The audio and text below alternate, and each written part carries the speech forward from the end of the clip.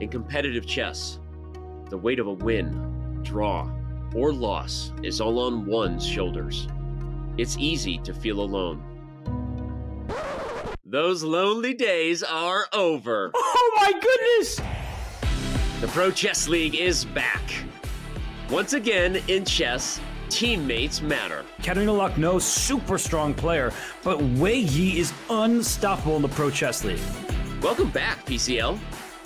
A unique collection of teams, each with their own personality of different colors, shapes, and sizes. There are gnomes and knights, Chessbrahs and bishops, and whatever the heck this is. The PCL is the only place where the best players in the world risk their fate alongside content creators and players from different levels, ages, and perspectives. Oh my gosh, that was another sick tactic by Arjun Erigaisi. He sees everything. Entering its fifth season, 16 teams will reboot the PCL legacy with a new format and new schedule. Only one team can be crowned the next PCL champion. Wait a second. Uh oh. Grischuk is super unhappy. My friends, it's the 2023 Pro Chess League. Which team can rise above the rest? They won't be able to do it alone.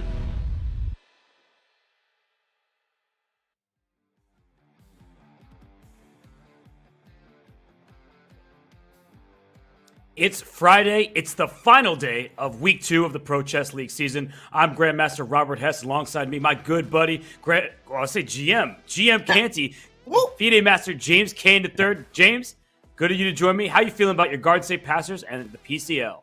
Oh man, first off, I'm a high energy chat. Okay, it's Friday, right? We have another PCL match. I'm here with. You can't play or do no type of chess without Hess, the big man himself, and I'm here with the chat, and I'm hyping. Of course, my Passers are, are right in there. You know, all we need is two more wins to make it to uh, the playoffs here. So we're feeling good. How about you, bro?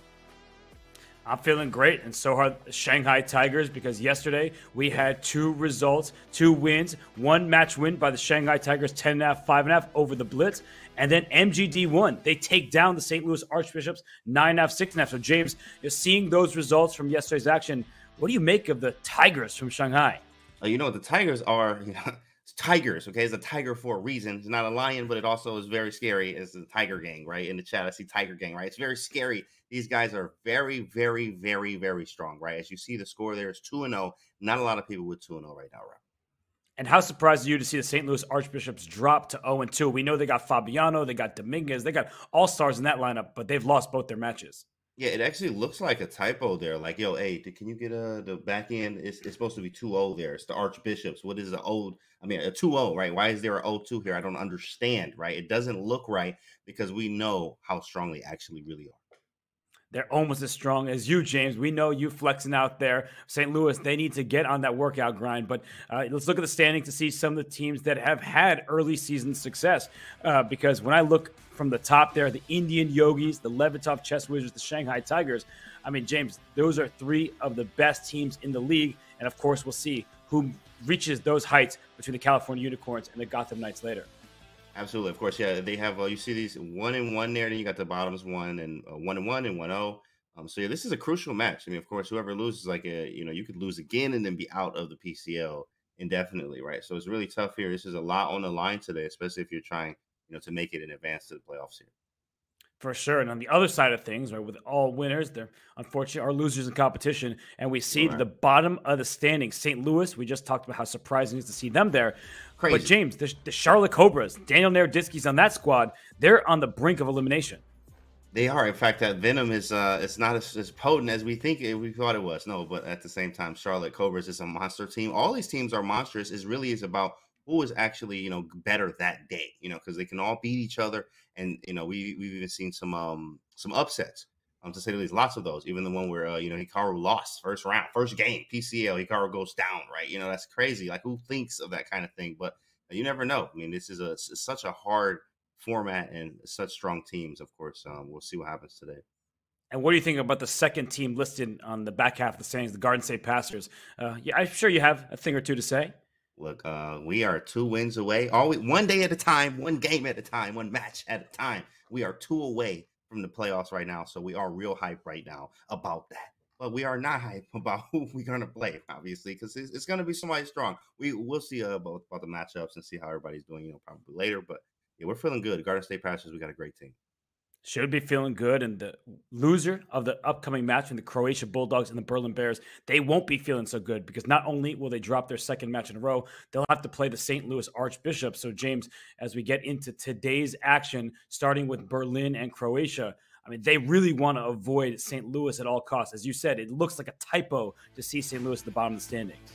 Yeah, absolutely. You see that there at 0-1, 0-1. Okay, you, that's fine. And you got 1-0, 1-0 there later on. We got some big matches too. But all these matches are huge here. But hey, taking that L and then you got to go face, you know, like you, you you lose to one GM and then you go face another strong GM right after, right? So that's really one of these situations where we lose. If you whoever loses here, you, you got to face those bishops probably. Most likely you're going to face the bishops or one team, but that's not going to be uh, the bishops you're trying to face any time of the day.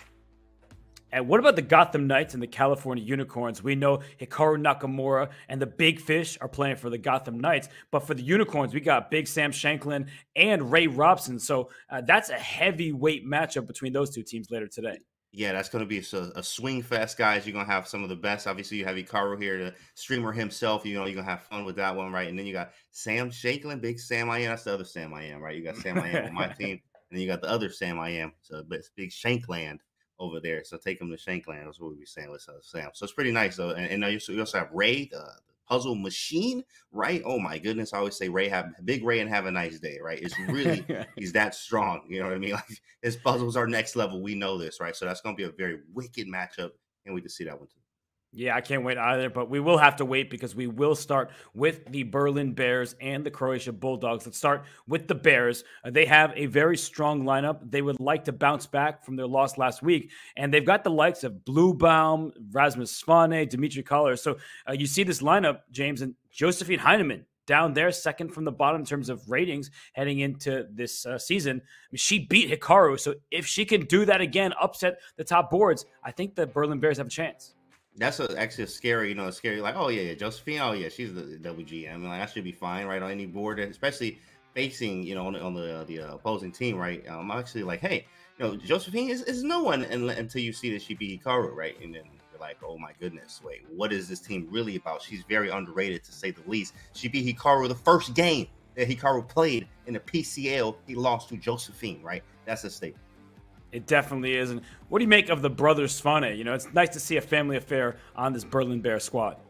Absolutely. Of course, they're very, very strong, right? There was actually uh, read the uh, um, back end stuff today about uh, the little.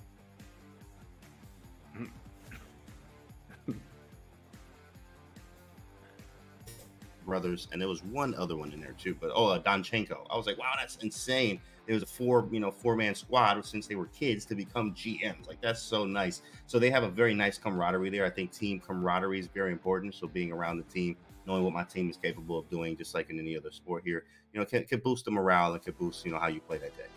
Yeah, and this is a you know German team with some exceptions, uh, but they're going to face off against the Croatia Bulldogs in this match. And the Bulldogs, we know they've got some serious bite. Uh, they also have a kind of an international flair to this squad because they do have a number of the best Croatian players. But at the top, they're led by Bogdan Daniel Deac, 2,700. Then they've got the likes of Injic and Mustafa Yilmaz, who did so well in the Tata Steel Challengers event. So uh, James, you know Polina Shuvalova quite well. You've matched up against her uh, before. Uh, but what do you make of this roster from Croatia?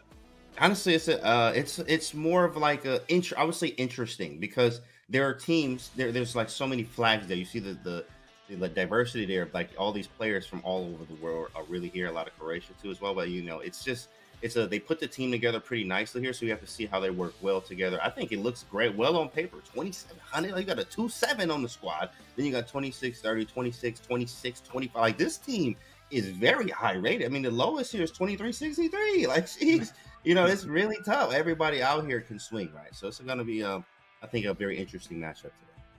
For sure. We know now know who the teams can choose, but they have to have a certain selection process to pick their lineups each and every week because there are regulations, and that includes a 2550 average rating cap. The teams must have at least one female player participating each week. Players above 2,700, they count as 2,700, and women over 2,350 count as 2,350. That encourages teams to have the best each and every week.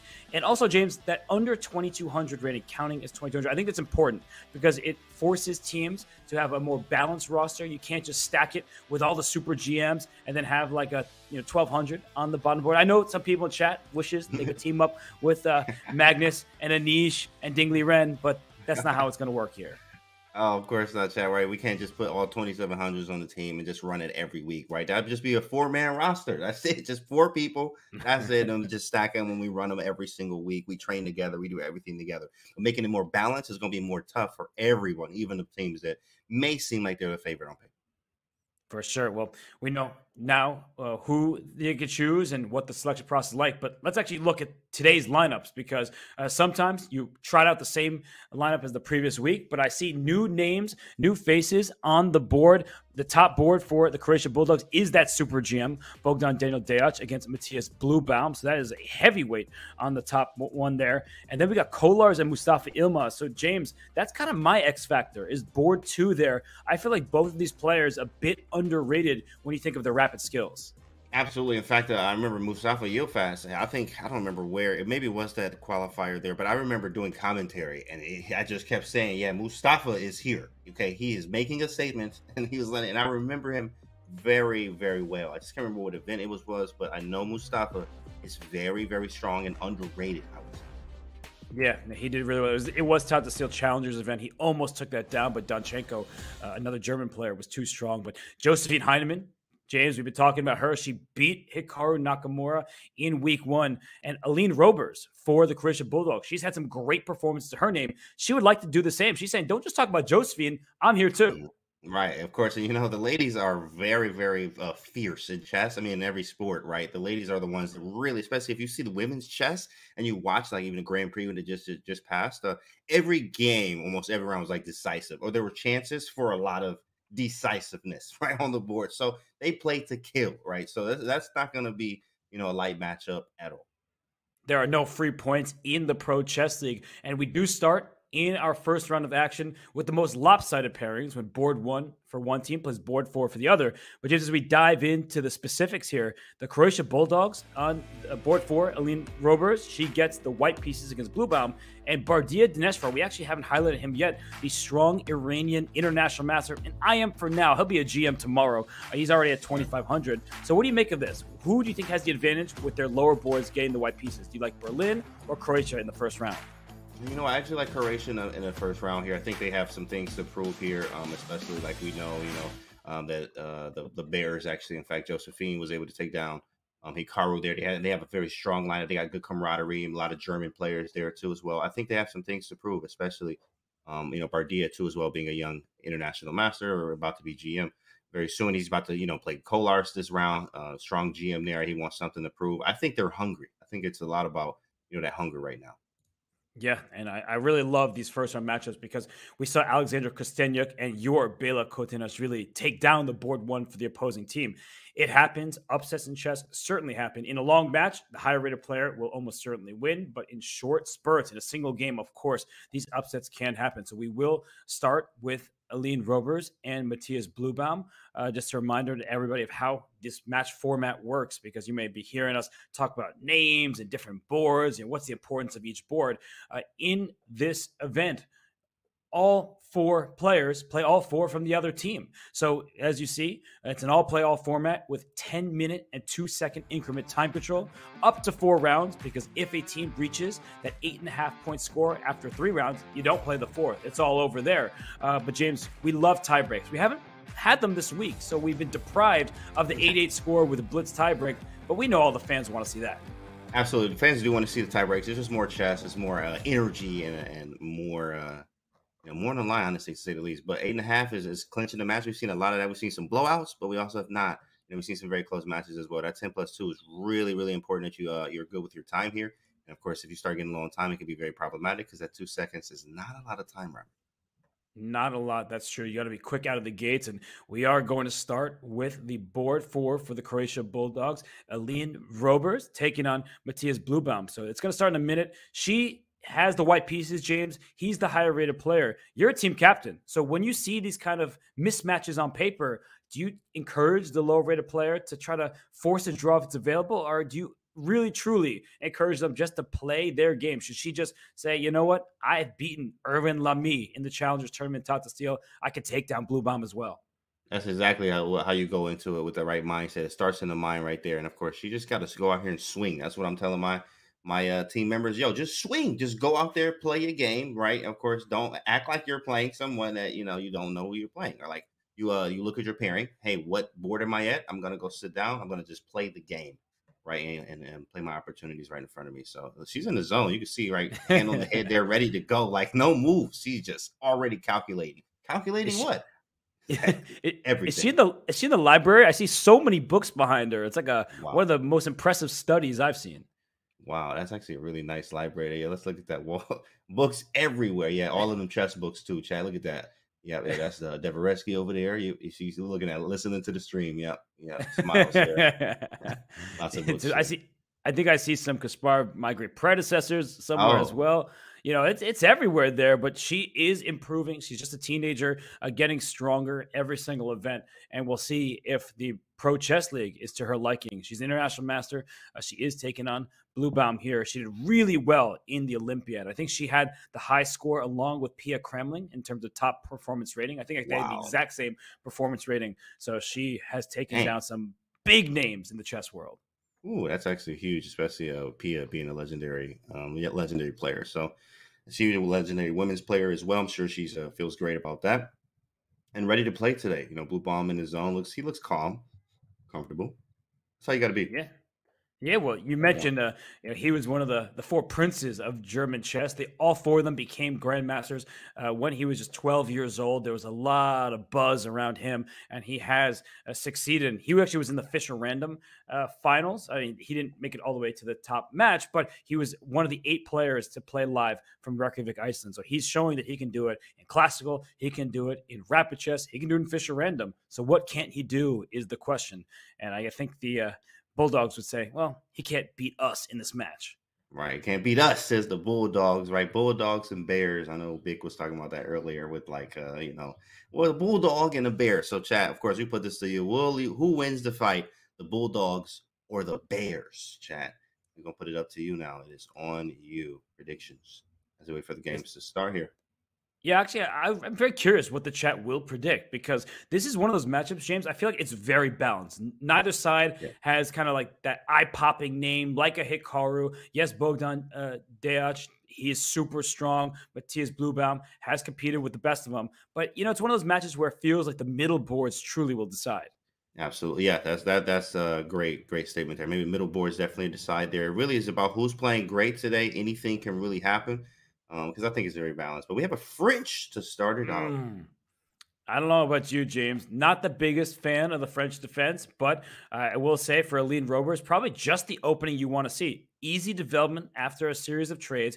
It's not like Black has easy counterplay. And ooh, what do you think about this move? Queen D3. She's not hiding her intentions. Actually, I'm not a big fan of that one. I'm not even gonna lie. Recent, I mean, of course, casting queenside is the way we want to go, but in attacking chess 101, um, that uh, grandfather grandfather Tao talks about all the time, we need to get this bishop out to d3, queen e2, and castle queenside. So yeah, the two moves here, it feels like I guess we kind of wasted some time, but maybe not. I guess the queen is nicely placed there. I do want bishop d3, but knight b4 is coming, so there's c3. Now, okay, I'm liking it. Now I'm liking it. Bishop come out to d3, and we go. We just start swinging at him. Literally, bishop d3, castle queenside launch everything I have, every piece on the king side is going to be pushed on that side of the board.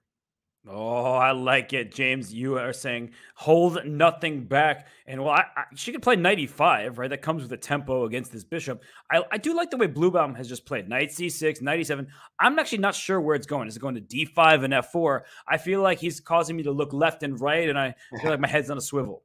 Yeah, in fact, actually, I like his plan. Uh, after Bishop D3, there might there's probably 95, Queen E4, maybe G6. But the idea, obviously, is just to play the Queen F4. We're just going to try to trade up. When you castle Queen side, I just go Queen F4 and liquidate all your hopes and dreams. Now, of course, White actually is still like a little bit better, slightly, but um, you know, I'm, I'm just not a fan of that. Like, I didn't want to castle Queen side to go just to go to an end game. I would just put the King on E2 or even you know centralize the King a little bit more instead of castling. So Bluebaum knows what he's doing. Oh, very strong, 2650. So I think if you castle here, we are running into a queen trade.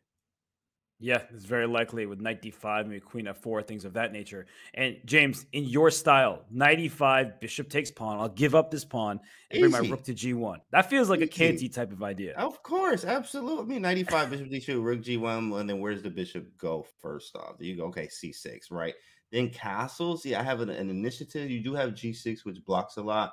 Let's uh let's bring up an analysis board and show what James is talking about. James, like, give you know, take that pawn, open up right. your king and he's going this way, and he said, "I got an attack."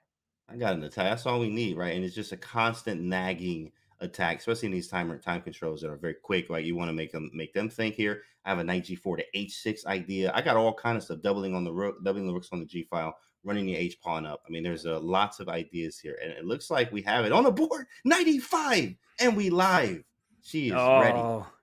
I, I'm very happy right. she did that because I knew you were waiting for it. I could tell. I know a James Canty position when I see one, but it's one of these big questions where you can take this pawn. In fact, the engine we just saw said bishop takes g2. It is one of those positions that says black is maybe slightly better, but who cares what the engine says? It's about whose position is easier to play. And Matthias Bluebaum says, no, no, no, not me, not today. I'm not opening up that G file. Yeah, he didn't even want any any action there. And you know, uh, uh, players like Korchnoi or even Yasser Seirawan would take that pawn and like say, "Hey, it's a pawn. I'm a pawn grabber. I'm going to grab the pawn and hope that you get it and hope you never get it back right." So, uh, but he didn't grab it here, so that's a win. I think uh, a, a little bit for uh, for a, elite liner. Yeah, well. Well, we'll see what she does next. She'll have to move her queen. But while she thinks about where to put it, let's go to our bird's eye view because I just saw in the bottom right we have a Scandinavian defense from Get Bogdan Daniel Deac. You know, he's taking one of John Bartholomew's book. That's still early stages there. Um, the top right, James, that looks you know, pretty level. Knights are being uh, traded in the center. And then the bottom left, I don't even know what opening that is. I, how did that bishop get oh, to c7 from Mustafa? Right. What the heck is that? Man, they just, he, bro, they just playing some stuff today, some Scandinavians – and then some randomness over there. Bishop d6 to c7. It's like a reverse, like a Kopec system type thing, but interesting. It's very strange. yeah, let's uh, go into that game between Grandmaster Michael Bezold and Grandmaster Mustafa Yilmaz uh, because how this bishop like it really went around the horn back to c7 so we're just going to show you how he got here very quickly uh, it was in english the bishop quickly came out to b4 and the knight came to e2 so if you take this knight on c3 the knight takes, kind of like a Rossolimo, colors reversed. Mm-hmm. And mm-hmm. James, the bishop went all the way back to c7. So it feels like white has like four free moves. Like how many right. pawns does white have out here? Both knights, the bishop, and yet black's king is castled. White's king will take a little bit longer to get away from the center. Yeah, there's a lot of space for white. White has a lot of space, but the problem I don't like about white is that well, with uh with the spaces, there's so there's a lot of options here, and, and there's a lot of things that can be attacked. So like you know, obviously a5 just happened, b5, d5, a lot lots of pawn breaks. There's flexibility for black too as well. So I mean, it's it's a level as the engine says too. My knights are uh, superfluous, so I'm not the biggest fan of where my knights are on EC, E2, and C3. But of course, we can't move them around. It's a still level. I think I would actually take white here, obviously just just because of the space. But black has this d5 e4 idea because I'm probably going to castle my king 100%. Got to get my king out of the center. So this is exactly this bishop is going to be very annoying if I'm able to open it up. I mean, maybe even d5 right now, actually after b5. No, I, I like your instincts, James. d5 looks like the best move to me. You when somebody's king is in the center, you want to open up the board. And rook e8, okay, similar intentions, uh, but for white now, I mean, I have so many different questions about this position. D5 like, now. if, if I could get this, I trap your bishop on c7. I don't know if it hmm. works. Mm. But c5 is super tempting because it's not that easy to stop b6 next. That's actually correct. C5, what a move. Like, look at this pawn chain chat. This is a strange opening. Don't try this at home, okay? But this is definitely one that is strange. I actually like d5 from white too as well, because I know you want to play d5. Queen c2. Is he going to castle queen side? Oh my gosh. He's not doing it. He can't. He, he, he can't do it. yeah, he might he might just bring the rook to d1 instead of casting all yeah. the way there. Uh, and Michael Bezold, by the way, so his classical rating is 2480. His uh, blitz and rapid ratings are well above 2500 so uh, he's a veteran grandmaster he's been around the game a long time uh, not the first time he's seen crazy positions and he also has a lead on the clock so i think that there's maybe sometimes the stigma against some of the players uh, who are a bit older, like, oh, they play slowly. He has a healthy minute lead on the clock with a wild position. He is showing absolutely no fear. Doesn't matter how young his opponents will be. Yeah, you're actually right. That's kind of scary. Uh, you know, he's up on time. This position's quit. It's it's wacky right now, and he's putting the he's putting the pressure on Mustafa right here in this position. That is really really bonkers. There's just so many options here. Where's White going to put his king? Where is Black's development? Oh, it isn't there, right? So like, there's nothing there, you know, right now. There's lots of uh, moves to make. Some has to be done, and you got to do it in the right amount of time before we get dangerously low one time here. For sure. So while D5 has been played and now right. White has to decide what trades do I do? Do I play C5? I really want to trap this bishop in. I know after C5, Black is, of course, going to take on D4 to open up space for this bishop. Uh, but it's an interesting position. But all four games in the Pro Chess League, uh, they're of equal importance. So we have to look around the horn. And James, to my eyes, well, I mean, Eline Roebers, she castled kingside in the top left. I actually like what's happened there uh, for her. So her, her, king is perfectly safe and sound uh, in the top left board. And yeah. then in the top right board, we haven't looked in on that one between Bardiya Daneshvar and Dmitrij Kollars, but it's starting to look a bit messy. So why don't we head on over to that one because the IM from Iran. He has the white pieces. Last week, he showed some great technique in games against Dariusz Świercz and other players. But I'm looking at that C6 square, James, and that looks awfully juicy. Oh, that's a very nice, yeah, very nice square there. Put the knight on c. Well, first we have a trade, okay, and queen takes, and yeah, just putting the knight on c6 is stable, stable advantage there. And if you take it, obviously I have a pass pawn with the bishops. I, I actually grab the bishop pair too as well. If you trade on g2, then knight c6 is just my square. Yeah, white definitely for choice here. Absolutely. Even though Engine's saying equal here, okay, yeah, but that's with best play here. B6 is weak. Bishop B3 I could take. I have a weakness on A3. I do have to deal with it. But I mean, I can give up this B A3 pawn for the B. I mean, there's lots of lots of ideas. Definitely playing for white here for uh the advantages. But I mean, equal. Queen takes D5 here. Yeah, I think that's you have to, right? Otherwise, you move your knight back. But we want to move the knight forward, so trade. And Knight c6 would like be the bullet move, but I don't think it's necessary just yet. You know, you don't have to drop there. Maybe at some point, if black's not looking, you go knight d7 and hit this pawn on b6, which means e4 has to be considered at some point. Right. Though knight c3 will hit multiple pawns. So James, it's just one of these positions where you have to be accurate if you mm-hmm. are Bardiya Daneshvar, because then if you're not, your advantage evaporates completely. Yeah, this is uh looks like i am pretty uh sure, maybe not sure, but this looks like a Catalan for sure. I'm not a Catalan player myself, but definitely look like some type of Catalan happen here, looking for that advantage here. Um, just for the whole game, trying to have a small slight plus, and that's what White looks like we have here. But we do not have you know anything that says besides the C6 square and a pawn on B5 that we're actually that much better. King may be placed better, I think, for in game here. If we could trade the rooks off, get the king closer to the center, we may have some choices and some, some things here. Pushing the E and F pawns is definitely possible too, as well. And of course, using our C6 square, which is really nice. But it is about timing. Like, how do we get it there? What is the move right now? We still haven't even, we, we you know, we got to move this bishop out to back rank, which is also holding the pawn on A3. So we have to be careful of that too, as well. So lots of ideas, though. Yeah, knight c6 was played, and the bishop will have to move. e4 being a critical threat, kicking the knight away from its defense of the bishop. But I think the good news for Kollars is once he moves his bishop, say to c5, the knight can drop back to e7, and he can get rid of this pesky knight over here on c6. And if those pieces come off, it's starting to feel more and more equal. Good chances for black to hold in this game. But you know, white had Absolutely. a slight, maybe aesthetic advantage, uh, but it's going likely to peter out. So why don't we hop away from here? I think we uh, see a pretty level game. Uh, but I just saw the corner of my eye, Mustafa Yilmaz in the bottom left. He now has a big advantage against Michael Bezold because that king on the bottom left is on E1, still in the center. And James, just what you were calling for has happened. The position has been blown open. There's a king Ooh, here. The C file is open. This bishop isn't developed. Not good. You know, this is one of those things. Don't do this yourselves, chat. Do not play like this as white. Don't try this at home. If you can pick up the king and put it on G1, all right, cool. The position is not that bad, really, but it's on E1. That's a huge difference, right? And it's going to take at least one, two, three moves to get my king to G1.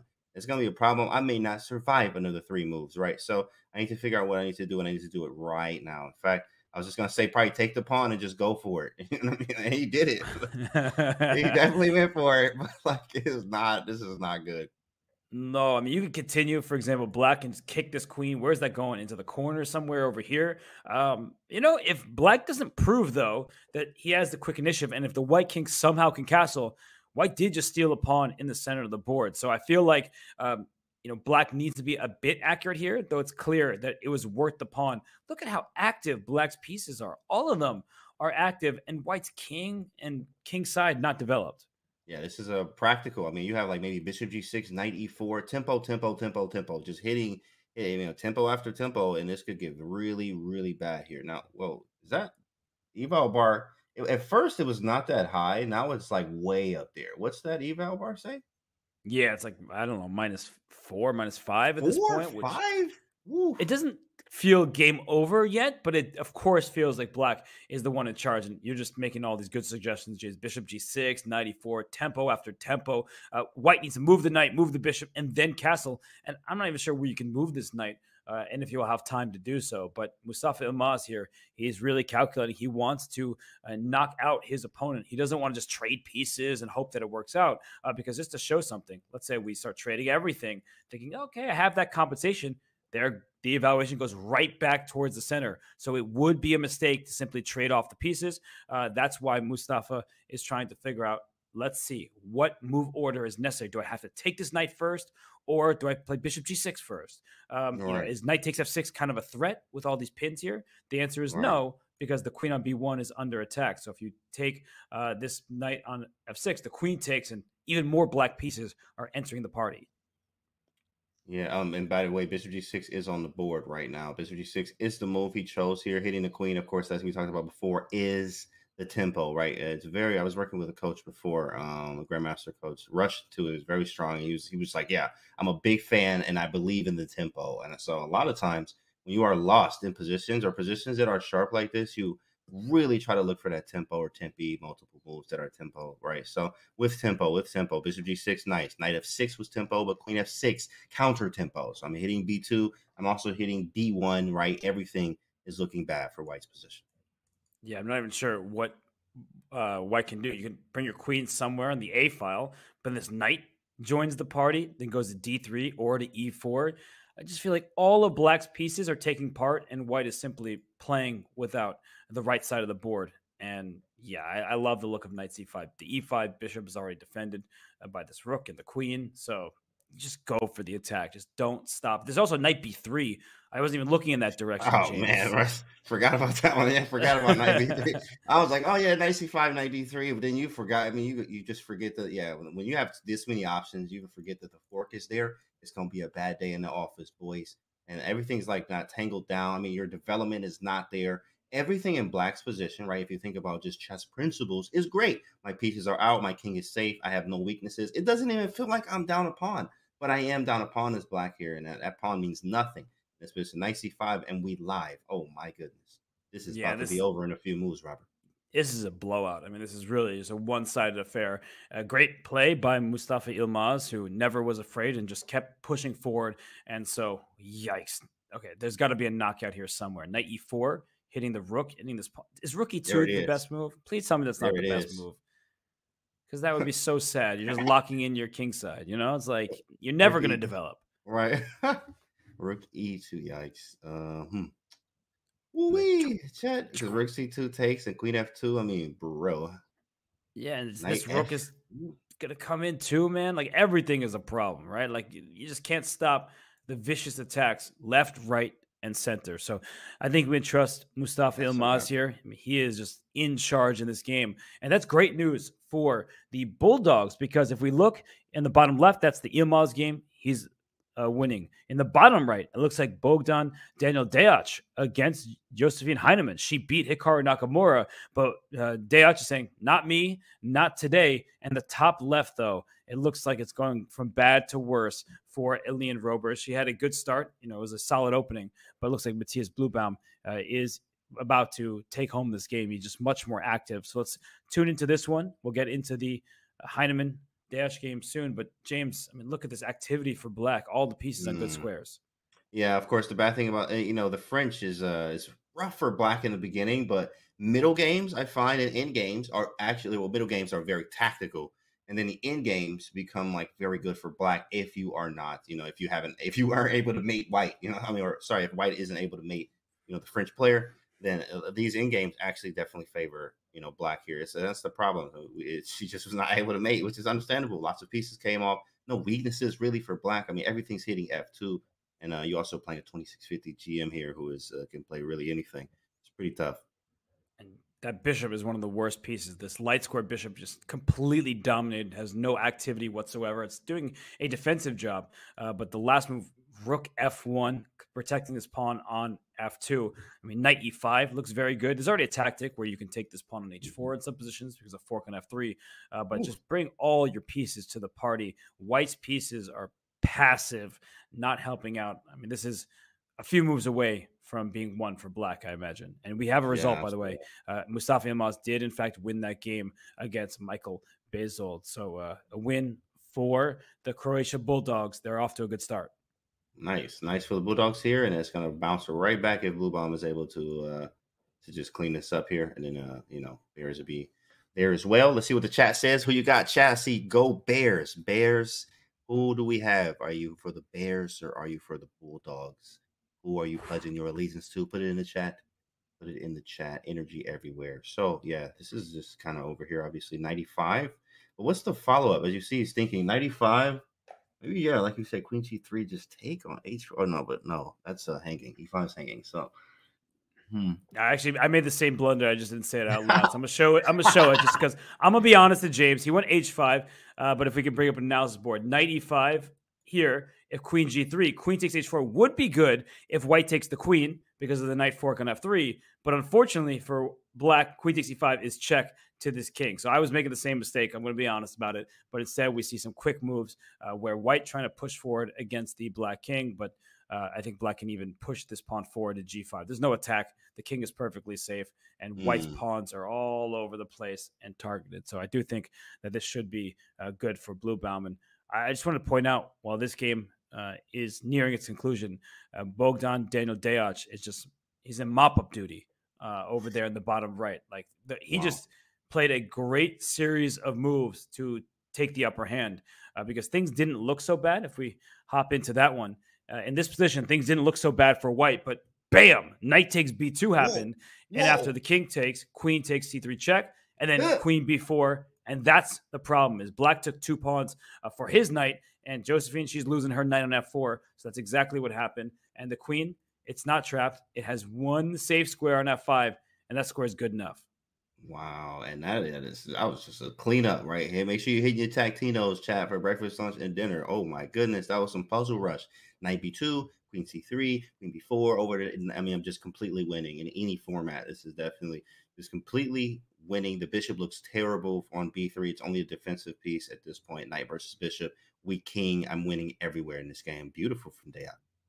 Yes, and uh, by the way, Matthias Blum did win that game for the Bears, so the match is even at the moment.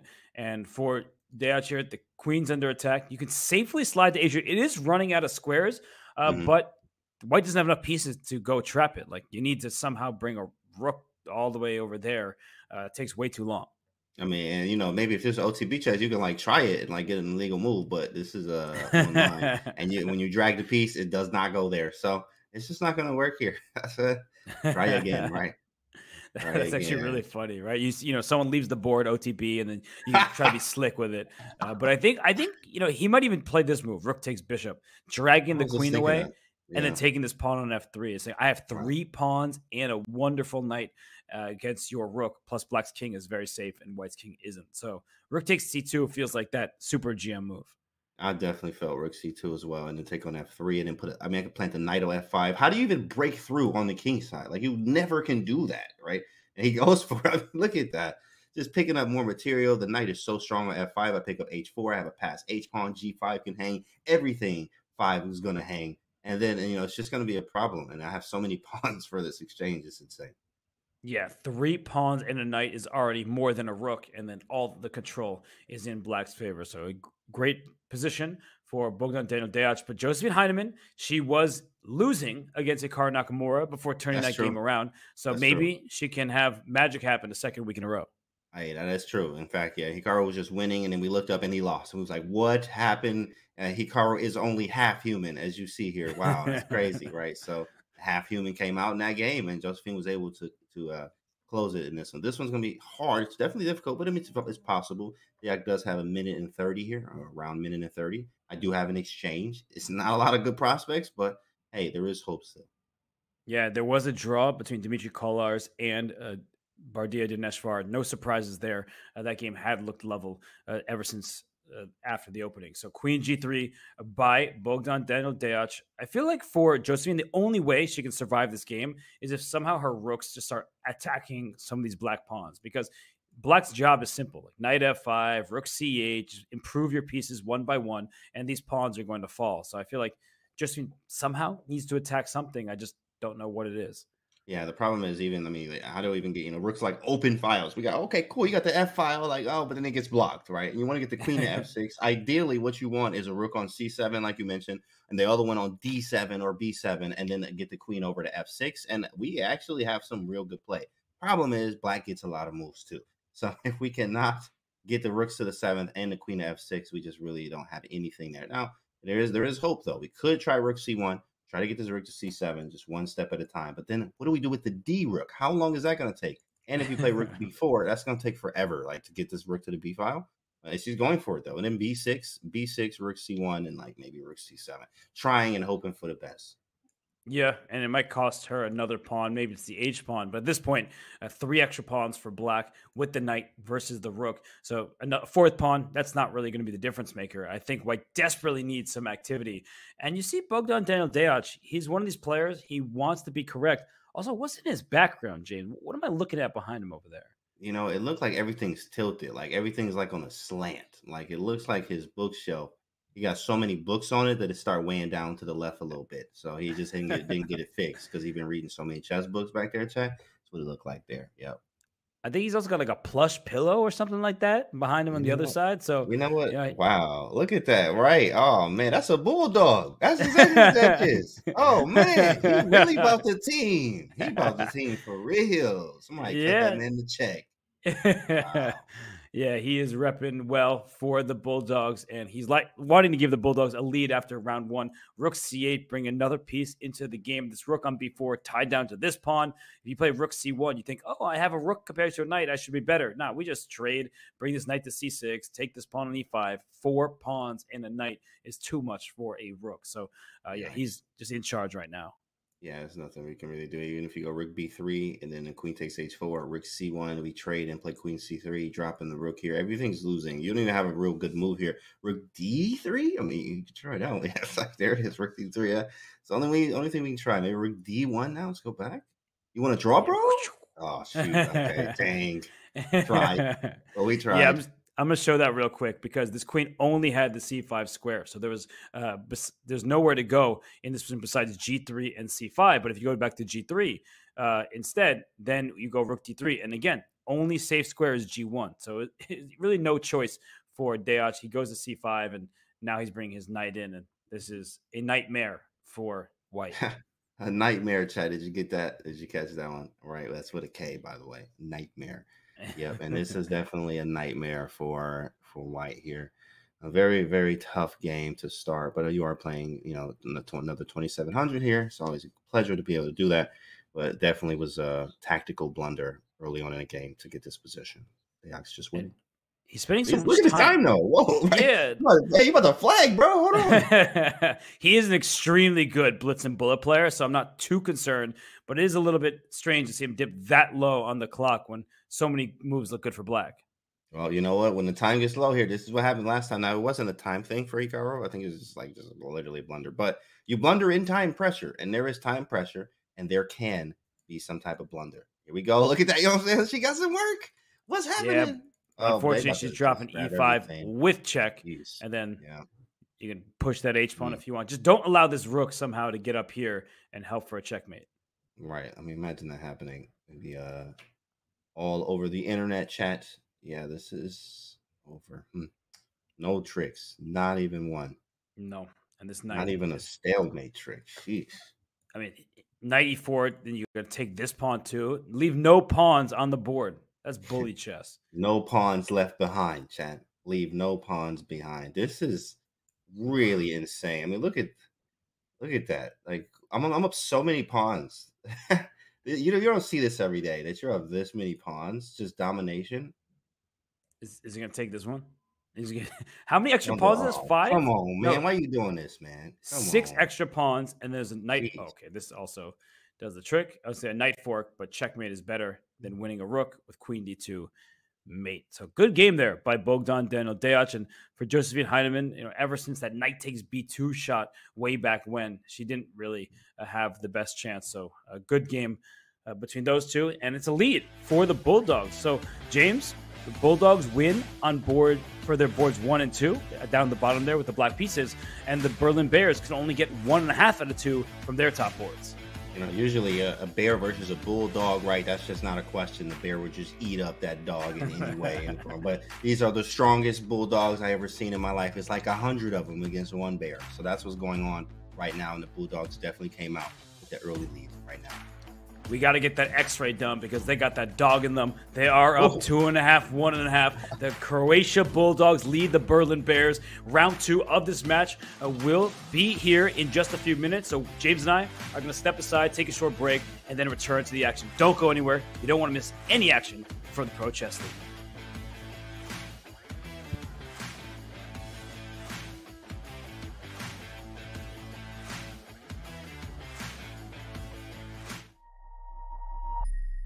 Do like positional styled games. I may try to keep it positional, but I I, I, can also uh, change gears, and I think that's very important in terms of uh, you know anyone trying to develop their chess game. Um, if you do find you know style of play that you enjoy, that's good, but you, could also try to sharpen it by implementing you know an, another form of uh, in, into your bag, as we would call it, right?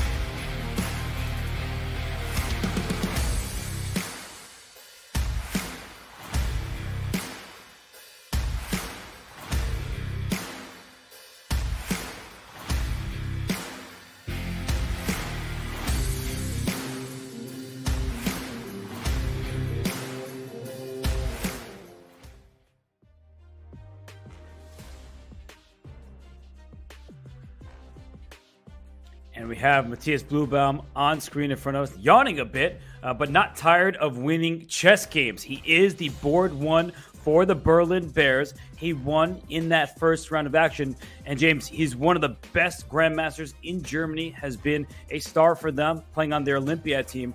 And he's also the reigning European chess champion. That's a huge accomplishment. Absolutely. I mean, number two German FIDE rated player. There's a lot of strong Germans, uh, Robert. Okay, there's a lot of them. He's number two, right? Reigning European individual chess champion. I mean, look at the accolades there. 2022 Fischer Random, right? That's Chess 960 Championship qualifier, right? Making the 2023 PCL debut. The man is very, very strong.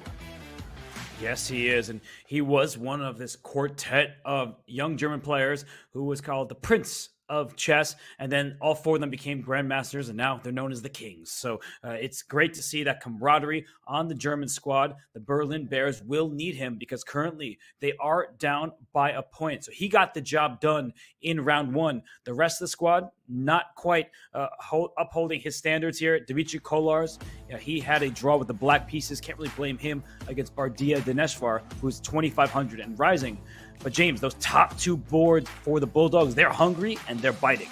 Absolutely, they're hungry and they're biting and they're very, very strong. Of course, Bogdan just with ease, of course, uh, showed some class there, exacting exchange of every pawn on the board. I mean, it was really nasty there. Then Mustafa, uh, Mustafa, Mufasa, I always do that to him. Mustafa, Mustafa here is so strong, of course. As you know, even the name, you can mix it up, and the man is very, very dangerous, right? But he plays very good chess. He also very attacking, good attacking player, King's Indian, and etc. Things like that. I think the Bears definitely uh, have the work cut out for them. They have a lot of work to do here, and this is a very strong team here. But anything is doable, and again, it's about who's uh, really good at that moment. For sure. And it's a new round, which means there are new pairings, and we will see different matchups. And that actually is good news, usually for the board fours, because they already played the toughest opponent on the other team. And as we look at these matchups, Bluebaum and Kollars for the Berlin Bears, they get the white pieces against Bardiya Daneshvar and Eline Roebers, respectively. And then we see that for the Bulldogs, they get their top two boards with the white pieces. Bogdan Daniel Deac and Mustafa Yilmaz take on Michael Bezold and Josefine Heinemann. So, James, right now the Croatia Bulldogs up a point, but who do you give the edge to in round two when you look at these matchups? Oh, definitely the Bears. Of course, as you see, uh, the, um, uh, we have Bluebaum and Kollars there with white pieces against the lower rated boards there. I mean, you just have to give the advantage there. They have the first move advantage. They're very strong grandmasters here. It looks like now, obviously, that's on paper. It looks like uh, the Bears have a slight advantage here. Okay, you heard from James. He thinks the Bears can't strike back and maybe even up this match. Uh, we'll have to let the players' chest do the talking because we are going to start uh, with the top board. The games are staggered.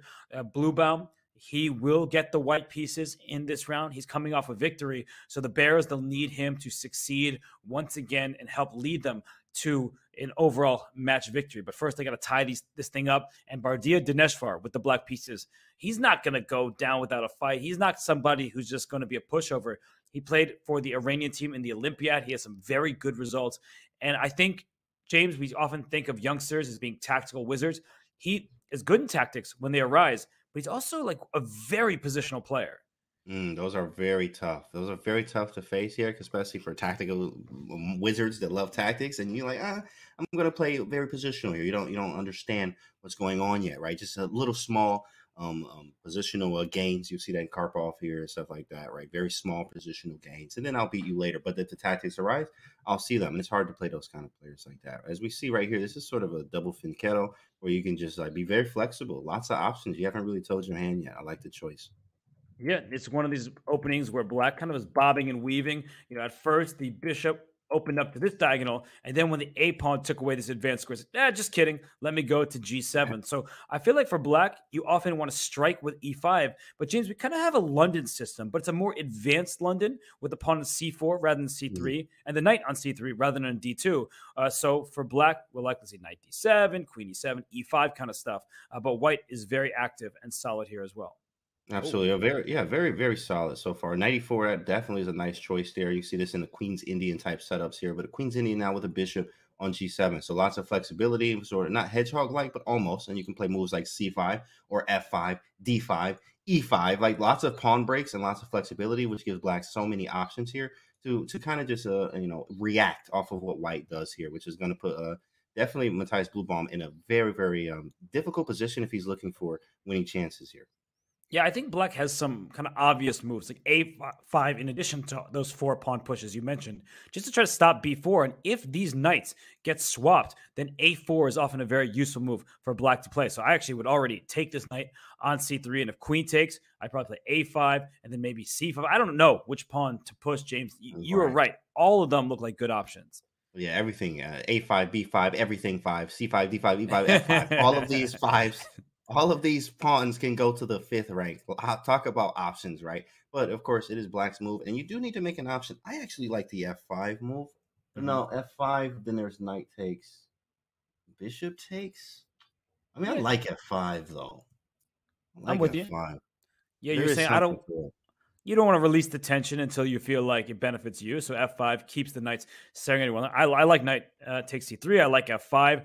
Um, those are and well, he chooses your line. So James, you know, you're flexing on him.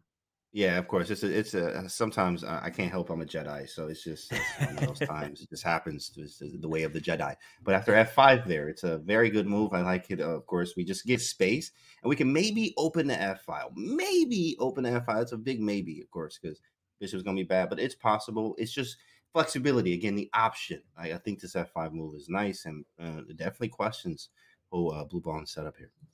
Yeah, well, while uh, Bluebaum tries to figure out what to do, let's go to our bird's eye view because I think we're about to see something very strange. Look at the top right. That's a black king on d8. Eline Roebers has her king Whoa. where the queen started, and like all these pawns are gone. So let's dive right into that game uh, because I'm confused. I don't even know exactly what opening came from. It looks like a Sicilian of some sort, where now black has a second c pawn. So wow, James, I think we have to start from the beginning here just to show everybody yeah, definitely. Uh, how Kollars and Roebers entered this position. So we'll uh, take a look. So it was a Sicilian. Okay. And we see well, a knight of six. Aha, one oh, of these. Yeah. White plays e5 and there's no queen a5 check. So this allows white to push this pawn. And this is like very popular these days, James. And I just find these too crazy for me. Yeah, this is in fact, yeah, yeah, I'm a big fan of crazy here. And but black actually is very nice in these games, is what I've seen. Now, White is too, but it, it, these games just become very, very wicked. You don't know what's going on. Is Black okay? Yes, he is okay, but then you know White actually has good prospects due to the open position and the bishop's already being out. But Black has a very nice center. I mean, he got all the pawns in the center. It looks like when we don't really have any, but his king is unsafe. Like there's like, yeah, but he has this. Yeah, but I got this. But I got this. But like it's literally going back and forth, right? And as you see, as a engine just gives only a slight advantage uh, to White here, which is a lot of lot to say a lot about this position. But for Eline, her prep better be really good because I feel like, uh, well, yes, she has these good pawns in the center. I mean, you got three pawns uh, here and a fourth. I mean, it's all just like helping the king uh, sh- sh- be shielded. I just feel like, you know, you make a careless move like a king c7 too quick, and then maybe this queen drops into f7. And Bishop b7 mm. was played. You see the eval bar saying, oh, not a fan of that. And you got to watch out. You could lose your queen at any moment because the queen on h5 also protects this square. So I feel like white should very quickly try to castle queenside. Who cares about this b2 pawn? I want you to take that pawn, just like Eline wanted that in game one. Open up this file later in the game. Absolutely. I was definitely thinking that Bishop D2 to Bishop A5 idea. I mean, again, it's the tempo. We talked about this before. That's exactly what's played. Bishop D2, so you go Bishop A5, and then you deal with Bishop A5, then a castle queen side, put a rook on the open D file, then move the bishops next. And literally your king is right there. Bishop C3, another tempo, hits F6. I'm also hitting H8 there, right? It's going to be problematic, opens up the bishop. Then I could go Bishop F5, and then Bishop takes E6. It's just too many things here. There's a lot of stuff going on. Even F5 there, it's at the right point if you probably play D5 or something like that. So there's lots of things that can happen. White's is definitely looking good here. I think White already might be winning. Like I look at this yeah. position, I see the eval bar saying, "All right, plus nearly two. I don't care. I, I, just don't think that Black really has a chance in a rapid game. It just feels like you have no development. C5 played, okay, cut off the queen, so bishop a5 no longer available, but castle's queenside and all of James's ideas, bishop c3, queen f7, f5, you, you name it, it's available. And I just feel like Black has just no play of her own. Absolutely. This is a very, very tough position for her to play here. I mean, of course, you are facing Dmitrij Kollars here, and you're giving him like a good position. I mean, bishops here is, is difficult. There it is. Yeah, the castle queen side is just playing very accurate and very good here for for the Bears. And you said it. The, you said you felt that the Bears uh, would have a good round, and they're off to a great start. So let's zoom out of this one as we uh, see Dmitrij Kollars with the upper hand. Uh, we'll look across the four boards. I would say the top left, well, not much has changed. We started off there. Seems like a solid start for Bardiya Daneshvar with the black pieces. In the bottom left, not a single pawn has been traded between Bogdan Daniel Deac and Michael Bezold. So early uh, in that one. And in the bottom right, uh, Mustafa Yilmaz going right after Josefine Heinemann's D6 pawn. So, James, I feel like that bottom right position, that's one of those that could uh, be very dangerous for the Bears. Yeah, of course, especially oh D5 too. Just play D5. That's gonna, that's about to get spicy over there. In fact, yeah, spicy. Uh, that one certainly is going to get spicy. And the top left, C5, was just played by Matthias Bluebaum. So that one is spicing up as well. So let's uh maybe go to our uh, board one uh, for the Bears. We'll go back to that game uh, just because I see this situation stabilized for Josefine at the moment. But James, what do you make of this last move? C5 for Bluebaum. Nice. And after pawn takes takes back the B pawn, of course, can't capture. The bishop is loose behind it. And if the queen captures, he's just trying to take this E6 pawn with check. Right. Ooh wee. That's some sharp stuff. That's definitely going to be annoying. You also have even some rook c1, rook c7 in there. Like, but there's a man, there's all kind of stuff. Yeah, queen e6 first, so then rook c1, rook c7. Ooh wee. There here come the tactics here. And that f5 definitely looked like it worked out, but then now you start seeing these king weaknesses. But I do have a strong. I got two strong bishops. So I think it's still level. Yeah, engine says level. Yeah, I can understand it being still level. It's dynamically equal. Like, yeah, my king's weak, but I got the bishops pointing and maybe if I can even play g5, g4, like we have almost some King's Indian esque type positions here. King h8, put the rook on the g file, bishop f6, g5, g4, and try to go for me even myself um, for for black here because that, that bishop on b7 is an absolute monster. We may have to neutralize it with bishop f3 or something. Yeah, I think white at some point will look to trade off those pieces just because it is staring down towards the white king. And I think that for now, Bardiya should play knight to d7. Uh, we can we see the pawn and you can't capture it, bring your knight out, develop, and then threaten the pawn. And you just want to get your knight to c5. It's a nice active square. Kick that queen out of here. We can play g5 later. I don't think we're in a rush to do that. So I really like the look of knight d7, a calm move, a developing move uh, for black. And actually, moves have been played king h7, rook c1, and e5. So striking in the center, and then now bringing the knight out to a6 rather than to d7. But James, as the bishop is kicked back here, a pawn entrenched on c6. Do you like this development for white or for black? Oh, that's a good question here. In fact, after this, you know what? Oh man, this is tough. Let me think about this. Strangely enough, I like black a little bit more because I know the plan of this f4. I just feel like we can get something going with f4 and g5, g4. But then again, I don't like this knight on a6. So kind of level. Okay, now but he brought the knight back. So yeah, I'm definitely liking black here a little bit. 96 to G5. Mm-hmm. See, James, I, I know your style. You're looking for the attack, and I'm with you. And black at some point can lash out with A5. The, if you play B5, you may drop this pawn on A3. So you have to be careful about that. And so it's not like this black bishop on C8. It's not going to stay there forever. The rook on 8 won't be here forever. But knight G5 does look like it's next. Uh, maybe there's an F4, F3, things like that, and black can go in the attack. Yeah, this is definitely looking attack like you can see. I mean, the bishop on h2. This is like if the pawn wasn't on c6, then I probably would take white. But like the pawn on c6, actually, I don't have anything. I mean, okay, it's a good pawn. It's a great pawn. In fact, it's passed, right? I mean, it could be passed. c7 could be weak. I can put something on d7, but that is not possible right now. That is not possible. We're trying though. He is on knight c4, and maybe we move the knight again to g5 because he is attacking this pawn now. Right, the e5 pawn is under attack, and yeah, it does seem like White is the one who is getting the initiative all of a sudden. So allowing this pawn up to c6, it did force the bishop back, and now Black feels a little bit more passive. And well, I mean, this one is about balance, maybe slightly better for Matthias Bluebaum, but other games have bigger swings. So let's go back to our four board scene because look at this. In the top right, it's still all Dmitrij Kollars. Not too much has changed there. Uh, the Bears board two is in charge and playing good moves. But the bottom right, that's where I think the biggest swing has happened. And I think we can understand why. Because Josefine Heinemann, uh, she is trying to defend this position against Mustafa Yilmaz, But his the last couple moves, if we just scroll back, the c7 square has been the problem. So mm. h6 we saw a swap. And after queen takes, I believe she was likely thinking, okay, we'll trade, and then the knight will protect d5, but said knight c7 first. Double my pawns. Have fun with that, because at the end of the day, you see knight takes d5, pawn takes, and a pawn is hanging, but don't take it. That is a trick. If you take the pawn, oh, she already uh, he already moved. But if you take the pawn, she would have had bishop takes f2 check ideas uh, mm. in these positions. Yeah, it's very strong chat. Make sure you're doing your tactics daily because even these small tactics like here will come up in your own games, especially as the time gets lower too as well, and you just oh and you lose right immediately. It's just not not good. You don't have any fun there. Problematic. So, but I like this uh this idea of what he played uh, with Bishop H3 and now Rook D8. So now do we just snap the pawn? What do, yeah, what? grab that pawn yeah. for sure. Just snap the pawn now and then take and well, no, no, you can't take the file. So let's play e3 and then the very nice uh, pawn flanks with only the f2 pawn being weak in that structure. That's usually how you deal with it when you have the double pawns. So uh, a very nice stable. I'm up a pawn.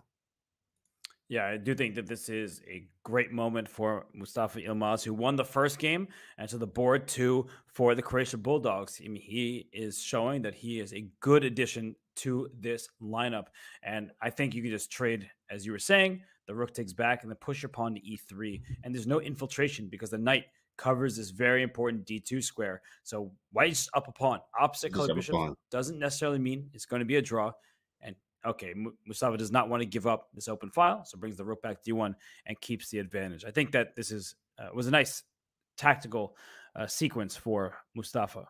Absolutely, he's just uh, looking to convert the extra pawn. I'm up an extra pawn. Yes, it's double, but it's still an extra pawn, and we can use it for, of course, uh, a reserve tempi is what Dvoretsky calls it, and you can use uh, the reserve tempi later on due to having this extra pawn, even though it's double. Yeah, and I think what Black really needs to accomplish is to trade the knights. If these knights come off the board, drawing chances increase. The reason why is pure opposite colored bishops. But let's say this knight gets to e5, and then I put this bishop on b3 with a knight. The opposite colored bishops, it actually gives attacking chances because harder to defend certain squares like f7. So Black really, really, really wants to trade off the knights. That's what I'd be aiming for if I were Josefine. Just I don't see how you accomplish that. Yeah, and that knight is very strong at f3. You can also go to e5 at some point. I have a rock solid structure. I can go e3, king f1, king e2, almost on pre-move. Um, of course, don't pre-move, but it definitely this is just an easy plan to pre-move here. Put the king closer to the center, put the knight on e5, swap the rooks, and then maybe reroute the bishop again over to uh to the uh, a2 ga diagonal.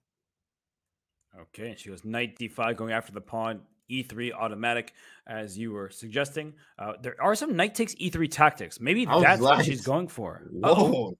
This is probably why you should have traded that boy. Rook D8, right? E3. Hold on, big fella.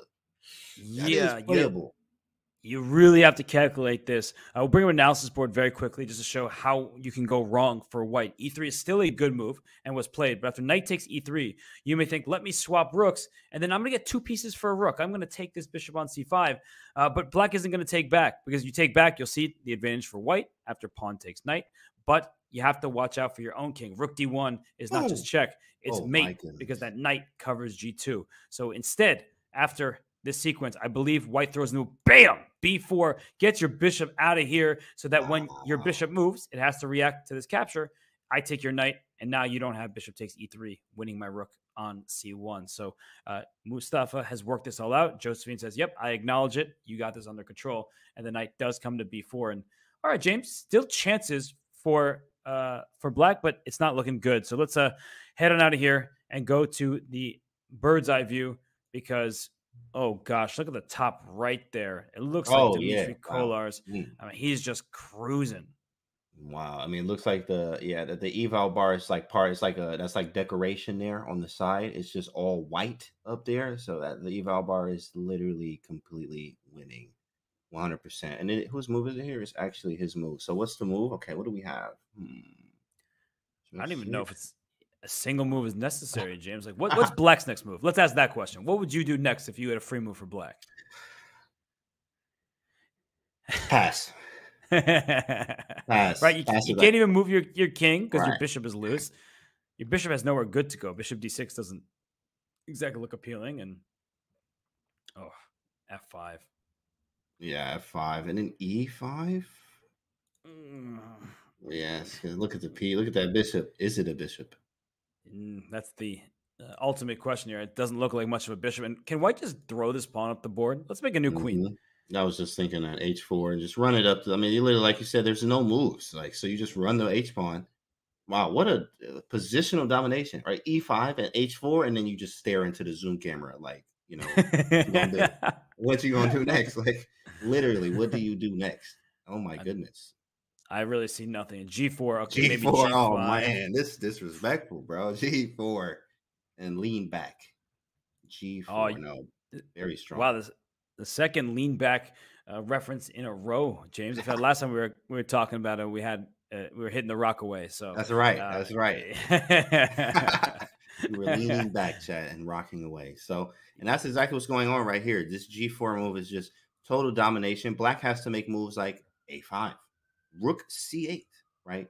Queen C7. All of these moves don't do anything at all. There's no plan to it. In fact, wow. I mean, there's so many pieces. The reason why it's such, such a fascinating position is there's so many pieces on the board for this to be domination like this. Queen G7 and just chill.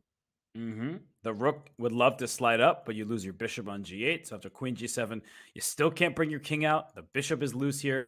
Uh, there's just no moves in this position for black. It's one of the uh, sadder positions to see. So I, I do think that Eline Roebers, you know, a tough start to this match. She is playing the top two boards for the Berlin Bears, but the Berlin Bears need all of these games. They entered the round down by a full point, and as we look across their four boards, uh, look at the bottom left for the Berlin Bears. We haven't even looked at this game, but Michael Bezold, he is up nearly five minutes on the clock, Whoa. and James.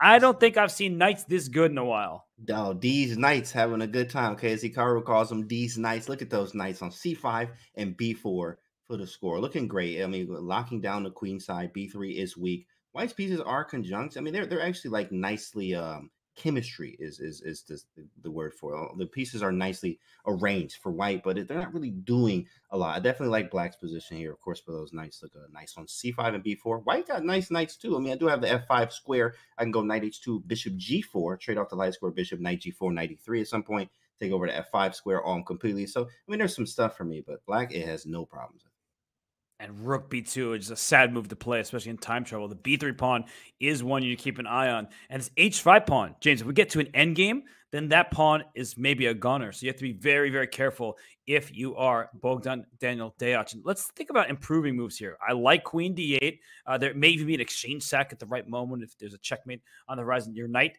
one of them, can get to d3. Mm. Uh, mm-hmm. I just feel like it's hard for white to make any plan. Knight h2, I like your choice to try to go for bishop g4, but I'm worried that a rook will slam down on d3 as soon as the bishop moves. That's exactly right. Yeah, that's the only only problem. That's why uh, rook queen d8 was so nice there. I mean, he definitely just covered that whole idea is like not there anymore. I wanted to go knight h2, bishop g4, but I mean, as soon as the d3 square opens up, he's going to put a piece there. So we have to shuffle around, make some other moves, and try to figure out how we can actually do something. I mean, worst place pieces, what Jacob Aagaard says in his uh, positional playbook.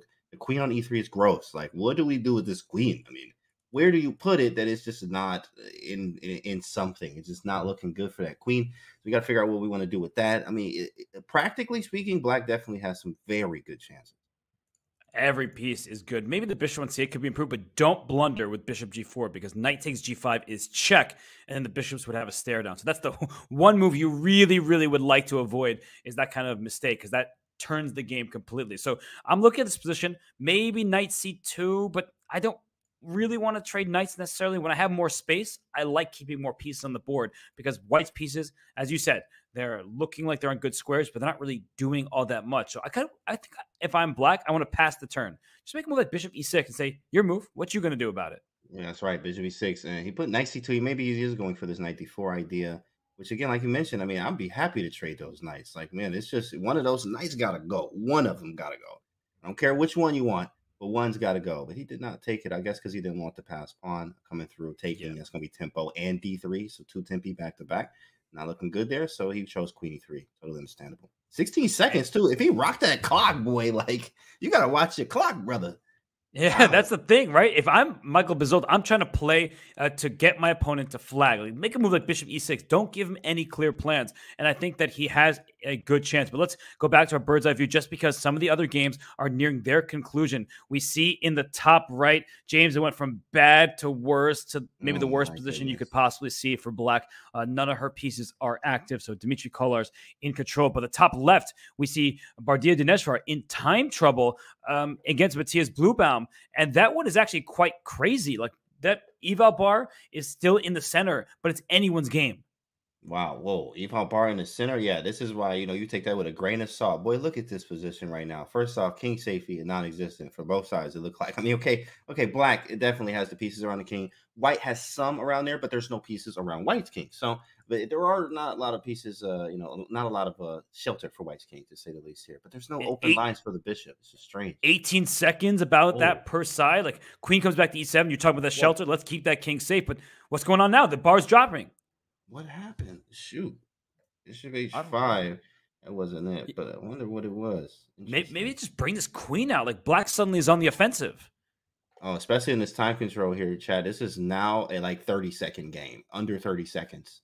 Under 30 happening? seconds. Bishop a2. The queen is under attack. Queen? Queen's got to go. Four seconds for black. You got to move. Where you going? Come on. Gotta move. Gotta move. Ooh, we made that with two seconds. Queen a4 hits the bishop. Bishop b3. Oh, Wait, bishop b3 is there some kind of like take on d1 because the oh, bishop my goodness. you take the the knight is loose. Oh, what do you do? You got to take on d8 then, right? I don't know. He's got three oh, seconds. He's got to move. He's got to take on d8. He does it. Ooh, what two bishop b bishop b3. Oh man, so quick. Three, two, queen c4. He's out of the way. Uh huh. Oh, oh, but watch man. out. The e3 pawn is loose, James. So he goes back to e4. And what's going on here? Oh, 96. Oh man, it's coming. It's coming. Oh my goodness. Give me everything. Yeah, this is Take this one, take that one, take every, take this one. It protects the knight as well. Queen takes h5. Will he spot it? Four seconds. Knight to d6. He oh, said, that's a oh, good oh, move, though. That. That's a good move. That was a good move. Yeah, and he's gonna take this pawn, I think. Unless maybe take. There's, there's no checks, oh right? My God. Get him off the board. Get oh. him off the board. Oh, and Bluebaum, he's like us. He oh! couldn't. He didn't even see that oh. coming. Oh man, he hit. There's not. A, there's not a single decision. check, and he resigns. That was oh, sick man, by Bardiya Daneshvar. Wow, look, he just got up and walked away, dropped the mic, dropped oh the mic. my goodness, oh, that was get that man some water. Oh man. And Bluebaum wow. is beside himself. And for the Croatia Bulldogs, that was an important win for Bardiya Daneshvar Game still going. The top right game is over. Dmitrij Kollars won it. Uh, we see in the bottom left, uh, Michael Bezold is now in trouble. He had a big advantage. He had all the control. Now he's in trouble. But Josefine Heinemann in the bottom right, she still is trying to survive that end game. So let's go back to Bezold and Bogdan Daniel Deac. Somehow a pass B pawn appeared uh, for the 2700 Super GM, but Black has a pass pawn of his own. Yeah, of course. It's just he just got twenty seven hundred. You know, even though that's uh, we made that that uh that, that up just now, but he I mean definitely Black was doing great. His timing, the time, like he had no time. They are, uh, I mean, literally, you know, a Bezo was up five minutes on the clock. You know what I mean? So he just got twenty seven hundred in here. It happens, it's like stuff. But okay, we still got some some some play here though. It's not over. Yeah, he can win his B pawn, but he's going right. to lose the C4 pawn, and the yeah. king is in some trouble, right? Once this white rook lands on C7, the king is forced to the last rank. So he's going in with this rook to C7. He can pick up this A pawn if he wants. He can bring his bishop out to B5, uh, but maybe this isn't the cleanest game. It's not that easy to win, though. Black's pawns are probably going to fall. Yeah, Black Pawn's definitely looking to fall there. That was a beautiful move. This should be five. Just try to like, hey, limit your rook activity there. Maybe rook to d6, rook h7. And then what do we do? Like, we got to get our knight in the game somehow, right? I understand, but like, where are we going next? Knight c3, probably. Oh, knight c3. So That's nasty. Oh, James, I wasn't even looking in that direction. Like, okay, let me go over here and all that stuff. But knight c3, right. just Get this. there it is. There it is. And and now we have ourselves Rook B4. Wait, that's tempo, mm. brother. What is that? Rook B4? We also could almost get Anastasia's mate if you look out for it. But oh, watch out mm. for this mm. H pawn though. You gotta be careful. Oh, Rook G6. right about boop, that. Boop, boop. You are right about that. How do we deal with that? You got to go like Rook B7 there. Oh, it's completely Uh-oh. losing. Completely losing. Uh-oh. Oh, he can't go Rook E6. Wait, no, he can. He can. I mean, not Rook E6. Sorry, uh, Rook B7. Rook B7. Oh, oh yeah, it's over. Dang. Can check here. Oh, I'll check first. Okay. King up. What's the deal? G. Oh, is it going to be some mating oh. net? You move this rook and bishop g8 and rook h7 mate. Look at the time he doing it in too. I mean, he had no time for like so many moves here. Bishop G8. Oh my goodness. This is a family channel, bro. Get this off the screen, man. Get this off the screen. Get this off the oh. screen, bro. He just made it that man. It's White who wins on time in this game. That's great for the Croatia Bulldogs.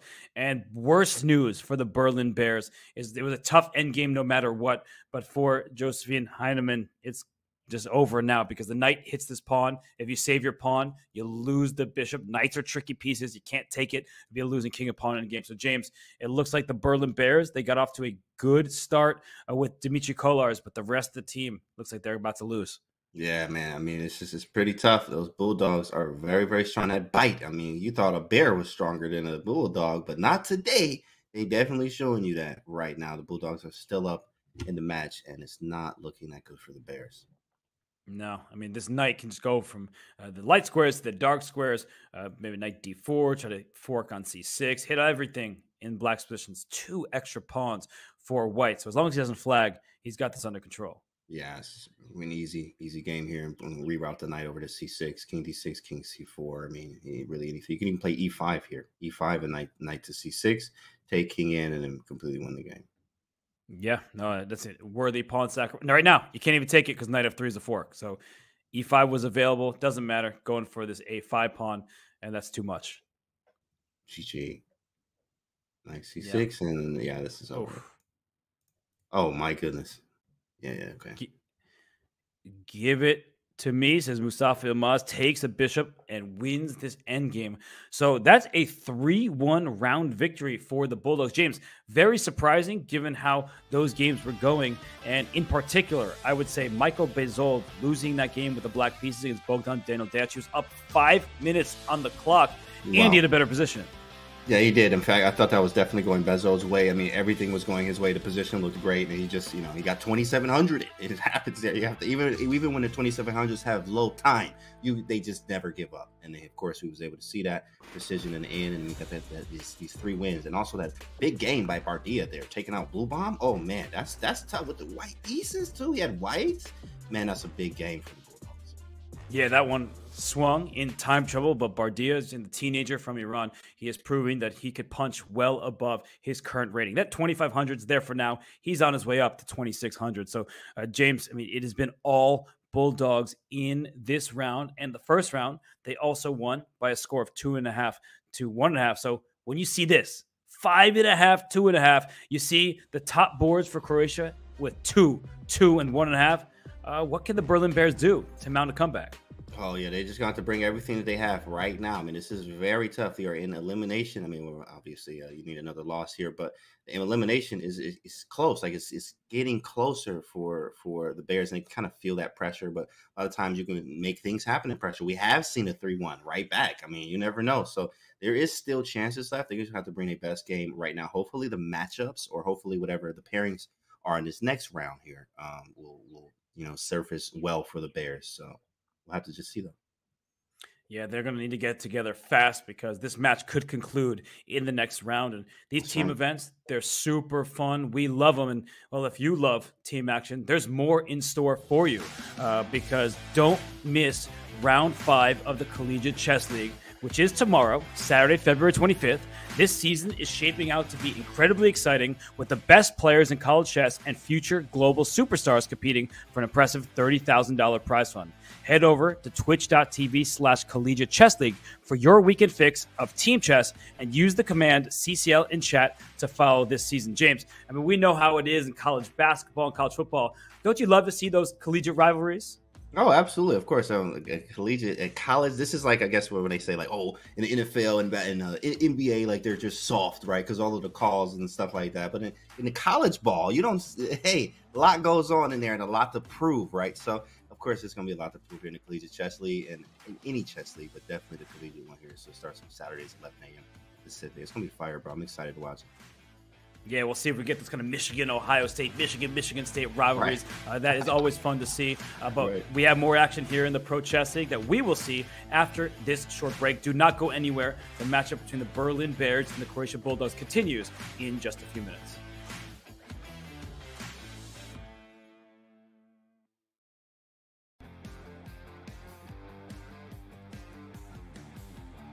Hello and welcome to this video.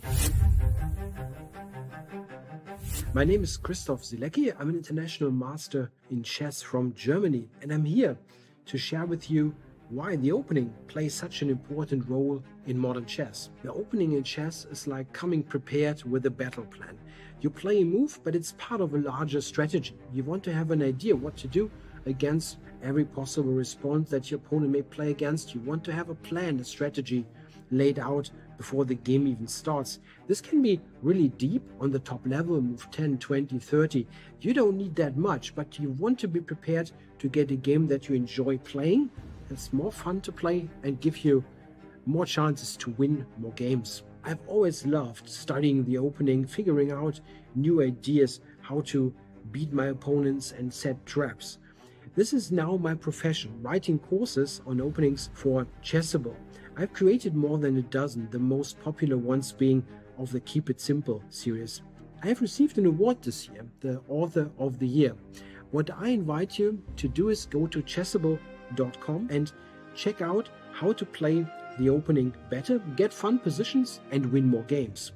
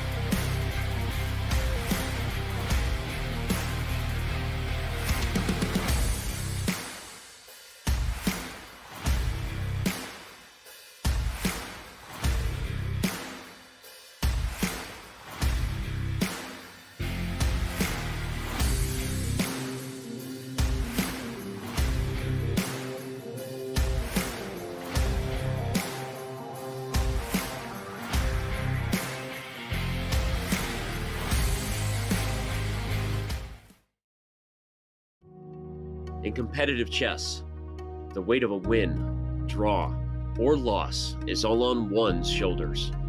It's easy to feel alone. Those lonely days are over. Oh my goodness! The Pro Chess League is back. Once again, in chess, teammates matter. Kateryna Lagno, super strong player, but Wei Yi is unstoppable in the Pro Chess League. Welcome back, PCL. A unique collection of teams, each with their own personality of different colors, shapes, and sizes. There are gnomes and knights, chessbrahs and bishops. And whatever the heck this is.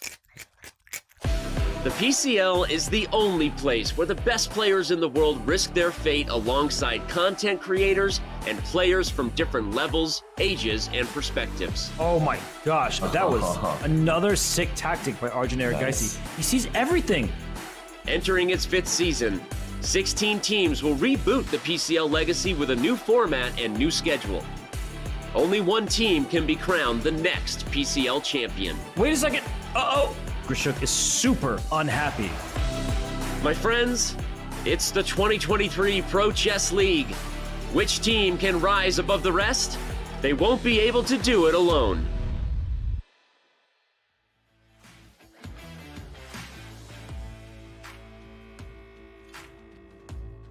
And we see Matthias Bluebaum pondering what could have been. He lost that critical game against Bardiya Daneshvar in mutual time trouble. And that is bad news for the Berlin Bears because they trail by three points. It is five and a half, two and a half in favor of the Bulldogs. James, this match could be over after the next round. Eight and a half points wins. The Croatian Bulldogs only need three to secure match victory. It is very possible. We just got to see what that lineup looks like when that lineup comes up and we see and they like, oh, I got this color, we got that. We don't see. It could be over. It definitely could be over here unless we see these Bears, you know, come with way more bite than we've seen in these first two rounds for sure. And while the Bears, uh, they've had some good performances, namely Dmitrij Kollars, uh, but they have zeros on the bottom two boards. But in this round, uh, the stars for their team, boards one and two, get the black pieces against the opposing boards two and one. So, uh, James, the Berlin Bears need to score at least at you know a point and a half here to stay in it, but they need more to have a realistic chance to win the match. Where are they going to get those points? Yeah, the points may be at the oh man, it might be at the bottom boards there because the top two, it could happen, obviously, especially Bluebaum wanting to bounce back. He, he might just be, you know, all out. You know, I'm about to play my best chess you ever seen right now because even though he has the black pieces here, but he just lost, and of course, you you have to get over those losses very quickly. Short term memory loss, easier said than done. This for the team, we know we have to do this. He is the number one guy for their squad. So black pieces. I am playing a lower rated GM, but he is still very strong GM. Talking about lower rated. I mean, really, what 26? what what? 20? How much lower? really lower, right? But of course, maybe some lower. Uh, um, um, but Bezo may be looking to win quickly, obviously with the white pieces against uh, Eli there, who's not having the greatest um time, and then uh, WGM uh, Josefine there is going to try to beat Bardiya. Bardiya is very strong after beating Bluebaum. Bardiya is like, yo, I mean, I just beat your top guy. Like, what else you got for me, right? So it's uh, it's, it's gonna be it's a really really uphill battle for the Bears. It is indeed, and Matthias Bluebaum, he still is not over uh, that loss against Bardiya Daneshvar. You see him shaking his Man. head often. He just can't believe what happened to him and his Bears. But he will need a good game here because if he can take down Mustafa Yilmaz with the black pieces, suddenly the Bears have a new lease on life in this match. And here we go. The game is starting, and Mustafa, he gets the white pieces. He's a very solid and strong player, very principled player. He goes for D4. Goes for D4 here. See what Bluebaum is going to go with here. He likes the French setups, but also E6, and he plays D5 like classical. Let's see what we have. C4. Can go any route here. Yeah, yeah. French, Queen's Gambit decline, very similar.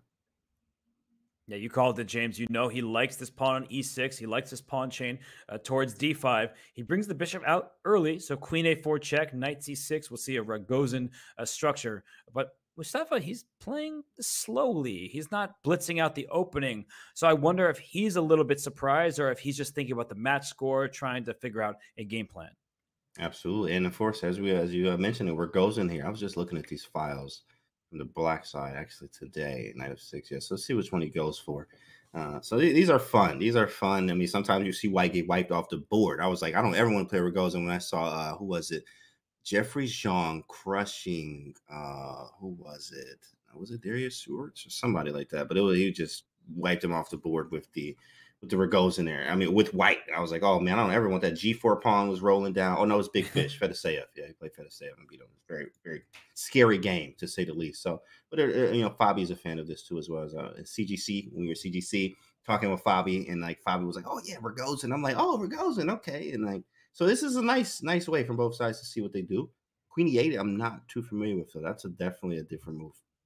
But you could tell what he's cooking because let's uh, bring up an analysis board and make a careless move uh, for white. I mean, maybe it's actually not that bad, but I was going to make a move like rook c1 because okay. after bishop takes c3, oh. bishop takes back. I'm looking already at knight takes d4. Is this available? Yeah. The queen on a4 is loose, and that means you take the queen. I'm not just going to take back intermezzo time with knight takes f3, check to your king, and after you take back, I get your queen and blacks up a pawn in between move there. And we're up a pawn here. Absolutely. Feeling good there. Tactics everywhere. Queen e8 is a very creative move, I think. Queen to b3 in response, taking on c4 now. Make the queen move around a little bit. Or bishop c4. Bishop c4. Usually the queen to e7. Now bishop d6, and we're going to play e5. Yeah, standard stuff you see here. And also knight a5. Ooh, Wow, look at that dual threat by uh, Bluebaum here. He has a lead on the clock. That's great news for the Bears. But Mustafa says, let's go forward. Knight a5, no more. The bishop on d2 mm. covers it. You could play e5, but maybe I'll take your bishop on d6. And you're also opening up this battery towards the black king. So I, am interested in this start, uh, but other games have begun as well. So let's zoom out. We'll come back to this one. Of course, it is the top board for the Bears, taking on board two for the Bulldogs. James, I see in the top right, very quiet position thus far from Bogdan Daniel Deac and Dmitrij Kollars. And in the bottom left, Michael Bezold. I mean, this guy has been playing everything under the sun. And he's got this King's Indian attack set up against Eline Roebers. That one might get spicy yeah, soon. Let's see that one. Yeah. That, hopefully, come on, Castle Queen side, Bezold. That's Zoid, come on, bro. Castle Queenside, you just got you have to. I mean, it just looks like Castle Queenside, and then I go G4 next. I don't even think about the next one. Castle G4, Rook G1, Maiden Maiden 11. uh, we are talking about the game in the bottom left between Michael Bezold and Eline Roebers. It's funny. James is like, let me just throw all my pieces up the board. Uh, in the bottom right between Josefine Heinemann and Bardiya Daneshvar, they just have an early Sicilian. Not too much happened yet. So let's go to board uh, three for the Bears against board four for the Bulldogs. Uh, Michael Bezold, he's playing creative openings. And James, he's again up time. He has more time than he started with. He may Bro, be like the quickest the player heck? I've ever seen in the Pro Chess League. That's crazy. What he man, hey man, we gotta figure out what this man eating. Right? How do you do that? That's 10 7, right? He didn't think about anything. In this position, nothing. Like, how did this start? Let's how did we get here? Like he just blitzed out everything. King's Indian attack and then B3, Bishop B2. Oh, he went B3 yeah. first. Oh my Yeah, goodness. he went he went for the fianchettos. He's just you know playing like a B three cowboy, Audubon somewhere like in this, and then he plays A three to meet A four with B four. This is standard fare. Uh, you do not want to allow Black to crack open the queen side for this rook on A eight. So I like the way that Basil just played. I think that it's also unfamiliar territory to most players. They don't see it in classical games very often, and as James has been shouting for castle queenside let's go we'll try to use this h6 pawn as a hook and push the g pawn forward I will be a little bit disappointed, but I also will understand if he castles kingside and is a little bit more solid. But James, I'm with you. I really want the queenside castle. Come on, my guy. Castle queenside G4 and just knight takes G4, rook G1. I mean, that's on top. Like it's just it's calling for that. And if this bishop's very strong. Now, of course, C5 might be a little annoying, but he plays A4, yeah. So he's just, you know, mm-hmm. playing it, bro. He's insta moving. Hey, you, you don't have to move that fast, Mike. Hey, Mike, slow down. So, look at this man. He instantly hey, James, moving. We all want to play like Mike. Come on, we know, yeah, we right, know. Right. Like Mike, you know, we right. want to be like Mike. And uh, yeah. here we see him moving instantly, and he went to move a four because he didn't want Black to play that move. Now rookie eight. You know, she's trying to compete for the center. Oh my gosh, is he playing bullet chess? Bro, he's playing bullet. You know, we need to check his task. You know, task manager, right, to make sure we don't have any bot or any assistance here. He moving too fast, Mike. He's moving way too fast. I don't understand. No, of course, but he's really trying to blow her off the board. I'm not gonna lie. He's just moving quickly, no mistakes. He, he, moves are very easy to make. This is really nice. Like really like these type of positions. You can also learn from this. I mean, and like you can play this setup really probably against anything here. It's sort of sort of a King's Indian with a bishop on b2, which is a very uh, interesting one to say the least. But I mean, look how much time he's up, chat. This is crazy. I mean, he's eating up all the time, thinking on her clock. That's all he's doing. Yeah. Yeah, it seems like he just, you know, knows everything. And he had the advantage against Bogdan Daniel Deac, against the 2,700 on the opposing team. We know he's capable of getting great positions, but he needs to close better. That's been his right. struggle today, uh, where he let that one slip while up so many minutes with the better position. I guess right. maybe he needs to slow down at critical moments or just find those finishing touches better. But he is in good shape right now. He's up like nearly double her time soon. And look at his face too, just like no emotion or anything. All right, is he gonna insta move here? Finally, under 10 minutes. I mean, that's like a goal. You know, I'm like, can I get him under 10 minutes? Gee, bro, can I make him think once? Now I think she feels a little bit better. It's like at least he thought for a little bit. Man. 10 Yeah, seconds. he's used seven seconds, and uh, you know while this game continues, we are going to bring in a special guest here. Uh, we have Vyacheslav Nemec joining us from Chess Essentials and you know, leading the Croatia Bulldogs. So, uh, how's it going? How are you enjoying your uh, Bulldogs lead right now? What's up, man? better than the last week at this stage, so can't complain at all. No, that's awesome, man. That's great. Uh, what goes into uh, you know, team preparation for matches like this? What did you uh did- how'd you prep the team?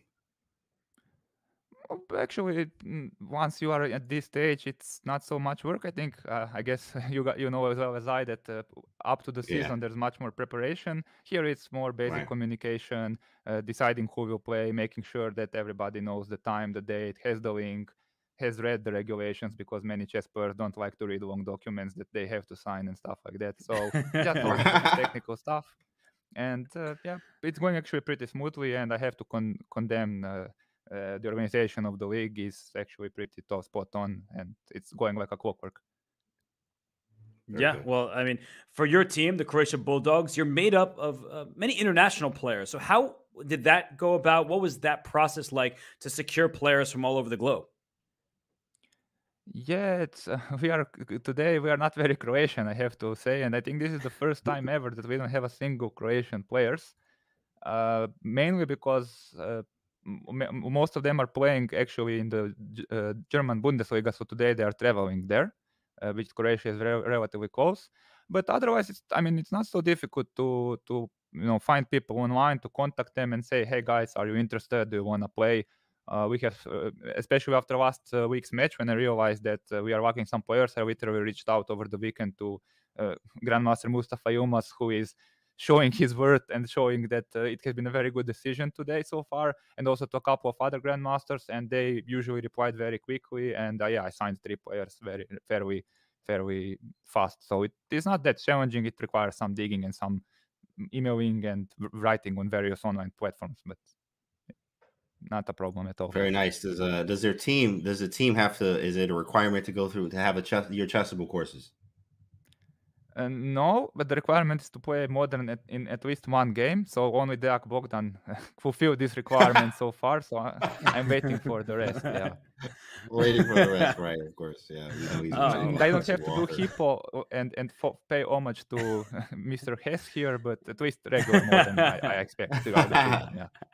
And some modern too. Definitely got to see some modern, right? From the Uh, Croatian well, team. well, well, we have seen some you know high level play this far. Let's zoom out to get all four boards on screen for everybody because this is a critical round. You know, your Bulldogs they don't want to allow the Bears back in the match. So when you look in the top left here, uh, Mustafa Yilmaz, he loves his knight against the Bishop. It seems like he just won uh, the previous end game uh, when he had uh, his knight against Josefine Heinemann's Bishop. So uh, when you look at that game in the top left, uh, Vyacheslav, what are you thinking? You liking uh, Mustafa's position? Yeah, yeah. I mean, I guess it's a good position to have when you're in a lead. Uh, I mean, isolated pawn, knight against the bishop. Uh, I'm not that uh, versed in my classics, but I would say that white doesn't have too much risk there, which I think is a, you know, draw is a good result at this point. So I guess we should take it. Stable position, and, and nothing to complain about. I think. What do you think? I agree with you. I I'm just gonna let you do the talking because everything you said, and we see a queen trade being offered uh, because the pawn structure is healthier uh, for white here. And well, you, you he's your pickup, right? You just got him, Mustafa Yilmaz, coming off the Tata Steel Challengers event where he performed in second place. He was really strong in that. So, what does this do for your your confidence as a manager? You're looking at him. He won uh, the first couple games. Now in game three, no issues whatsoever against the board one for the opposing team. Are we going to see more Mustafa Yilmaz? Yeah, I hope so. Although not in the next round because he already told me that he is also playing uh, somewhere over the board. I think in Norwegian league or something. So yeah, that's Oh, why. nice. That's why I realized. Uh, s- basically, it hit me after last week's match. I was like, okay, because I didn't want to stack up the team with like 15 people and then nobody can play. But then I re- realized Right. why some other teams have a little bit more deep depth in their rosters. So yeah, I mean, I mean, I guess it's a good thing that that these professionals have opportunities, and uh, as far as I know, these leagues are usually what what the major brings in the majority of the income. So yeah, happy to see that. And we do have some some replacements. We have signed the Grandmaster Vasif Durarbayli and also Grandmaster Alexander Indjic. So yeah, I'm still pondering on how the team will look like, uh, but I have some rough sketches and ideas. But as nice far as I understand, if I understood the, the format correctly, we will be playing more than one week. So hopefully we will see Mustafa in action in some other round as well. Very good. Yeah. And wow, look at this move from Mustafa. I mean, F4, he hits the queen. I think right. we're going to see F5 next. That bishop on G6, not a happy camper. You were talking about the isolated pawn and the classics. I mean, this seems like a very nice way of dealing with it. The knight on D4. Uh, Aaron Nimzovich would be very proud.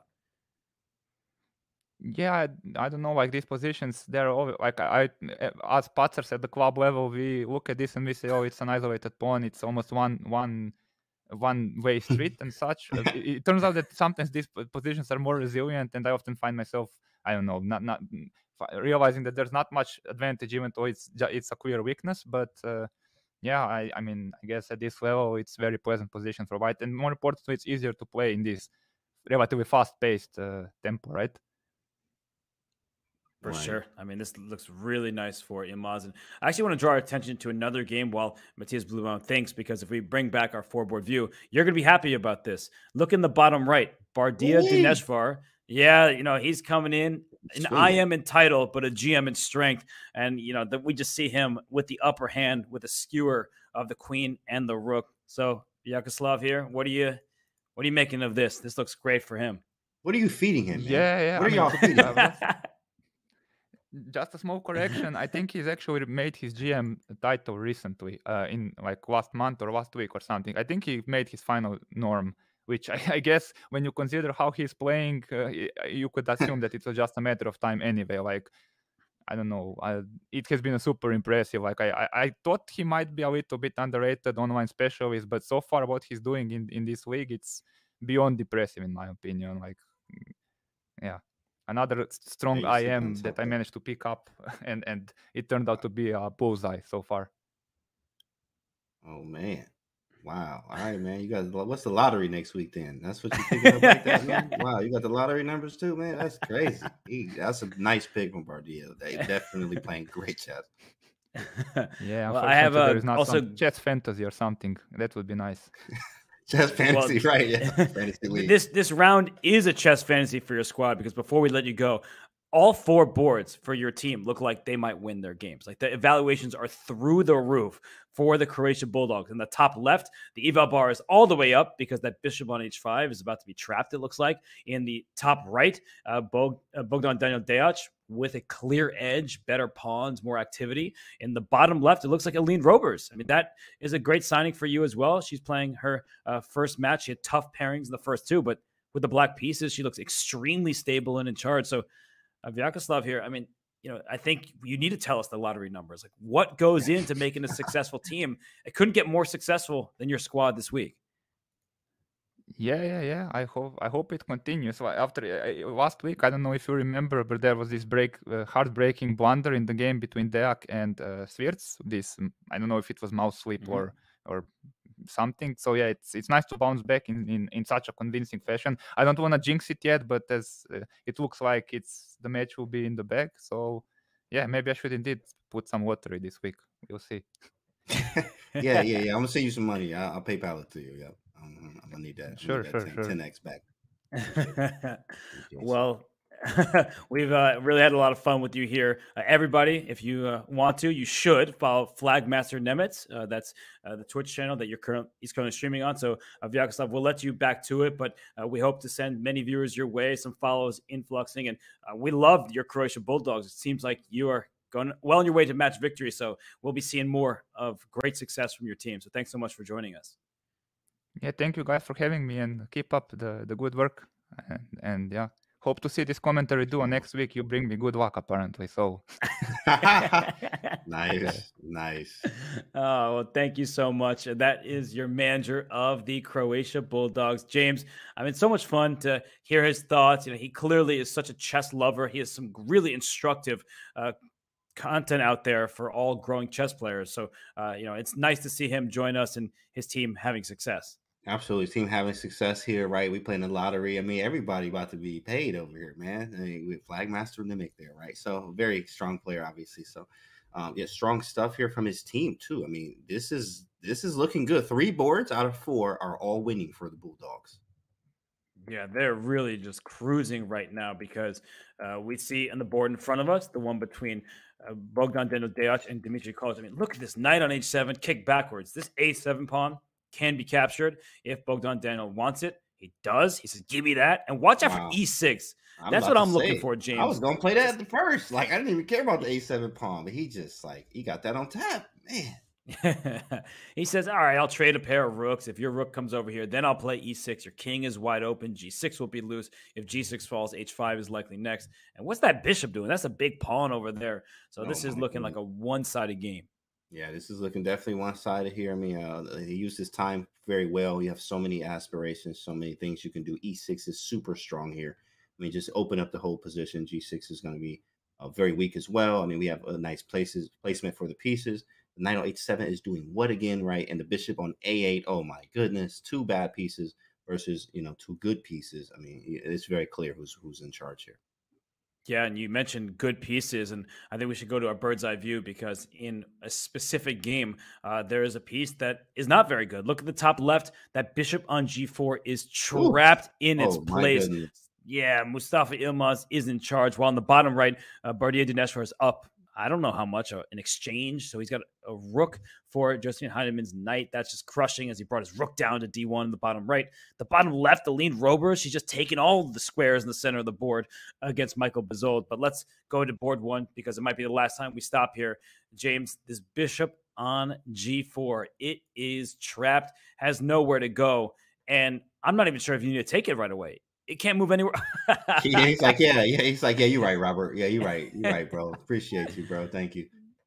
Oh gosh, it's just trapped. Nowhere for it to go. Bluebaum down to 20 seconds and change.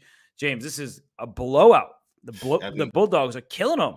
You know, never would I thought that I would choose a dog over a bear, you know, and never until today will change your mind. Okay. The Bulldogs are very, very strong. It's a lot of them, right? A lot of Bulldogs is different than one Bulldog. So it's a, they, they teamed up today and they definitely, you know, have a very impressive victory as it looks like they're closing in on the match right now. I'm going to end it eight and a half to you know whatever maybe three if they draw that game whatever the uh, fourth ha- happens there but very strong stuff here from from the bulldogs and as we see in the birds of E6 played in the top right, Bogdan Daniel Deac, he's going for it. But let's go to Eline Roebers' game in the bottom left because Jeez. she's in some time Bro. trouble. We know we know Michael Bezold moves instantly. His position is quite bad. It's dangerous, but look at the clock. She's down to 20 seconds, James. Now, what's funny is I'm laughing because like he did this every game. You know, Mike just like he was winning. You know, he like, crushing, and then we came back. It's like Mike, come on, man, you you was mm-hmm. moving too fast he really blitzed him, and then like you know, I mean, the time obviously is there, but 19 seconds, so he getting up on time, but it's not accurate.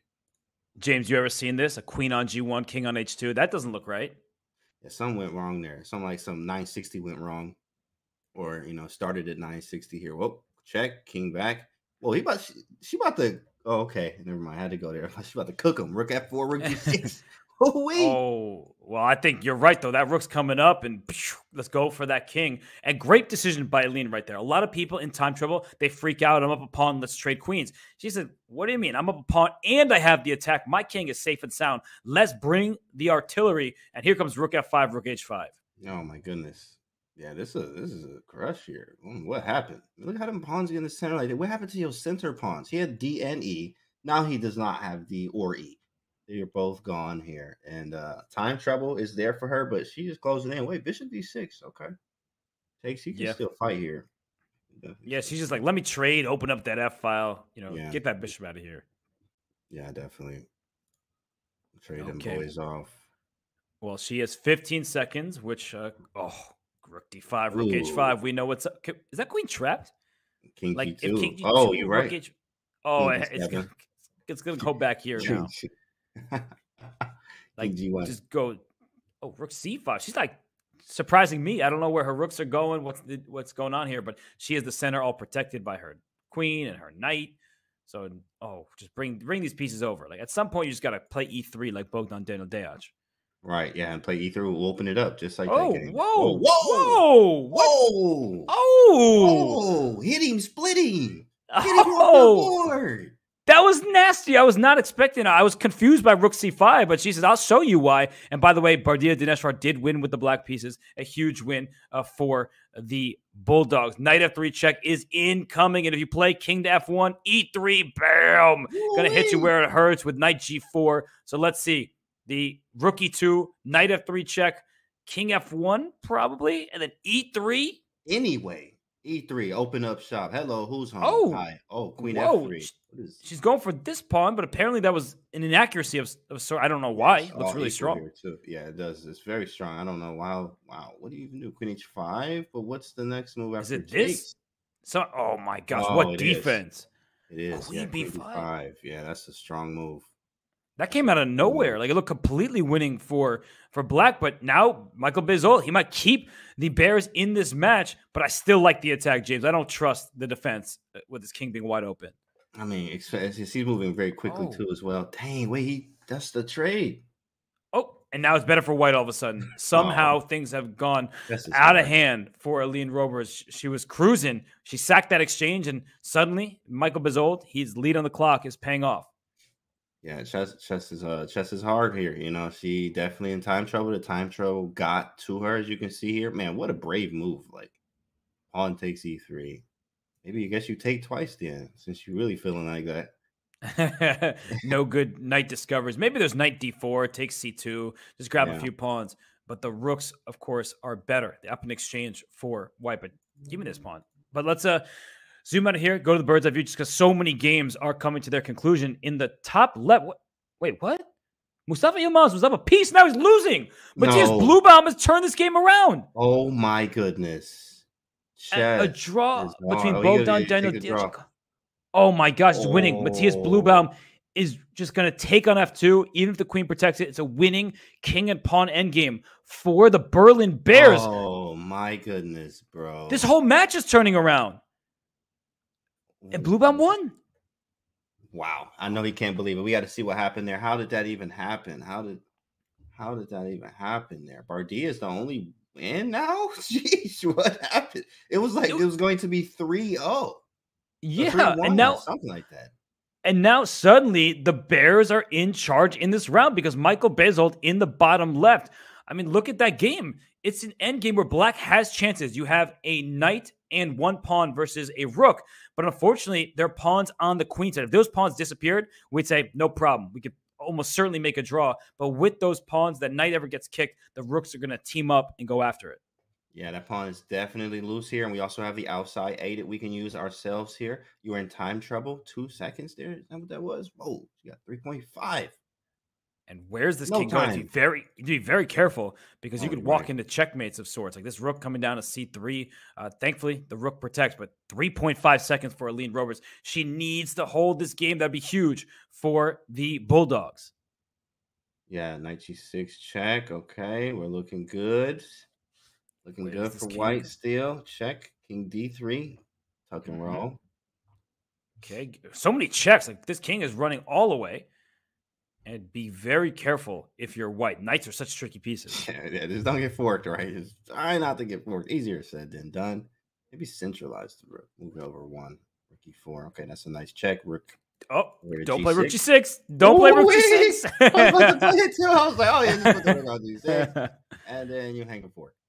Yeah, you better watch out. There's a fork on d4 if this rook moves off the d file. Uh, so a minute left for Michael Bezold, and Eline doing very well on the clock. All of a sudden, she uh, you know has had about a minute for a while. She makes sure to step out of any pins if she wants her knight to get back to e5. So she's doing this pretty decently, I would say. Oh, definitely. Of, of course. Making uh, the best of what she has, even in a time situation with the tricky knight, too, as well. Yeah. And the the Bears will get another game at oh oh my gosh! If suddenly uh, she takes this pawn, she could win with these outside passers. You know, we don't even know what's happening anymore. You might as well just turn the engine off. It don't even matter. It doesn't matter. Nobody's following anything. Nobody knows what's really going on. In fact, we thought this match was over, but it is nowhere near that now. and Yeah, she's defending. Round, I mean, yeah, she's defending right. Yeah, but no, James, you're right. I mean, it looked like the Bulldogs were just going to clean sweep this round, and suddenly the Bears, you know, if they win this, James, seven to five, they have a legitimate chance going into the final round. Think about that. Think about you know, you know, shoot, the momentum swing could be huge there. I mean, going from oh, we closing the match out to like oh, we might lose the match. That's huge. That's absolutely a huge momentum swing. Psychology, right, as well. There, how do you feel? And if you feel good, you can play good, but also you can be scared and, and mess things up in this final round, especially based off of whatever those pairings look like. Wow. I mean, this is still a defensive uh, task for Eline Roebers, but she's fighting perfectly. No progress yet. But, you know, you have to watch out because at some point, this pawn is going to be an easy target. And he brings the king up, and the knight Mm, comes that was a out going for this pawn. Yeah, I think King A4 was nice checking. Now he can take. it. I think we're just too fast to queenie. Oh! Whoa! Oh, that was that's tricky. Wee, tricky knights. yeah, she's Wee. trying her best, but the king just steps back, and now the pawn is is his.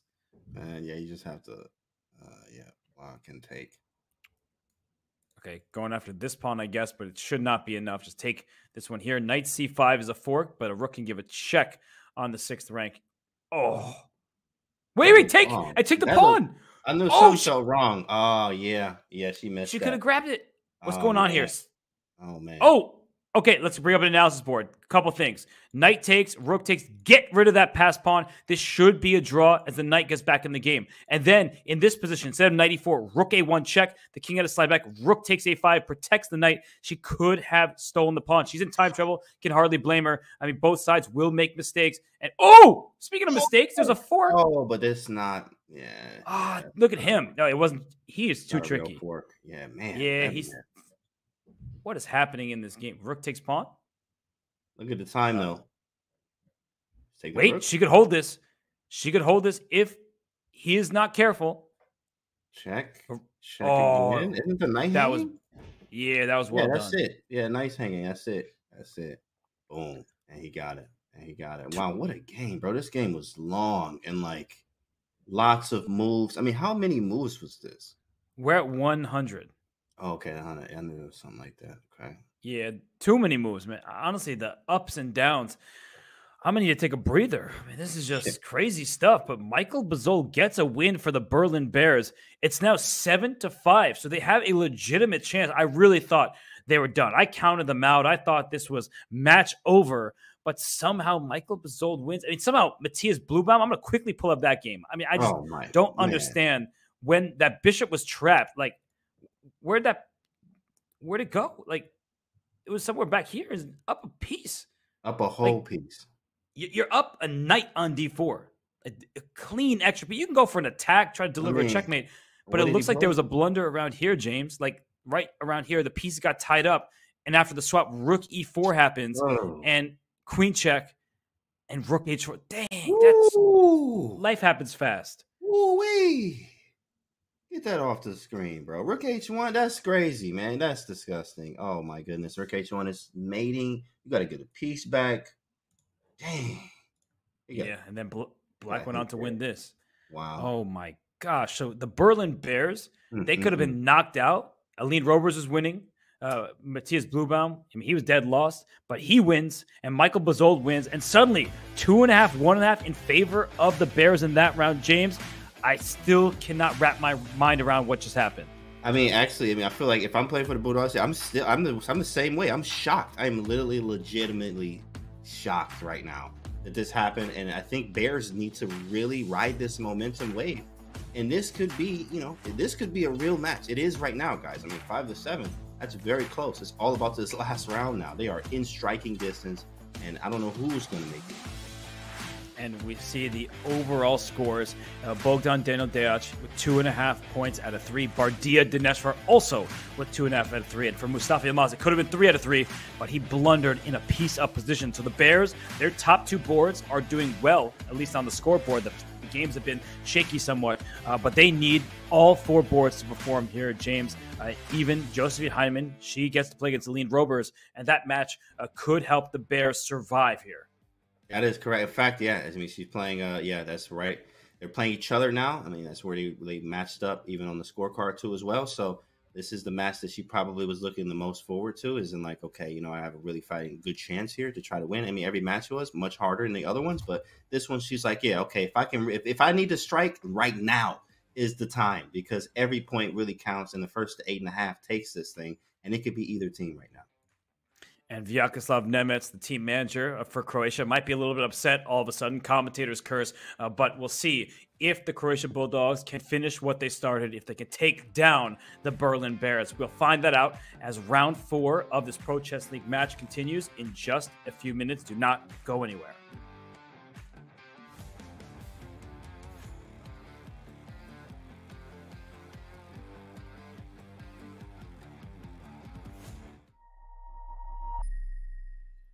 I don't think about during the games, but I certainly like do think about how like few African Americans there are at like the top level.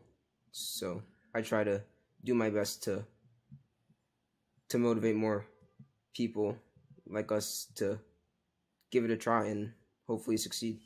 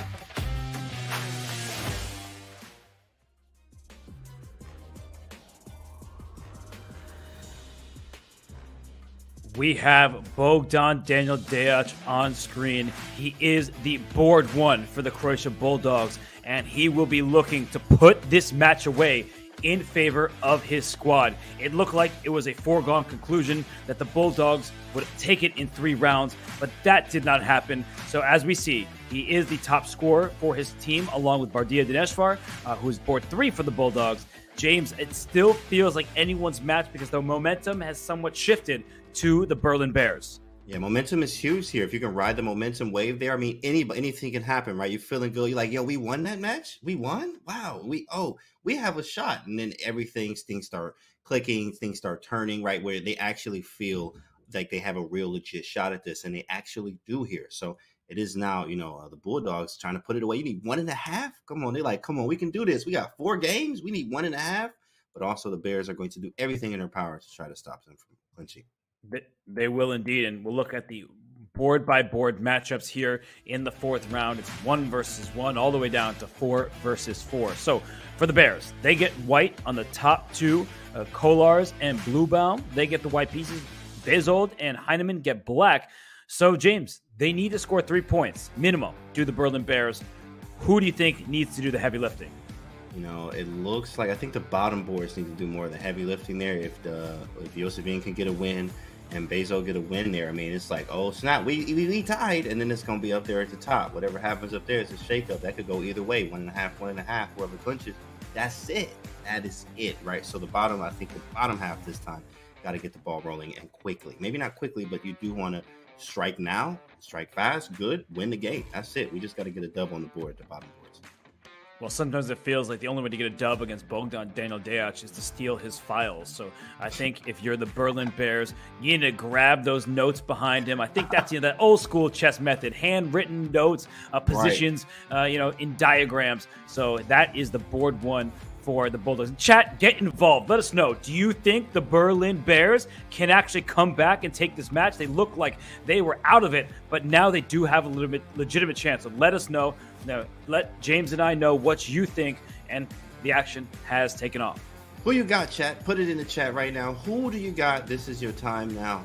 This is it. This is the final round here. Is it the Bulldogs or the Bears Uh, look at this uh, quiet start to this game. The bishop slides out to f4 after black played h6. This has become increasingly popular thanks to Magnus Carlsen. He likes to make these quiet moves like h6, not developing his pieces yet. And white does seem to have a lead in terms of development, uh, but black is ultra solid. No weaknesses, no squares to target.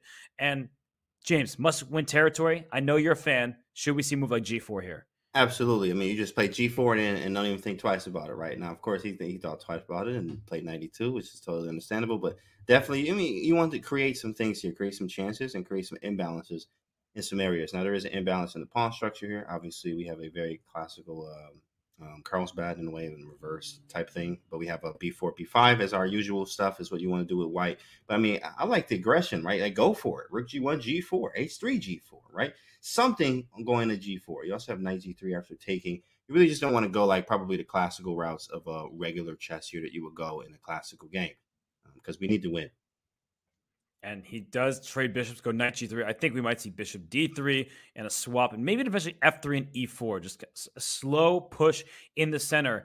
And if you look at the board and the pawn structure, a white does have an extra pawn in the center. Black has one, white has two, and ooh, Harry the H pawn, James. I was not I like expecting it. that. I like it. I like it all day, baby. Okay, h4, h5, and we live. Grab that space, and then bishop d3. Now we got stuff like rook h4. It's very strange, but I'm definitely going rook lift up there, and I'm probably casting queen side here. I like to be very creative. I'm a very creative player myself, so I love creativity and also having uh, active pieces and going for attacks, especially when you have you know uh, trumps to say so. Like I have space, I have uh, space on the king side. I'm probably not trying to castle that way. I do want to attack you. This is for the team, you know, and, and it's a little bit of risk involved, obviously too as well. But I am a big fan of this h4 h5 decision from Bluebaum. Yeah, well, this game is looking like both kings may castle in either direction. We don't know. Uh, they may trick us and go the opposite way of what we expect. Uh, but let's actually zoom out of this one for a moment, just because other games have begun and both teams they desperately want to win this match. They do not want to play the St. Louis Archbishops. The loser of this match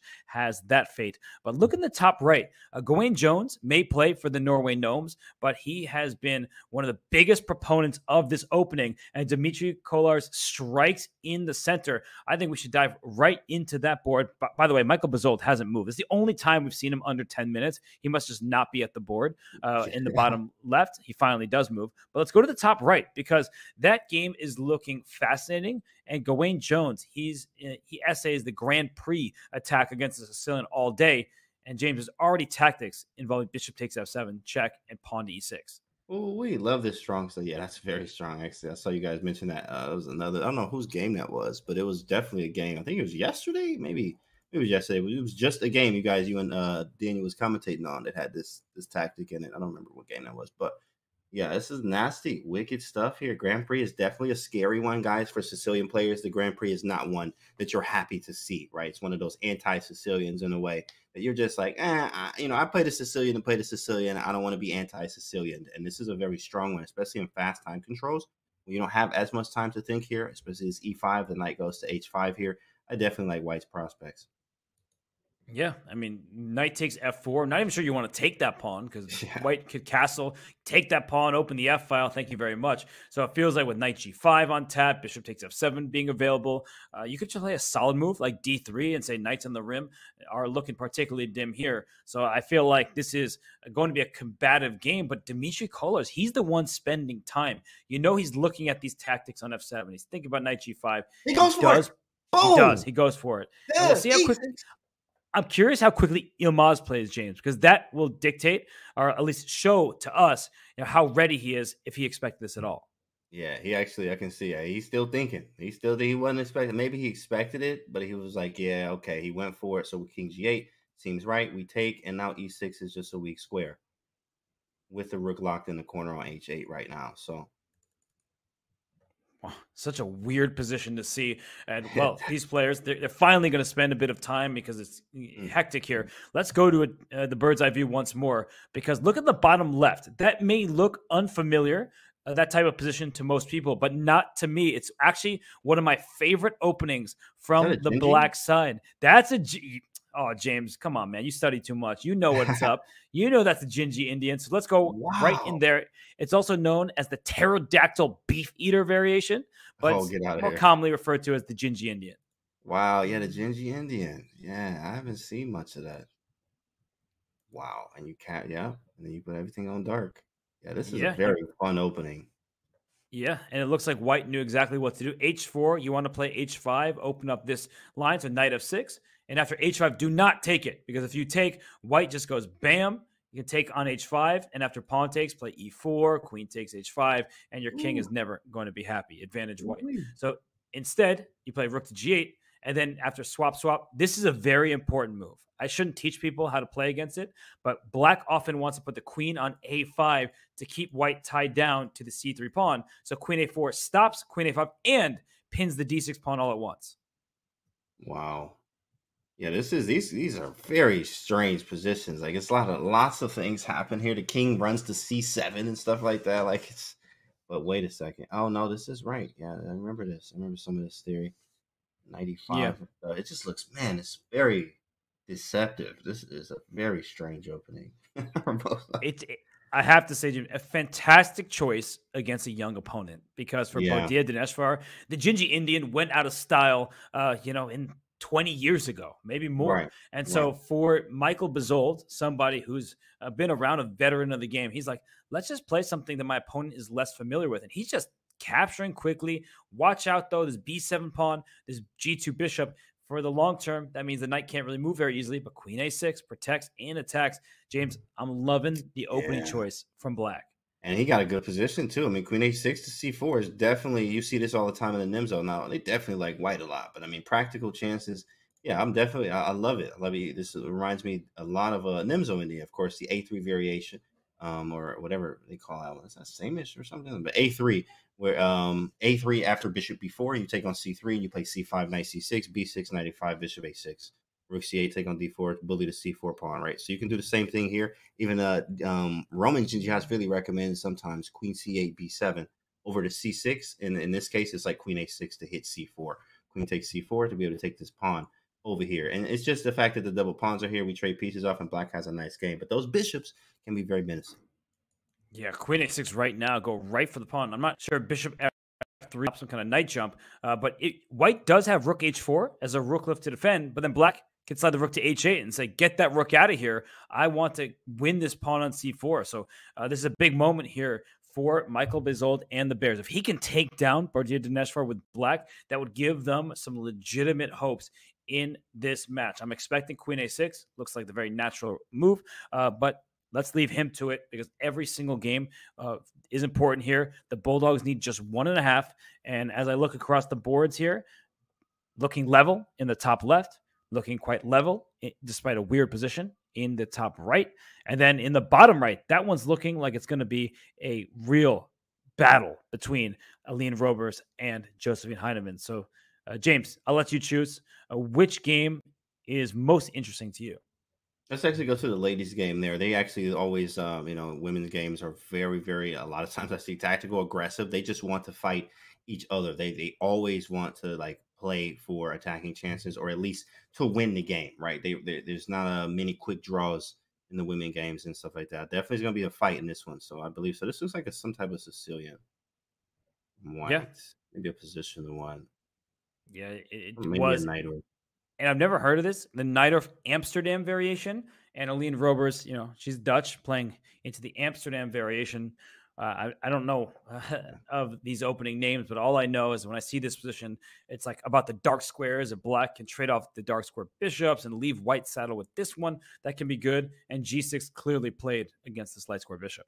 Absolutely, of course, and they're both 0 and 3 here. So being with that score, you know, they they are like, I, I need to fight. I'm here. You know, you losing game after game, you get annoyed. Absolutely, I got to win, right? So this is definitely a big game. I think with these two, a lot of tension here. They both want to win, and uh, I think they're both going to go for a Sicilian compatible opening. Dark squares are weak around there. I mean, why don't I just F5 is just screaming, but I mean, of course, you gotta you gotta be careful. F5 is just screaming. What if what if yeah, because she could play F5. So I'm just gonna play it.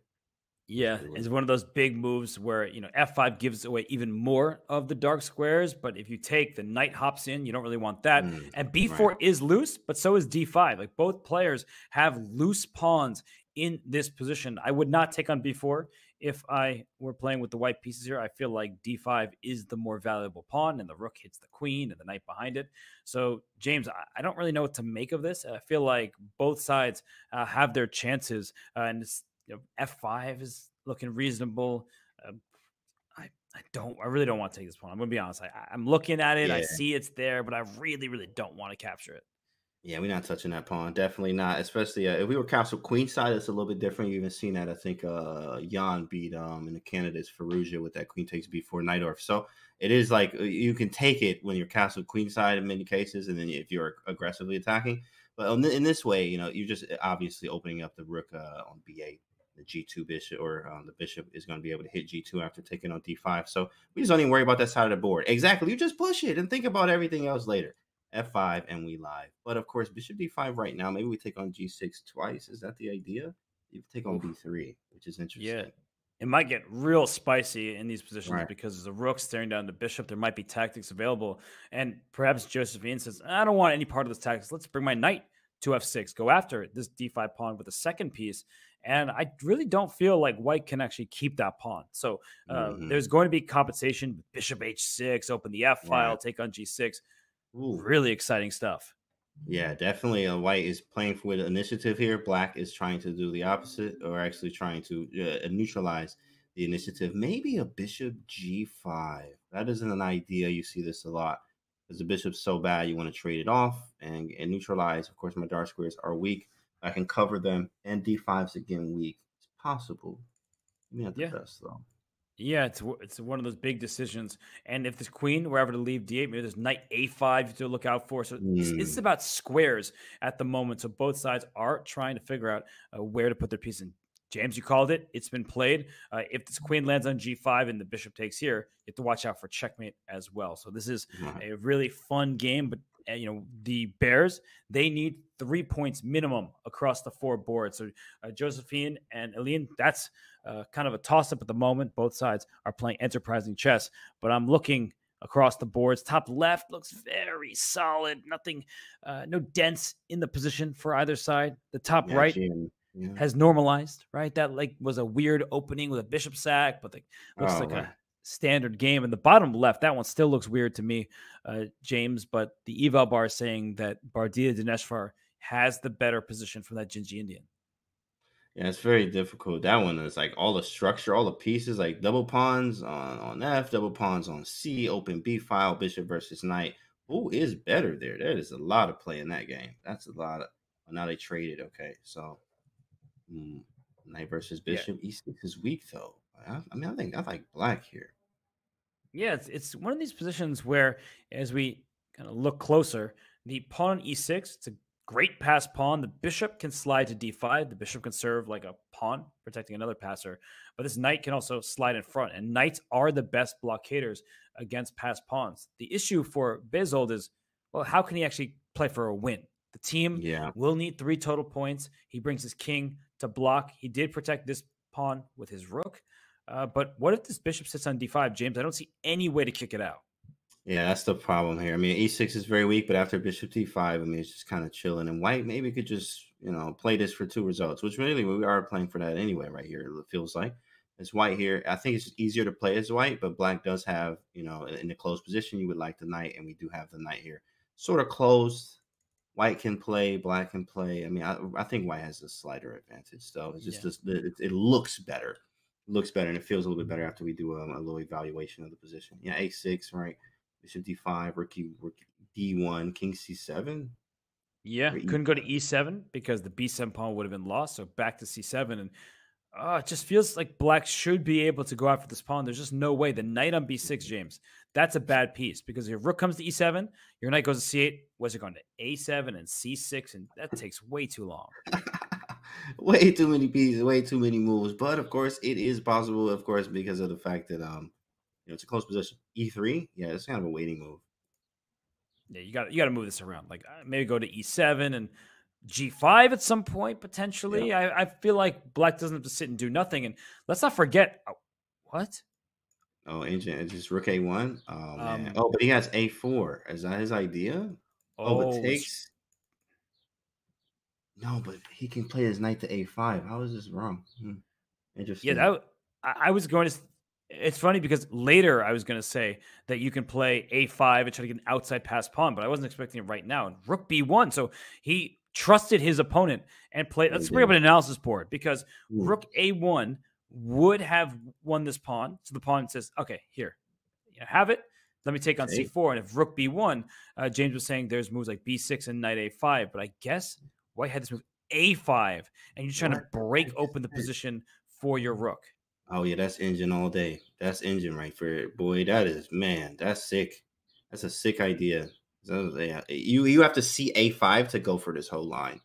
Uh, yeah, and he was he wasn't able to see a five, which I mean, we could blame him. A five, a six. That's tough to understand that. No, yeah, it's, it's very far away because the natural move rook b1, there is b6, and now black has closed down that side of the board. I agree with you, James. Uh, that was kind of a easy thing for a computer to spout out, but hard for a human to see. But he may eventually play rook a1 like right now because c4 is protected, and that should uh, decide this game. But let's go uh, away from this one. I do think that Bardiya has the upper hand. The top left, Bogdan, Daniel, Deac, the board one for the Croatia Bulldogs. He wants to land a one-two punch alongside uh, his teammate Bardiya Daneshvar because if they both win, or if they just score one half points, the match is in fact won for the Bulldogs. And James, this is looking really bad for Bluebaum as the position Man. opens up and the White King looks like. Man, I feel like it's like eight different tactics right now. I can take on B three, C three hanging, E four some problems. Now, of course, my D three knight is the problem here, but I mean, you, you obviously know there is something going on right now. Even the eval bar tells you, but the question is, what is it and where right now? This knight takes E4 a move. Knight takes, knight takes there. I don't see a way to increase the oh, pin. But there is something here. What could it be because knight c5 goes after this e4 pawn another time, but I just realized these knights are staring at each other. So maybe you can just take this knight here and then take this pawn. So Yeah. hmm. Hmm. one minute, by the way, for Bogdan Daniel. I don't know. Is knight b5 a thing? What do you do here? Oh wow, his camera just dropped. It's so crazy. Oh man, what is going on over there? Somebody get him, call the police. Oh, knock it's- on the door. It's panic at the disco for Bogdan Daniel Deac, and he look at him. He's seconds. he's trying to fix his camera while he has 40 seconds on the clock. Oh, oh my He's gosh! Oh my goodness. Oh Oh, my gosh! I, I, have seen losses by disconnect. I've seen losses on time. I don't think I've ever seen a loss by trying to By fix your camera. camera. Lost by Oh, camera. Wait, that was actually impressive. He got that up. And then still he out of frame, but he definitely yeah. he, finally, he played knight b5, right? I knew this was coming. Knight b5 looked good, but I don't I don't know what the kill shot was because that wasn't it. Engine didn't like it. I mean, I, I feel for him there. That's a tough one, and you know the multiple camera angles anyway, so uh, the chess.com team can't see behind the scenes uh, what's going on. Not really worried, but it just makes sure that fair play is upheld. So we have uh, this pawn structure upheld, b5 up to c4. That means the knight 93 is entrenched in there, hard to kick out. I still like black's position, even if the eval bar says some of the edge is gone. Watch out, rook takes d5 a threat with the queen on e2 loose behind the pawn. Tactics everywhere right now. You also have uh of course um b Whoa. oh he just smacked that boy. Whoa, he just said give it give it up. I mean, I guess that's a good practical decision. That's Yeah. practical. Although, what if I queen e5, you go rook e1, there's rook takes d5. So I feel like this is a problem for white. Yeah, yeah, definitely. Them pawns are very weak now, but okay, rookie. Yeah, he just takes that boy. Jeez. And how do you even defend it? You defend it by trading queens, which is not a Mm. good idea. Wow, that's actually pretty clever because maybe white has enough pawns. So uh, this one, it's anyone's game as Bogdan Daniel Deac is down to just 10 seconds. He did swap queens in the top left. He has the edge there. And the top right, Dmitrij Kollars with the advantage against Mustafa Yilmaz, but Bardiya Daneshvar in the bottom left. That's huge for Croatia. Croatia needs one win and one draw. And Bardiya Daneshvar is going to get that win. He has a pass pawn on e6. So uh, the Bears, they're fighting on board four. It looks like Josefine Heinemann has a good shot there in the top right. Let's go into Dmitrij Kollars and uh, his opponent, uh, Mustafa Yilmaz, because it looks like Kollars is in control. Oh, yeah, that's a very, very appealing position for white here. It feels like we have the space, queen centralized. Knight is still on the rim over there. This was a great Grand Prix. Shout out to the Grand Prix players of the Sicilian. I used to like that myself, in fact. Grand Prix Yeah. is uh, very fun stuff. Very fun, very aggressive chess there, obviously. And I'm looking for to move? Yeah, I'm for about to some kind of knight, g5 is going to happen. I'm worried about a smothered checkmate, James. Like we might see that. But knight g5, be cool. knight That'd be g5. cool. Knight G5 and we smothered? Come on, bro. Yeah, Right. rook rook takes e2. There's the smothered checkmate. There it is. There it is. We have to go rook f6 and then just give it up. Yeah, let's show the smothered checkmate. Rook takes e2, knight f7 check. King goes here, only move. Knight h6 is a double check, so you can't take this knight. The king is in check from the queen. No escape to f8. The bishop's here. King goes here. Bam! Take my queen. Fill the square. Knight f7 is smothered checkmate. Why would we be down a queen and a minor piece, but deliver the goods? So knight f6 played by Mustafa Yilmaz. The thing, the queen can just safely slide back to c4, and hey, your rook's under attack, and knight f7 check would still lead to smothered mate, even Yeah. with the knight being able to capture on g8. Wow, that's some cool stuff there. Yeah, queen to c4. Do we have any extra moves? They say when you find a good move, look for a better one. So I was looking to get knight f4 off, but unfortunately, rook takes e1 is check. So we Mhm. cannot allow that. Yeah, just safe and sound chess here. I mean, just Take Bam. Yeah. this rook, easy. this square, up pawn already. So Dmitrij Kollars, he's landing the knockout. And uh oh, there's a problem though uh, for the Croatia Bulldogs is that on board four, Josefine Heinemann, she is on her way to winning this game against Eline Roebers. I mean, this is a Swinging. vicious attack. Yeah, Oof. she's just cruising on the king side over here. Yikes! Left hook, right hook. My goodness. Oh wait, this just e4. allows checkmate. Oh, yes, it's mate. Yeah, it's just mate. Wait, no, rook f1, bishop f1. Oh, but Oh, knight f2. Look at smothered f2. checkmate. Oh, my Have to goodness. give the queen. Oh, yikes. Take them all. Everything hanging. Yeah. Beautiful. Wow, this is a nice game from Josefine Heinemann, but unfortunately, it's looking like it might be a little bit too little, too late because the other Bulldogs are getting it done. The Bears need three wins out of the four games. And we look top right, win for the Bears in the works. Bottom right, win for the Bears. Wow. The left side, it's uh, all Bulldogs. Yeah. It's all Bulldogs. Dang. It's so close. It is literally so close for the Bears. I mean, it, it was definitely looking like it was going to be a blowout match, and the Bears says, think again. Think again here, making it very close, uh, closer than what we thought it was going to be and what it looked like in round two and Michael Bezold loses that game on time, but also on the board. Let's go to our top left quickly because this is the game that needs to go the Bears' way if they actually have a shot to tie the match. I think the other two boards will be won by the Bears, but look at Bogdan Daniel Deac's clock. He has five seconds remaining. He's completely winning, but knights are tricky pieces. So if he blunders a knight fork, suddenly there's a chance for Bluebaum. This is crazy. This is this is what we were talking about right here. It could go down to the wire, and then you'd be like, "Wait, who's actually about to take this? Who's gonna win?" Bulldogs only need half a point. That's it. Half yeah. a point. Super smart play by by Deac, by the way. He is just repeating moves, gaining some time, brings his king up, knight f5. Your rook covers this pawn. Uh, watch out for the d pawn. You know, that could be a runner if you're not careful. Right there, it is. Wait a second, Rook c8. There, it wasn't d7. There's knight e7 idea, so the king goes back to stop the pawn. Too strong is Deac. Yeah, he's very strong, especially with no time too as well. Like, wow. And by the way, Dmitrij Kollars has won for the Berlin Bears, and Josefine Heinemann, she is about to score victory, it seems. So this game uh, will decide the match, and I feel like Bogdan Deac with his king blockading the pawn, James, just mop up now. Take all the pawns. Mm, yeah, okay, now he's good to go. Yeah, and this should do it here. Man, it was tough for Bluebaum being uh, the tough, the higher, highest rated or number, uh, the number one board, and just having, he's had a tough, a tough, tough day in PCL today. Yeah, he won that game three somehow, but he was uh, down a piece against Mustafa yeah. Yilmaz. Right. And he just take here. Oh, bring the king back if needed. And the rook blocks the last check. And that's it. And that is it. Okay, so it looks like Bogdan Daniel Deac up a full rook. Uh, Matthias Bluebaum knows if he resigns, the match is over, so he might as well uh, lose on the board. How many pieces is he down? A rook uh, and two pawns. Absolutely. Yeah, all of them. And Josefine Heinemann won her game. So if there's some kind of accidental checkmate and the Matthias Bluebaum wins, then the Bears tie the match. But come on now. Let's be real. It was that crazy mouse slip in the Spanish Maniac Shrimps game. So, but of course, that's, not happening here. Black wins. Wow. They have won every game, I think. Did he is he 4 0 today?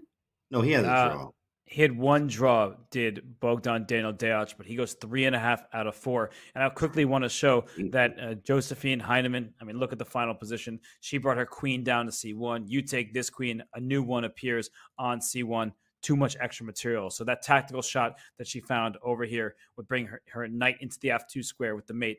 That was uh, only way to get out of it was a sacrifice. So great job by her in the fourth round. Unfortunately, the Bears, they got a to too slow of a start. So as we see, a 2-2 tie in that final round, James. Uh, great wins by Kollars and Heinemann, but for the Bulldogs, nice wins for Deac and Daneshvar.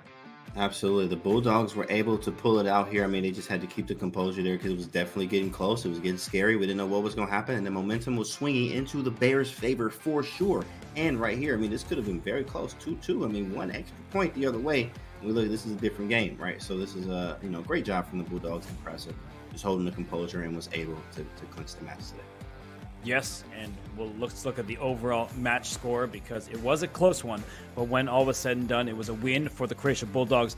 MVP has to be Bardiya Daneshvar. Bogdan Daniel okay. Deac also had three and a half points, but that's more expected from a super GM. The youngster from Iran, three and a half out of four. James, he's got that dog in him. Yeah, I mean that's like two. You know, it feels right now. I mean, based off the scores, they're like who who who's twenty seven hundred? Right? Is it is it uh Ardea or is it Bogdan or is it both of them? Right? So it's scary to have that type of lineup right there. Three and a half, three and a half. Yeah, they're gonna be doing big numbers there. They're gonna keep him in the lineup every week. Ardea and is definitely punched his ticket there. For sure. Shout out to Dimitri Kolar for getting three out of four. That's a good performance for him. It just the rest of the team could not get high on the scoreboard. So where does that leave us after two weeks? Well, some teams they've found themselves up at the top, and we see from uh, this match it was Croatia going to one and one, but it's the Yogis, the, the Wizards, the Tigers with perfect scores. And we have an upcoming match between the Unicorns and the Knights that will determine the fourth and final team to reach 2 0. James, with that up next, man, like, what do you see coming? You know, it's going to be very strong chess here. Very cool. I mean, this is more of the the uh, the chess that everybody knows, or you've seen the faces that you've seen, right? We got Hikaru coming up. We got the face, uh, you know, Hikaru. We also have Ray Robson coming up as well. Sam Shankland. Are you familiar with these players? So a lot of you playing. A lot of you are gonna have some fun seeing these. We know what happens when Hikaru gets down and play. Then you got Big Ray and Have a Nice Day, Mr. Puzzle Rush himself, right? So that's gonna be nice to see. I'm excited to to cast this next uh, this next match as well. Yeah, it's going to be a lot of fun. And, well, these are the teams that are towards the top of the standings. There are eight who have struggled somewhat, and that includes the Berlin Bears. They lost to the Croatia Bulldogs. The Bulldogs go to 1 and 1. The Bears fall to 0 and 2. And, James, their reward and I put that in air quotes, for losing is to play the St. Louis Archbishops next week. Are we seeing the last of the Berlin Bears? You know what? We we can't call it here. It's tough to call it because I mean, we I didn't think the St. Louis Archbishops was going to do like it's 0-2. That's crazy. That's cra- I mean, even you know, Charlotte Cobra is strong team. Everybody on the team beat is an absolute beast, right? Led by Daniel Naroditsky, Daniel himself, right? So you know, you don't know what's going to happen here. We can't call anything anymore. We thought we could, but we just got to wait and see. You're right. We can't call uh, the shots, but the players, they let their moves do the talking. And up next is a very popular matchup between the Gotham Knights, that's led by Levy, Gotham Chess Rozman, and their first board is Hikaru Nakamura. So they're the biggest chess YouTuber, the biggest chess streamer on a squad. And then they're taking on the California Unicorns. And don't count them out. Don't overlook the unicorns. Sam Shankland, Ray Robson, Christopher Yoo. Uh, speaking Ooh. of another Puzzle Rush wizard, uh, this Bro. matchup up ahead, James, we'll talk more about it, you know, after this break. But I can't tell you how excited I am. I'm very excited for. Of course, I forgot a little Christopher Yoo. What it do? The kid. Oh man, he he was doing Puzzle Rush chat. Think about this, right? You do Puzzle Rush on your computer. He does Puzzle Rush 50s, right? E back to back on an iPad. Okay, so this is very, very, very strong chess you're going to see today. Lots of puzzles, lots of fun, and a uh, very highly anticipated matchup coming up next. Well, I think we have to leave the fans anticipating it for a few minutes longer. James and I are going to take a break. We'll reset because there is a whole nother match in the Pro Chess League ahead. Do not go anywhere. Congratulations to the Croatia Bulldogs on their 9 7 win over the Berlin Bears. But up next, all of our attention is going to be on the Gotham Knights and the California Unicorns. We will be right back for the start of the second match. Do not leave your seats.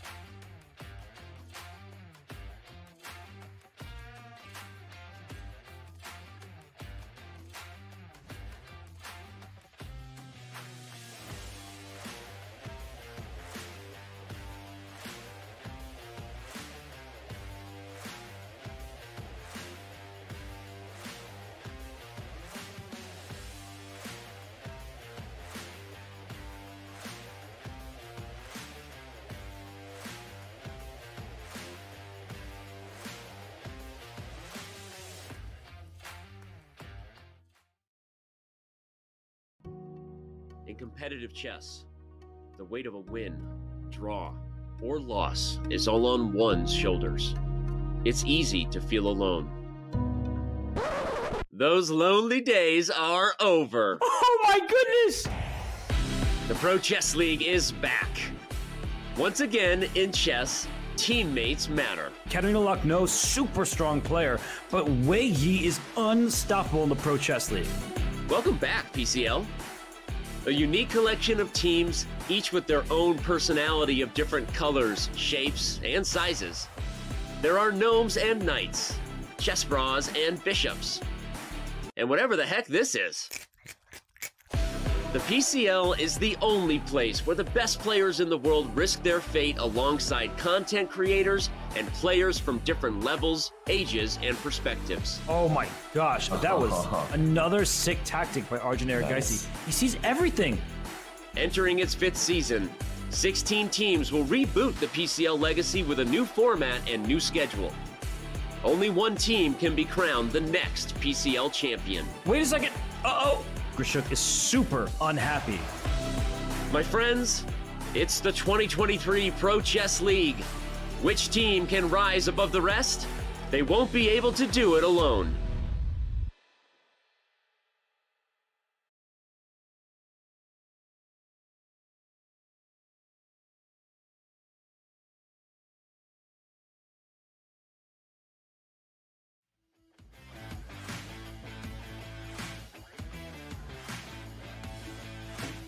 And we see Hikaru Nakamura. He is talking because he is streaming, chatting with his viewers. He is the number one chess streamer on Twitch. And today, he is the board one for the Gotham Knights. We'll see if he can give them the boost that they need. And hello, everybody. Welcome back. It hasn't been very long. I'm Grandmaster Robert Hess. Alongside me is FIDE Master James Canty III. James, we had fun in match one, but now it's Hikaru Nakamura and Gotham Knights' time to shine against the California Unicorns. What do you make of this matchup?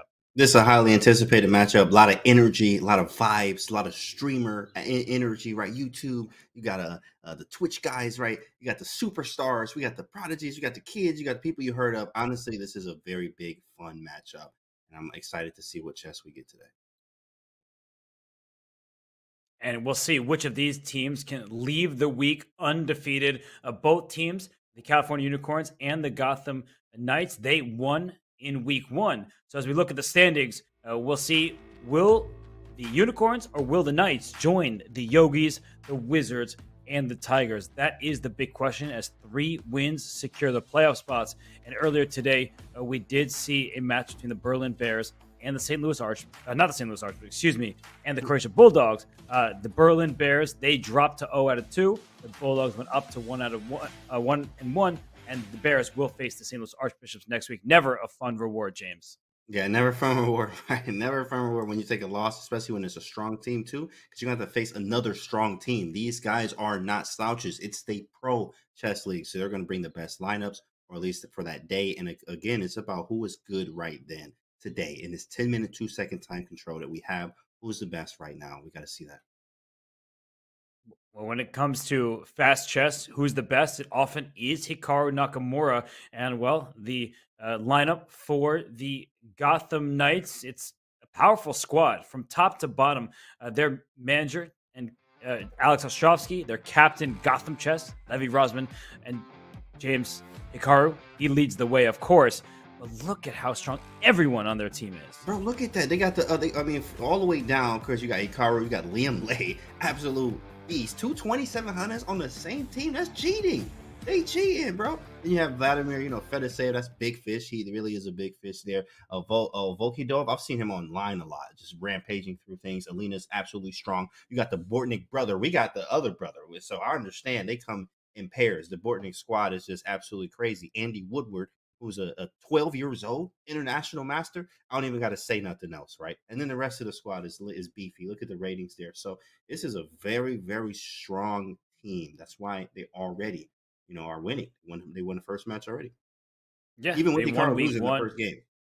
He was not smiling after that first game, uh, but then he won three in a row to lead the team to match victory. And well, for the California Unicorns, they also have an extremely strong team. Uh, they have Gukesh waiting in the wings. He may play a week when he's not in an over the board tournament. But Sam Shankland, the former U.S. champion, and it's Ray Robson right after him.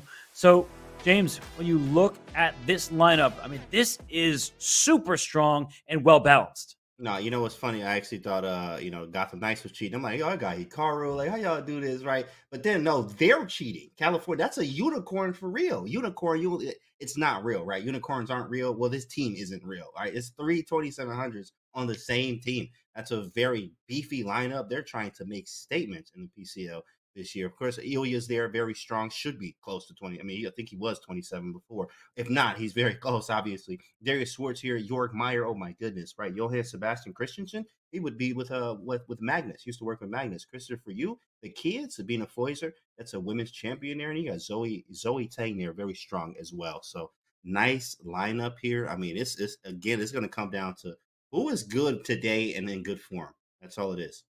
Yeah, Christopher Yoo hiding in the roster. He's the third to last name there as the team is managed and captained by the Chess Dojo, led by David Pruess, Kostya Kavutskiy, and Jesse Kraai. Uh, but for today's matchup, you, you know have to pick a roster somehow. Who do you pick when you have this stacked of a lineup? Well, we know with a 25-50 average rating cap per team, these are their rosters. Uh, for Fedoseev, Vokhidov, and Nurmanova for the Knights, they're new to this week.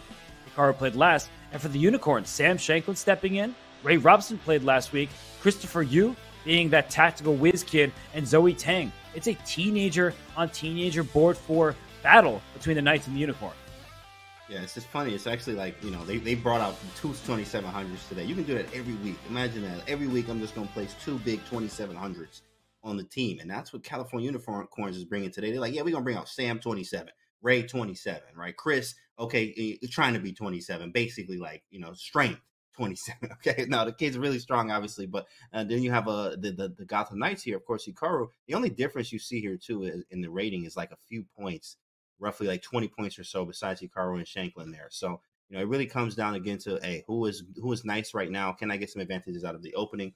There's a it's it's top heavy three GMs on three GMs here man, it's about to be a lot of chess here. I'm excited to see what happens because this is a fire lineup by both sides.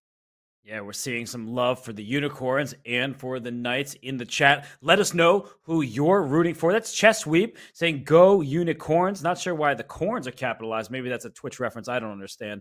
But here we see people rooting for the Gotham Knights. But let's remind you, everybody of what's about to go down in this brawl between two of the best teams in the league. It is all play all. That means that the board for the teenage er, teenagers for both sides, they will get to face off against Hikaru Nakamura and Sam Shankland in this 10 minute plus two second increment rapid time control. Up to four rounds.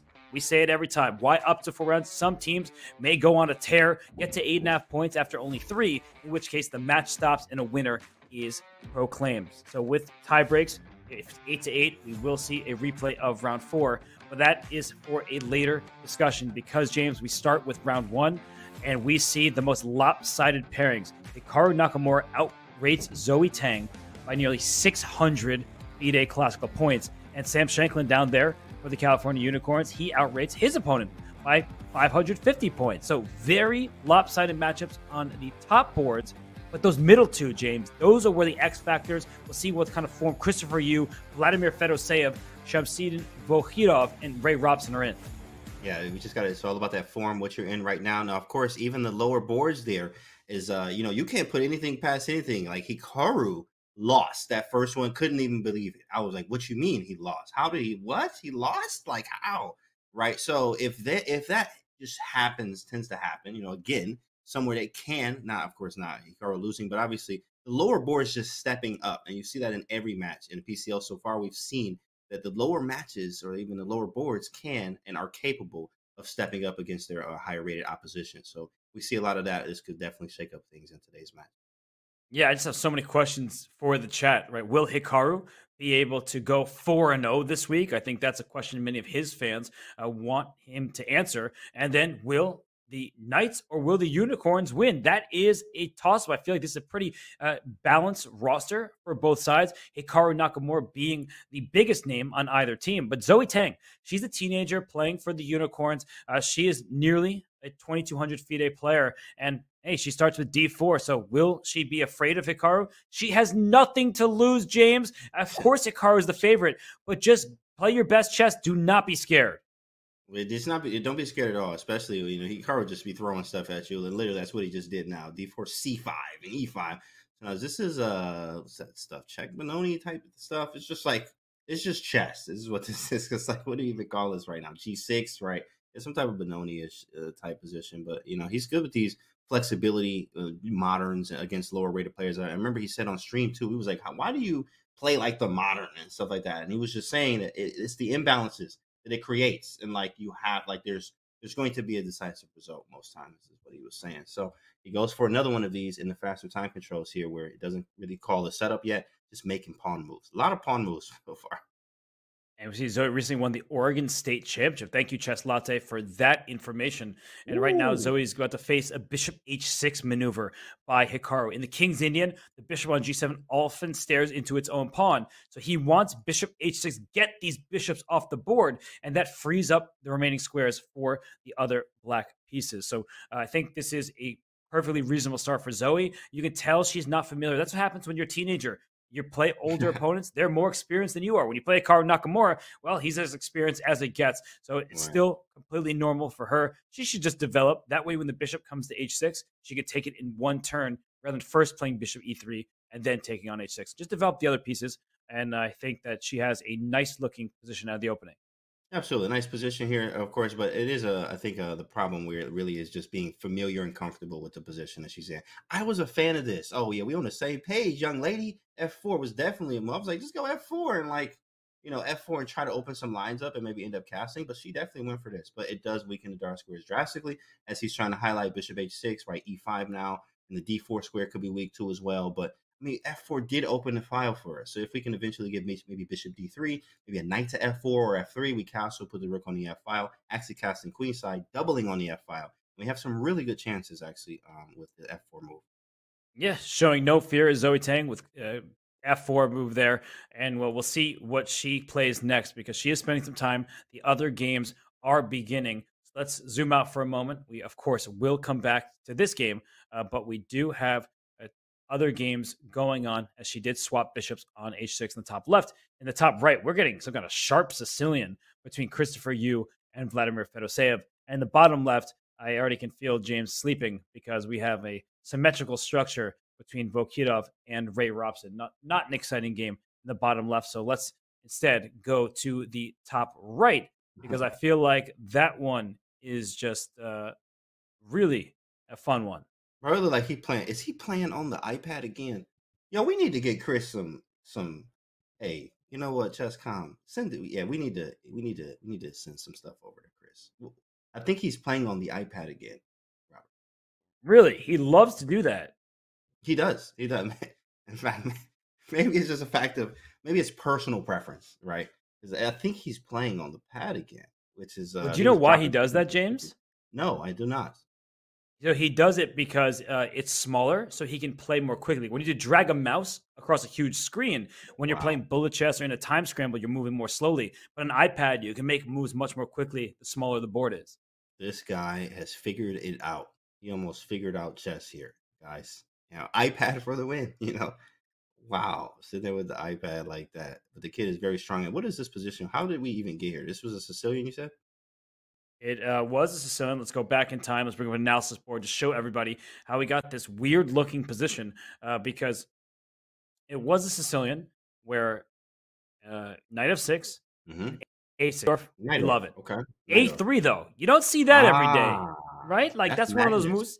You're like, what, what you doing over here? Magnus Carlsen does it. Does that mean that we yeah. should do it? Mm, I usually say, uh, let Magnus be Magnus. When E5 playing in the center, the knight comes to F5 and there are tricks in this position. You may think, give me that pawn on e4 because I'll take your knight next. The knight says, whoop, knight takes g7 after bishop takes. Then you take back on e4, and black's king will not find true shelter Believe it or not, I had a game OTB. I won like this, and I was actually losing. It was like plus six, but I ended up winning because of tactics. This night was like that. But in this position, I played D5, and then but uh, if White goes Bishop G5, which is what I did, F6, and I'm like, I'm winning a piece, but I'm not. Queen H5, Queen H5, and then after King Queen H5, King E7, and then Bishop E3. My guy, Bishop oh. E3. Oh my goodness, yeah, yeah, yeah. This is uh, some sick stuff very sick. So you keep, you need to be very careful. In fact, the line is I think what he went for here, which was D5 instead of knight takes E4. So knight takes E4 is what you is the trick. Yeah, D5 is the move you're supposed to play.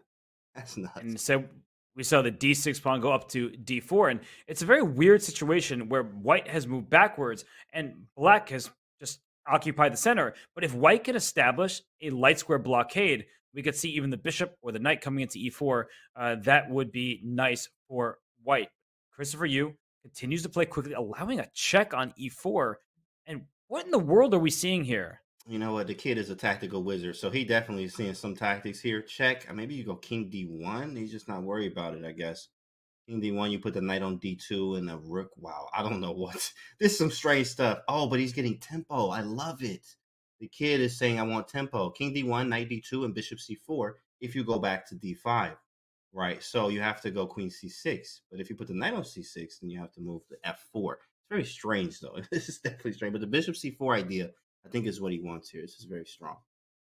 Yeah, this is some good prep from Christopher Yoo, and that's how you have to play to take down someone like the big fish, Vladimir Fedoseev. This would be a huge win for the Unicorns. I think the middle two boards are X factors uh, in these lineups because uh, Christopher Yoo and Ray Robson, Vladimir Fedoseev, and Shamsiddin Vokhidov, it's like pretty evenly rated between those two squads. So whichever middle two can score more points, because we do expect Sam Shankland and Hikaru Nakamura to score on the top board. I feel like those middle two boards are going to be.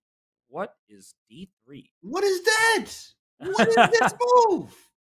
Whoa. What is what this? We... Man, I'm I guess it, that. He wants G2, but James, you've been sacking the G pawn all day. All day. I'm not even thinking twice about it, Robert. Bishop takes and then think next. Yeah, it's a rookie one. Try to get the knight out to C3, and you have a D5 and E4. Great squares for the white pieces. I mean, this is confusing. And by the way, Fedoseev's out here looking like a tennis player or something. He's got like that wristband on. and he's holding his head here. He's looking ultra athletic. Even uh, yeah, I had to, you know, I got to play the kid today, so let me get out, make sure I uh, exercise, right? Getting the exercise in for the playing against Christopher Yoo here is very strong here, but yeah, we got to take this pawn though. Bishop D three, come on. Yeah, I think we do. And well, what I know we have to do is bring in our special guest. We've got Gotham Chess himself, Levy Rozman. Levy, you know, we had you on last week. Your team ultimately found success despite Hikaru's uh, opening game. So tell us, man, how are you feeling about the early stages of week two? Well, we got to bring that up again, Robert. I feel like a Knicks fan. You know, I feel like every season is a disappointment, and I got to just go back to it. Uh, look, this week he started off with also an offbeat line, like we see board one playing board four. There's sometimes uh, offbeat opening approaches, but it's looking like smooth sailing. He's got double the amount of time. He's got 700 more rating points. And this is kind of like the fun thing about the Pro Chess League. When you stack the three boards, uh, board four becomes this kind of funny lopsided matchup. Uh, well, he's taking care of business, but listen, this California team is they're looking quite solid. They are pretty solid. What's up, Levy? Levy in the Chevy, baby. We got Levy here. That guy, Mr. Levy Ross. What's up, baby? You all right, man? What's up? What's up? Hey, uh, by the way, uh, I was yeah. inspired by the Canty COE calculation over everything merch line. So we actually dropped Gotham Knights merch this morning. So GothamMerch.com. We got the Gotham Knights black and pink fire uh, little hoodie. So once you're done getting your COE merch, you can get the uh, you can get the Gotham the Knights merch Knights. too. I didn't oh, just yeah, come on here it. to uh, promote stuff. Let's talk. Uh, let's talk. Uh, you know, well, chess. No, but but Levy, how come you're not doing like James? You got to be dripped out in your own merch, right? You got to have a chain. So, you got to have the cap. So, Where's all that? So I have the samples coming, but there's a snowstorm uh, in the state that the warehouse is in. So mm. rather than hmm. sacrifice human lives to get my merch, I think I'll get it. You know, at the same time as the people. I'm one with the people. Uh, but yeah, I mean, okay. I would love to. You know, have a chain and a notebook and all sorts of other stuff. You know, laptop stickers. That's next. Yeah, that's coming up. Yeah, it's, a lot, it's a lot of stuff back there for you. They treat us well over there, Levy. So glad to have you on Fourth Wall. well, while we are, you know, chit chatting here, and Bishop takes D3 finally played. We will see Fedoseev take on G2. Uh, why don't we zoom out for a second before we dive into specifics on any one board? Uh, Levy, as you look across the four boards here, uh, what's your initial take, you know, early on for your Gotham Knights? Yeah, well, just in case people are not aware, we did something really interesting uh, as a team. We won last week, and then we proceeded to remove three players from our team, like not permanently, but for this week's matchup. We have Hikaru, but we don't have Liem. We replaced him with Fedoseev. Board three was replaced with Shamsiddin, and board four was replaced by Alua. And I think we just want to throw out different looks and sort of see like, do we go with the big stack, you know, the big three and the strong board four? Uh, or do we go with the balanced approach, like 24, 25, both on, on board three and four? We saw, uh, we've seen Shanghai do that. Shanghai's team is terrifying. I thought the Blitz looked really good too, but Shanghai just uh, just you know just crush them. So um, I'm really interested to see how our board four does today, and particularly this you know her current matchup. She seems to be close on time, uh, Alua, and uh, I mean just visually her position looks quite okay. Listen, I take a 2280 drawing a, a uh, 2700 in the first round, no problem. I don't know if we can yeah. pop over to that game, but I'm really curious to see what happens there. Wow. Okay. So first of all, tell us how did you and Alex Ostrowski, the team manager, get Alua for your squad? Because uh, you know she's a teenager, an up and coming player, and oh, with the white pieces, Levy, I- I'm liking her position, extremely solid. Yeah, yeah, yeah. I mean, of course, you know, games against 2700s are never over. Uh, when they're equal, sure. when you're better, when they're better, like you have to beat them five times in the same game. Um, so while Sam is the favorite, and just like Hikaru is the favorite against Zoe, uh, it's still curious to see like these players might not get this kind of experience to play 2700s ever. Pro Chess League is a very unique kind of thing. Um, we found Alua, and Alex really found Alua just by scouting like which young players were fitting our average in November of 2022 because that's what the Pro Chess League is based on, and a lot of them actually have gained rating. Like our board three was 40 points lower rated in November, so he's constantly improving too. And the crazy story about Alua is I recognized her name because in 2019, I was in Weifang, China for the World Cadet, and I was coaching Ru Yang Yan from the US, and Alua got a medal in the girls under 12. And I recognized her name. I was like, wait, I re-, and actually my student beat her, but my student lost in the last round, and uh, and Alua got, I think, silver medal. So yeah, I mean, she's just been making improvements in her chess, and here she is, you know, Gotham Knights board four, playing Sam Shankland. Swinging too, E five. Uh, she's she's she's trying to take it to him here. F file open up. You know, like I can smell some tactics here, right? You know, there's definitely some yeah, stuff she's, coming. Ninety four Rook F one, right? She's a really aggressive player, and one of the major criteria to get a player on our team was scanning if they've played myself or if they've played uh, Alex, our manager. And she actually beat our manager in Title Tuesday. So we were like, "Oh, oh we got to put her on the team." Right? Yeah. Now that logic does not apply to me because I beat Hikaru once in my life and I beat Liem once in my life, but we still got them on the team. It was a fluke. But I've never beaten Fedoseev. so, um, but well, yeah, that was I mean, actually a, a, funny criteria. And this is impressive by her. Like she is not afraid in the slightest. She's just going for Sam's king. Like I mean. Right. You, you know, you and Alex have spoken to her. Of course, you said you prepared against her in the past. Like, I mean, what kind of like chess personality is she? Because it seems what, from what we're seeing here, it doesn't matter what her opponent's rating is. She's just going to be playing that forward aggressive chess.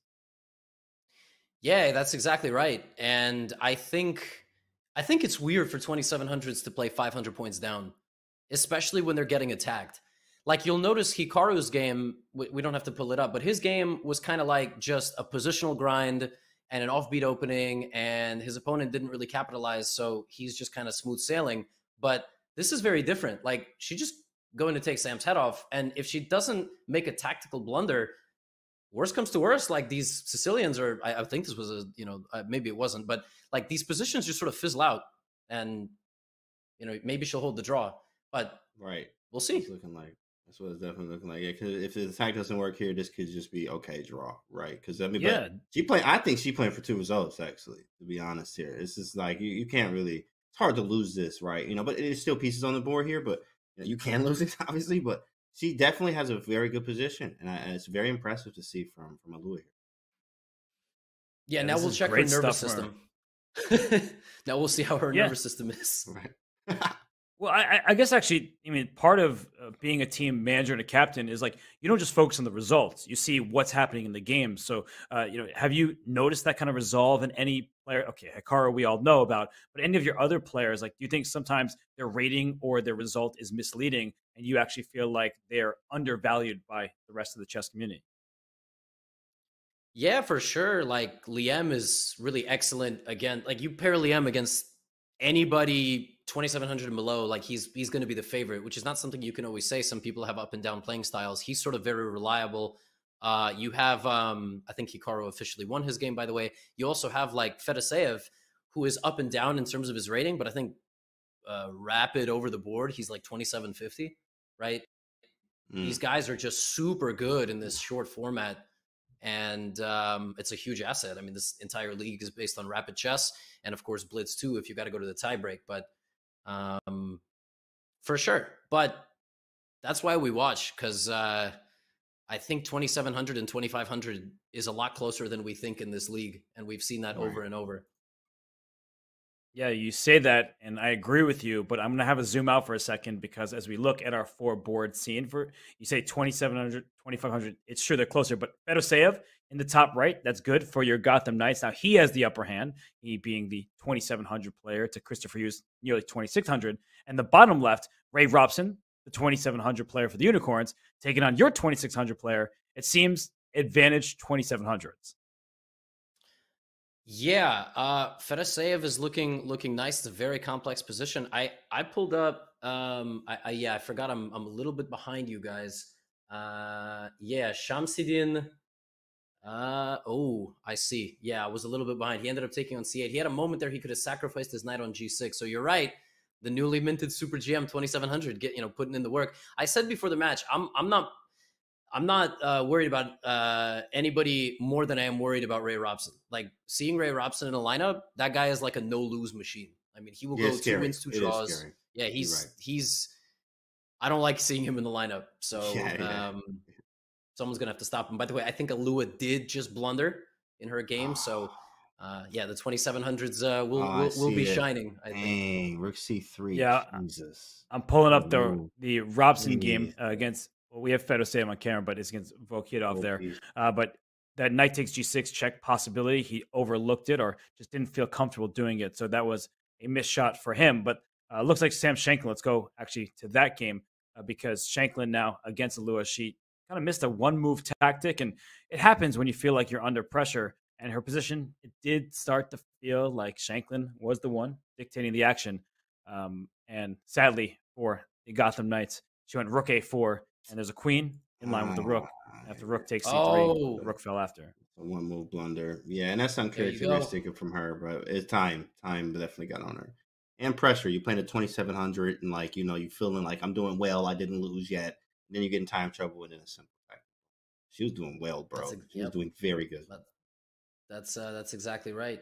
And uh, yeah, I mentioned like you can play 28 good moves and then you lose the game on the 29th move. You know, it happens. Right, right. Um, on the 29th, yeah. Uh, that's like so I guess almost exactly what happened in this one.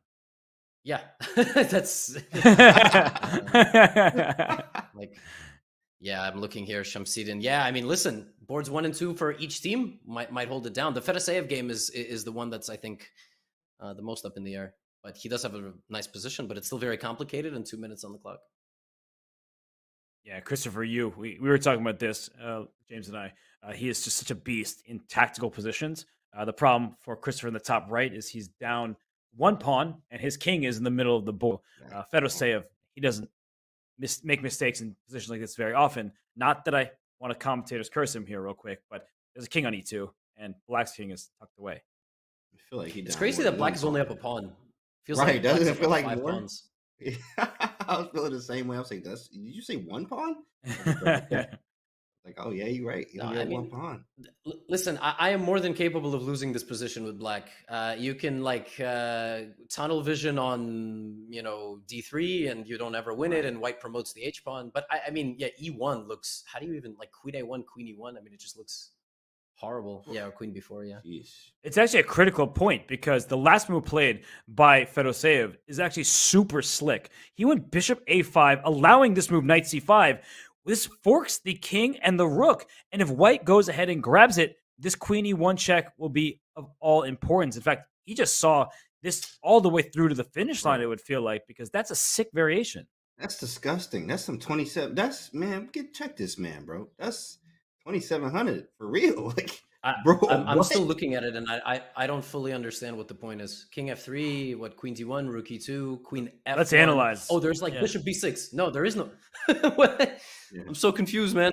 Look at that line, bro. Right, the king has to go to f3, queen Check. e1 check, rook comes to Yeah. e2, s- take. Hit him. This, like, I guess just queen f1, and the king is Uh, queen somehow in f4, trouble. queen Like, f4. How is Queen f4, this? queen f4. Oh, Oh yeah, yeah. Queen f four. Eh, eh, Wait. what's happening? Like, white's up a rook.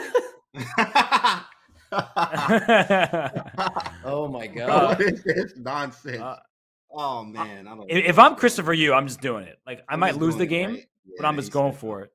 He said No, no. sir. I'm telling you guys, like like you you can very easily lose this game. You hang mate on b7, you hang knight d7. It, it's uh I don't want to jinx it. Can I can I let you guys analyze so I could I go back and uh, and talk with my co-host back on my channel? I'm Yeah. terrified. Please. Yeah, we, we, we can let so you do scared. that, Levy. All right, man. We'll let you do it. We don't want to curse it, so we'll let you go, Levy. But we'll have you back later, and it's good to see your Knights back at. it. Everyone loves the Knights; they're a fan favorite. So we'll see you soon, Levy. Thanks for joining us, See buddy. you later, bro. Cool guys. Take care. And that is their captain of the Gotham Knights. He doesn't want any part of this stream, uh, James. He's like, uh oh, uh, Christopher Yoo is coming for Fedoseev's king, the B7 pawn, the D7 square. It's messy. I agree.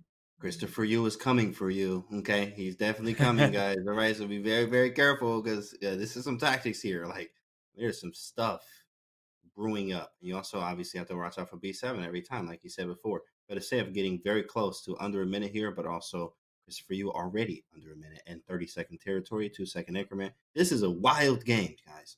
Rook to D8. Yeah. And the thing about this, from White's perspective, this knight on C c5 actually protects this d3 pawn. That can be really important. So um, queen e1 check, king e f3. There's not rook takes pawn because the knight covers. So I feel like for Christopher, he just needs to somehow make distracting moves, tactical opportunities. Uh, there aren't too many of them, but maybe move like h4, some kind of random move. Oh, Yeah. Oh, 97. He wanted to go for something. Whoa. And we have a trade, a check. Here we go. And here we go. Wait. Oh, look Oh, at that! I'm out, boy. I'm out. If you take Oh, with the pawn, you lose your queen. If you take with the king, you lose your rook. You That can't take with the rook because it's pinned. He doing oh, tactics. That was Doing sick. tactics every day. Oh, oh my man. gosh. Now you gotta to play- puzzle rush right now. Everybody me that, Pete. rush now. Oh man, free rook. that was sick. Dude, that was nasty. Let's just show that again. Man, we, we love the instant replay. Oh my gosh. He gives up his rook for the knight. The queen takes. He gives this check. Now the rook has to go to e2 because of a double uh, attack here. And then e4. You can take it with the pawn, but you lose your queen, right? Bam. Give me your queen. You can take it with your king, but you lose your rook with check. And you Wow. can't take it with the rook because that's against the rules of chess. Your king is on f3. That was sick. And then with this check, d4 doesn't help because queen d3 uh, would pick up everything, including the d4 pawn and then some. So what a finish to this game for Vladimir Fedoseev. Uh, we still do have one game in progress as the Gotham Knights take a 2-1 lead. It will be down to Ray Robson in the bottom left. Uh, there was a tactical opportunity early on in this game that was overlooked by Shamsiddin Vokhidov or just not chosen. But right down to 10 seconds, James, we know he's a glutton for time trouble, but this is serious time trouble. Whoa, whoa, yeah, this series here. Bishop F1 here. Okay, Black completely winning here. Yeah, he's definitely just winning. But I mean, you got to watch out for the king. Yeah, A5 was beautiful. That was beautiful. Yeah, that's nice. That's a good move. Like, Go take this pawn over here. There'll be queen e3 and knight e4. We'll see a smothered checkmate, very likely against this king. that's so- a nice little smothered there. You know, Ray, he lost a game last week. I believe it was against Bardiya Daneshvar. And now in this week, he wants to get off on the right foot. And he's two seconds. Man, you got to move. Wow. Oh, he, he made that one second on the clock, 1.9. He's he's scaring me. yeah, he lives around this time trouble here. Now he sees some tactics. Knight h2 is in the air. I mean, Knight h2 is going to be a queen in game, which that could be. King is not made it. Okay. Knight h2 is not playable anymore. Knight e3. Got to make a move. Yeah, now he wins. Queen f1 is pre-movable, and that's why resignation happens, just to show you that if you bring the queen somewhere to defend the bishop, actually no good squares, but I just swap everything off. And when this happens, black is up two pawns and easily winning. You can't actually stop this from becoming a queen. So good win for Ray Robson. He evens up the match score. And as Levy was telling us, James, it's wins on the top two boards for both sides. Oh yes, top two two boards there. I mean, two and two. Look at that. Wow, it's really about those other boards there to see what we can have. But uh, man, two and two, even so far. This is what we kind of expected, though. You can see it's kind of even match up. Twenty seven. It's three twenty seven hundreds on one team, and it's two twenty seven hundreds on the other team. It was in like the lineups. Um, so I mean, we expected this, but lots of fun, lots of tactics, and it's still more chess left. I don't have a favorite. I don't know who's gonna win, but of course, we got to uh, you know watch more to see what's gonna happen.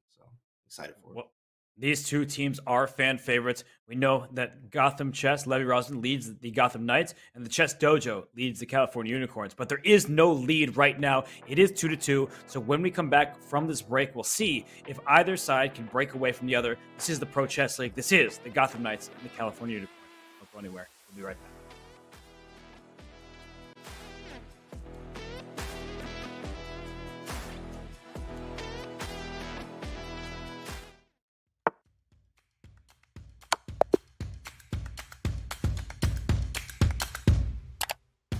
Just played an exciting game and want to see if you got a brilliancy? Or maybe where you could have improved? Chess.com's game review is just a click away. Game review is a fast, fun, and instructive guided review of your games. See your accuracy and your opponent's accuracy. Check out the eval graph for an instant overview and scroll down to see how many great moves, best moves, blunders, and yes, brilliancies you have played. Learn from Chess.com's coach who gives move explanations, opening statistics, and shows you the best lines of play. With retry mistakes, you can get another shot at finding missed opportunities. Try Game Review today on web, iOS, or Android.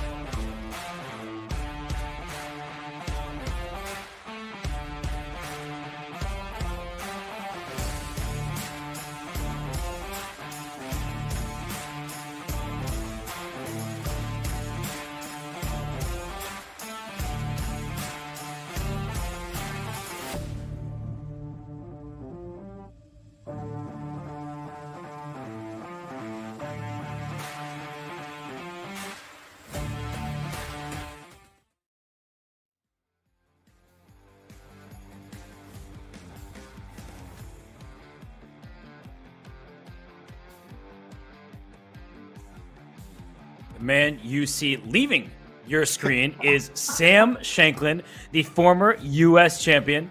And well, maybe he'll just play his games from the other room. Hopefully, he has a wireless mouse because Sam was on camera, but then he decided to pop off screen.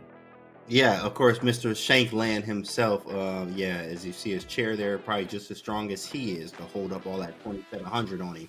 And uh, as you see this roster here, it's even stronger. Gutkat's up there looking like an absolute boss with a big rating. Of course, India, whatever's in the water over there, we need some of that because you know India is going crazy, right? So 2,700 up there. Uh, squad is crazy. You just saw Robson too as well. Ilya, Darius, um, Jörgmeier, and everybody else. I mean, so a nasty team. You see Christopher Yoo playing today too as well, Robert. What is what a team that uh, unicorns are, right? Yeah, the unicorns are fantastic, and they're currently tied two to two with one of the favorites in the entire league because the Gotham Knights they're led at the top by Hikaru Nakamura and the big fish Vladimir Fedoseev. I think both those two are happy that they don't have to face off against each other, but they will have to face very strong opponents in the next round because uh, now that board four board, first board one is out of the way, we see Hikaru get the white piece against Christopher Yoo. Christopher Yoo beat Wesley So at the last U.S. Championship. He's proven that he could take down the top dogs. So, uh, James, as you look, board one and board two gets white for both sides. Is it advantage Nakamura and Fedoseev? Is it advantage Shankland Robson? Who do you like in this round? That's a good question. This one, honestly, mm, that's tough. That's tough. Ray, it looks like Ray. Lewis gonna have some problems there. So you know, I'm, I'm gonna say Ray's a favorite there for sure. Sam's a favorite against him, and Fedoseev. I don't know, man. That's tough. I think it's whoever wins faster. Like that's what it's about here. Because like the top two boards, it, I mean, this might be another two-two, four-four. Like this could go all the way to the wire right now. I mean, this might be. I can't give an advantage to either one. Answer the question, I can't. I don't know. It's just about who's going to win faster. Yeah, I didn't mean to give you a trick question. I do think that these matches are that even. Uh, the lineups, they are quite similar in terms of Hikaru Nakamura leading the way for the Gotham Knights and Sam Shankland, Ray Robson, Nakamura, and Fedoseev. That's a toss up. The bottom two boards also pretty evenly matched. So Hikaru, he gets the white pieces now against Christopher Yoo. And Christopher, he may have lost game one with white against Vladimir Fedoseev, but he's a tough customer, James. We know yeah. he's capable of taking down Hikaru if Hikaru plays some of these offbeat lines. Oh yeah, in fact, Hikaru about to play something that he always plays. He's gonna be knight f3, b3, or it's gonna be some easy queen's gambit. You know, like hey, Christopher, you definitely huge respect. Okay, maybe e4, right? Something, something for real. Something you said absolutely real here. Huge respect, and Hikaru is showing that respect by playing e4. But then he goes back to b3 with bishop b2. Oh my goodness! Somebody stop this man. Oh, he couldn't help himself, bro. He couldn't help himself. I mean, we like E4, yes. Hikaru, respect. Uh, yeah, he's gonna play something and then B3 right after. Like that was I was not expecting that one. I mean, B3 usually goes with knight F3 is what he usually does. So it's kind of funny to see that. And Christopher's thinking here because the knight trade is offered. It, it, may seem to hurt White's pawn structure, but it opens up this bishop and this queen back here. So I feel like taking on c3 is not really what Christopher wants to do. He can play e6 to try to reinforce the knight, but that gets you into some trouble with your own double pawns. So he doesn't know what to mm-hmm. do. James, I don't know what to do either. I've never yeah, seen this, this off the head. And you know, Hikaru is very good at that. He likes just playing chess. He gonna I want a position and try and challenge you when and take you out your what take you out of what you're used to and etc. Here, and that's just a great example of that. I mean, it also still is some type of knight of three b three that he is very very good at, sixty percent win rate. You know, um, with this system um, of the knight of three, e3, b3 stuff that he likes to play, Nimzo Larsen or whatever. So he plays very good with this, and this is some type of it. It's just he played the e4 pawn now, so I think he can make moves quickly here. You can also see this type of, uh, I think even Levy recommends this in his um, in his in his first E4 course um, for about the Gotham stuff or E4 New York style for all the you know Levy fans out there that actually have his stuff. Of course, shout out to Big Levy. So right, um, I think it, a lot of this looks like that French has that too as well. He has a French E4, E6, B3, E4. Like you just play this B3 system, and you actually play Queen E2 and Castle Queen side. It's a very aggressive thing. I don't know what I'm looking at because uh, Black has now you know is able to capture the pawn D6. Um, I feel like White's pieces are weirdly placed. The knight on e4, you like to centralize your pieces, but it's easy to kick this knight back with the move d5 next, maybe d4 to shut down this bishop on b2. And oh, I think that white, uh, excuse me, black has these healthy knights on c7 Yeah, and c6, and yeah, I'm not the biggest fan of the opening, but I think we've said that so many times. Where what is Hikaru playing? What is this opening? And then he just makes it look easy. So Yeah. uh, what do you think, James? Are you believing in Hikaru's opening? Are you believing in Christopher Yoo? He doesn't seem to be phased at all. I'm actually a fan of uh of what White's doing here. I have myself. I actually have uh, I had a crushing win in like 18 moves against the 2400 uh, recently, actually with Knight of three B3. So having these type of positions was very very strong, and it's it's like flexibility. I'm a big fan of options and flexibility, and, and taking you out of you know what you're used to. That's exactly what we have here. I mean, I can go many routes. I can still go C4 D4. I can still go Queen E2, Castle Queen side. I can go G3 Bishop G2. You know, it depends on what I want based off of what you play.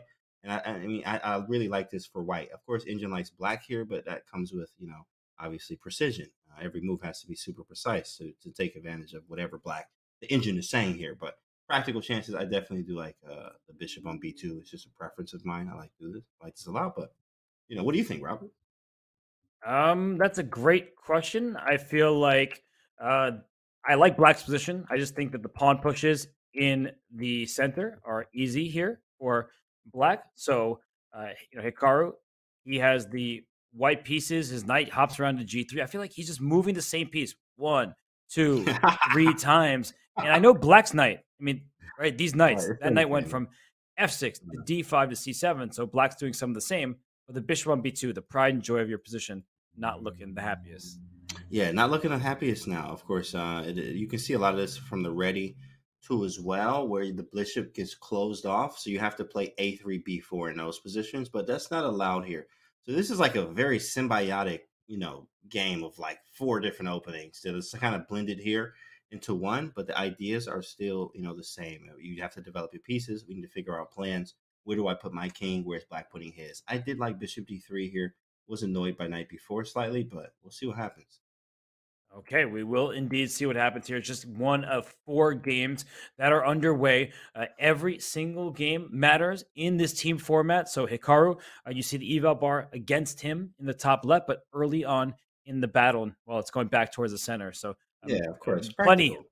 yeah, plenty of action left in this. And look at the bottom left, by the way. Uh, Sam Shankland with the white pieces. It appears the engine not approving of his position, but I trust Sam Shankland over any engine any day because he is true. one of the best prepared players on the planet. And the bottom right, that position looks closed in the King's Indian. The top right, that looks like a Sicilian. So let's just uh, dive in to Sam Shankland against Shamsiddin Vokhidov because um, do I believe Sam? Uh, you, you know, trust Sam I am, but the engine, at least at first glance, seems to be liking Black's position by a little bit.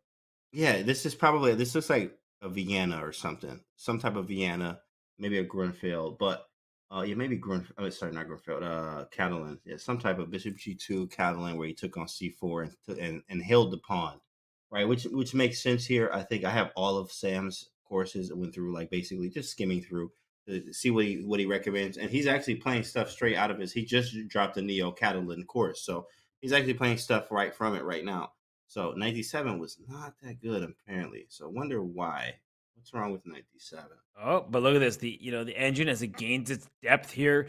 Uh, Stockfish trying to figure out what's going on. Nobody knows. Uh, the only person who knows seems to be Sam Shankland. I mean, he's moving quickly, but this decision caused him to think. So either it was a move that's down the line, we'll find out it's bad, or Sam's preparation has ended. And I actually can completely get behind this move. This knight on e5 has been annoying, but I also think that White can try to push this pawn to f5. Bring up an analysis board and just to quickly show that f5, you can't just go ahead and take this knight on e5. I know you want to do that, but after knight takes, pawn takes, your queen is under attack back on d8, and wherever you move your queen, it doesn't matter to me. I'm going to push this pawn to f6 and just go after your king. It's just going to be a quick checkmate. Yeah, that's made in 11. It's made in 11. Easy. And then 11 because you got to throw the engine moves in there. yeah, sacrifice all your pieces just to Sacrifice all delay. Exactly, exactly. I, I, I'm guessing the best move is like G6, you know, like give up his bishop on the square. So, uh, not going to get the job done, and that's why uh, Sam can push forward with F5. Black may just take it though. That's the downside of F5. Is Ah, Black has yeah, less space. You want to trade some pieces. Yeah, I didn't consider that. I was like, just F5, but they could just take it, and then you'll be like, "Oh, wait, why did you take it? Because you put it there, right?" So f5. So maybe we go d5. Hmm. Yeah, that's another interesting choice because knight takes, pawn takes, and maybe we'll get d6 in there. Uh, this pawn on d4 may lead the charge and go to d6. So, uh, James, this is a complicated battle between Sam Shankland and Shamsiddin Vokhidov. And Vokhidov, is from Uzbekistan. Uh, that country, if you don't know about it, you should because they are yeah. the Olympiad gold medalist. Their team mm-hmm. took gold, led by Nodirbek Abdusattorov. He's at the upper echelons of chess these days. But Vokhidov, you see his rating at 2568. That was back in November. Now he's 2600 plus. So Levy was highlighting him as one of the players in the world that you look at and you're like, okay, he's an up and comer. Be very careful. Very strong player. Very, very strong. Wow, they hated that move. What is the move for this? Man, I don't know. it makes sense, right? I don't know. What is it? like well, you know, James, while we are trying to figure this out, we can bring somebody in to help us because we do have David Pruess, the captain of the Unicorns, joining us. David, always great to see you, buddy. Welcome from the Chess Dojo. And how are you feeling about the Pro Chess League and in particular this week against the Knights? Yeah, likewise, Robert. It's always great to uh, to see you and and hear you. Um, I think that uh, this matchup this week is going to be extremely close. Um, a toss up. Um, a match that's going to give me a few heart attacks, most likely towards the end, uh, in round five, or maybe even in round in round four, or maybe even in round five. So that that's my general uh, ra- take. When you say round fives, is that is that me hearing you predicting an eight eight match tiebreaks? I, I think it's possible, right? I'm not. I, I wouldn't yeah. Predict it. Like it's not more likely than all other results, but it's very possible. Yeah, I believe the same, there, David. How you feeling today, David? Good to have you today. Yeah, uh, last week I was I was offline, so I only caught a few snatches of my match. It was much better for my health. Um, to to miss a couple rounds of the match. Um, you know, but that match could have finished 8-8. I don't know if you guys saw it, but we we won 9-7, but there was one game where a 2700 could queen a pawn and mm-hmm. instead mm-hmm. he recaptured a piece and it was like he played a deflection sack. I don't know if anyone has heard or understood why that happened. I wasn't watching it live, but it makes no sense. He could have queened and the match would have been 8-8 and wow. tie breaks, right? I was on the call for that, David, and we were just in disbelief. Um, but I mean, I'm also trying to figure out this position. It's a Catalan, but it's also a very David Pruess like position. A couple pawns have been sacrificed by Sam Shankland, and now a piece has been sacrificed by Vokhidov here, but you'll have three pawns for it. So, what do you make of this, David? Nice. Uh, for Vokhidov, unfortunately. but I'm still, you know, happily impressed when he plays some good moves. Um, my first allegiance is to chess, even over my team, you know. So when I see somebody playing well, you know, I, I got to be happy for them. Um, I think Sam's knight g4 move, which I saw your your engine bar didn't like. I think his intention was to push f5 himself next. Um, but Vokhidov probably very clever response to play f5 himself and ensure that he had space to defend his uh his king side, activate the bishop on b7 and you don't want white to have d4, e4, f4, like all flexible, denying your pieces any squares, not only on the fifth rank, but basically anywhere you go on the sixth rank, white can always push and kick you out.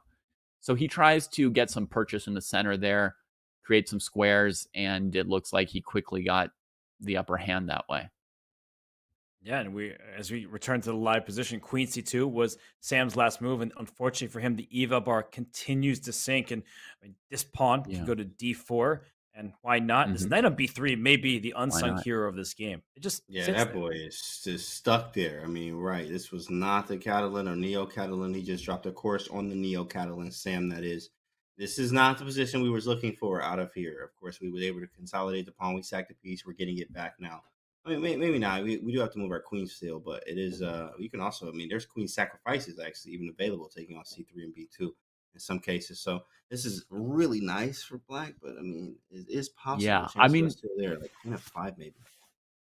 the the knight on b3 white ideally wants to just play on the king side and play around the knight and leave it behind right and now with Vokhidov sacking a piece getting this d pawn so strong sam can't play around that knight and uh, so it, it does become a hero but but Vokhidov had to set that up yeah, he did. Well, I mean, this is looking tough for Sam Shankland, but I want to give you some better news, David. So we're going to go to our bird's eye view because some of the games are looking quite promising for your California Unicorns. I see in the uh, bottom right, Ray Robson against Alua Nurmanova. He has an advantage, but I think maybe more importantly, in the top left, Christopher Yoo, his position seems to be advantageous against Hikaru Nakamura. So, uh, with all respect to the other players, I think we should go back to our uh, board one for the Knights against board three for the Unicorns. And David, first of all, you know, you've been a mainstay of the U.S. Chess League, the Pro Chess League seasons past. It's very important to you, I know, to have a team from California. So, what does it mean to you yeah. to see Christopher Yoo, who grew up through the ranks playing in California, and now he's a chance to maybe take down Hikaru? Yeah, I mean, it's really it's really important to me I, I don't know how everyone I think every manager and every organization sees its role differently, but I see the role of the unicorns as not just being like an assortment of players trying to win a competition. It, it's also the goal is to, you know, showcase California and West Coast talents and to promote and give them opportunities, right?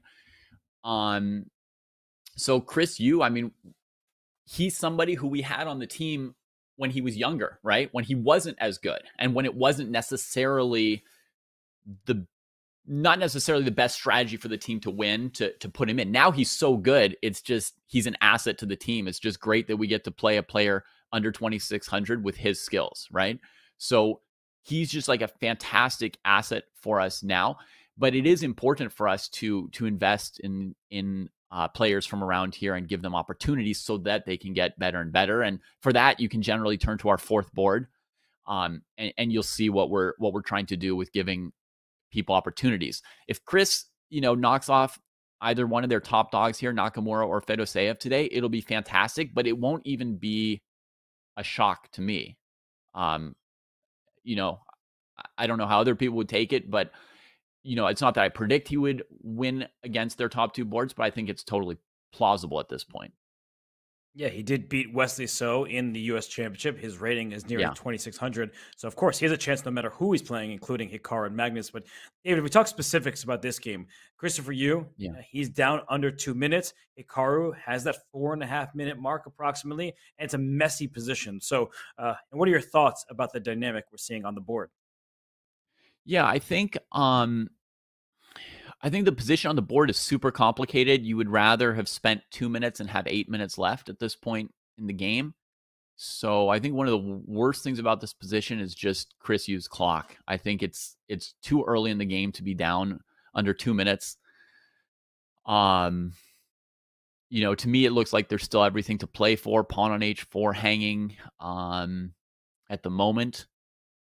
I don't know if Hikaru intends to take back with the pawn in order to have time to save his pawn, but it seems like that's the outpost for his knights, so he gives the pawn. Yeah, you just give it up.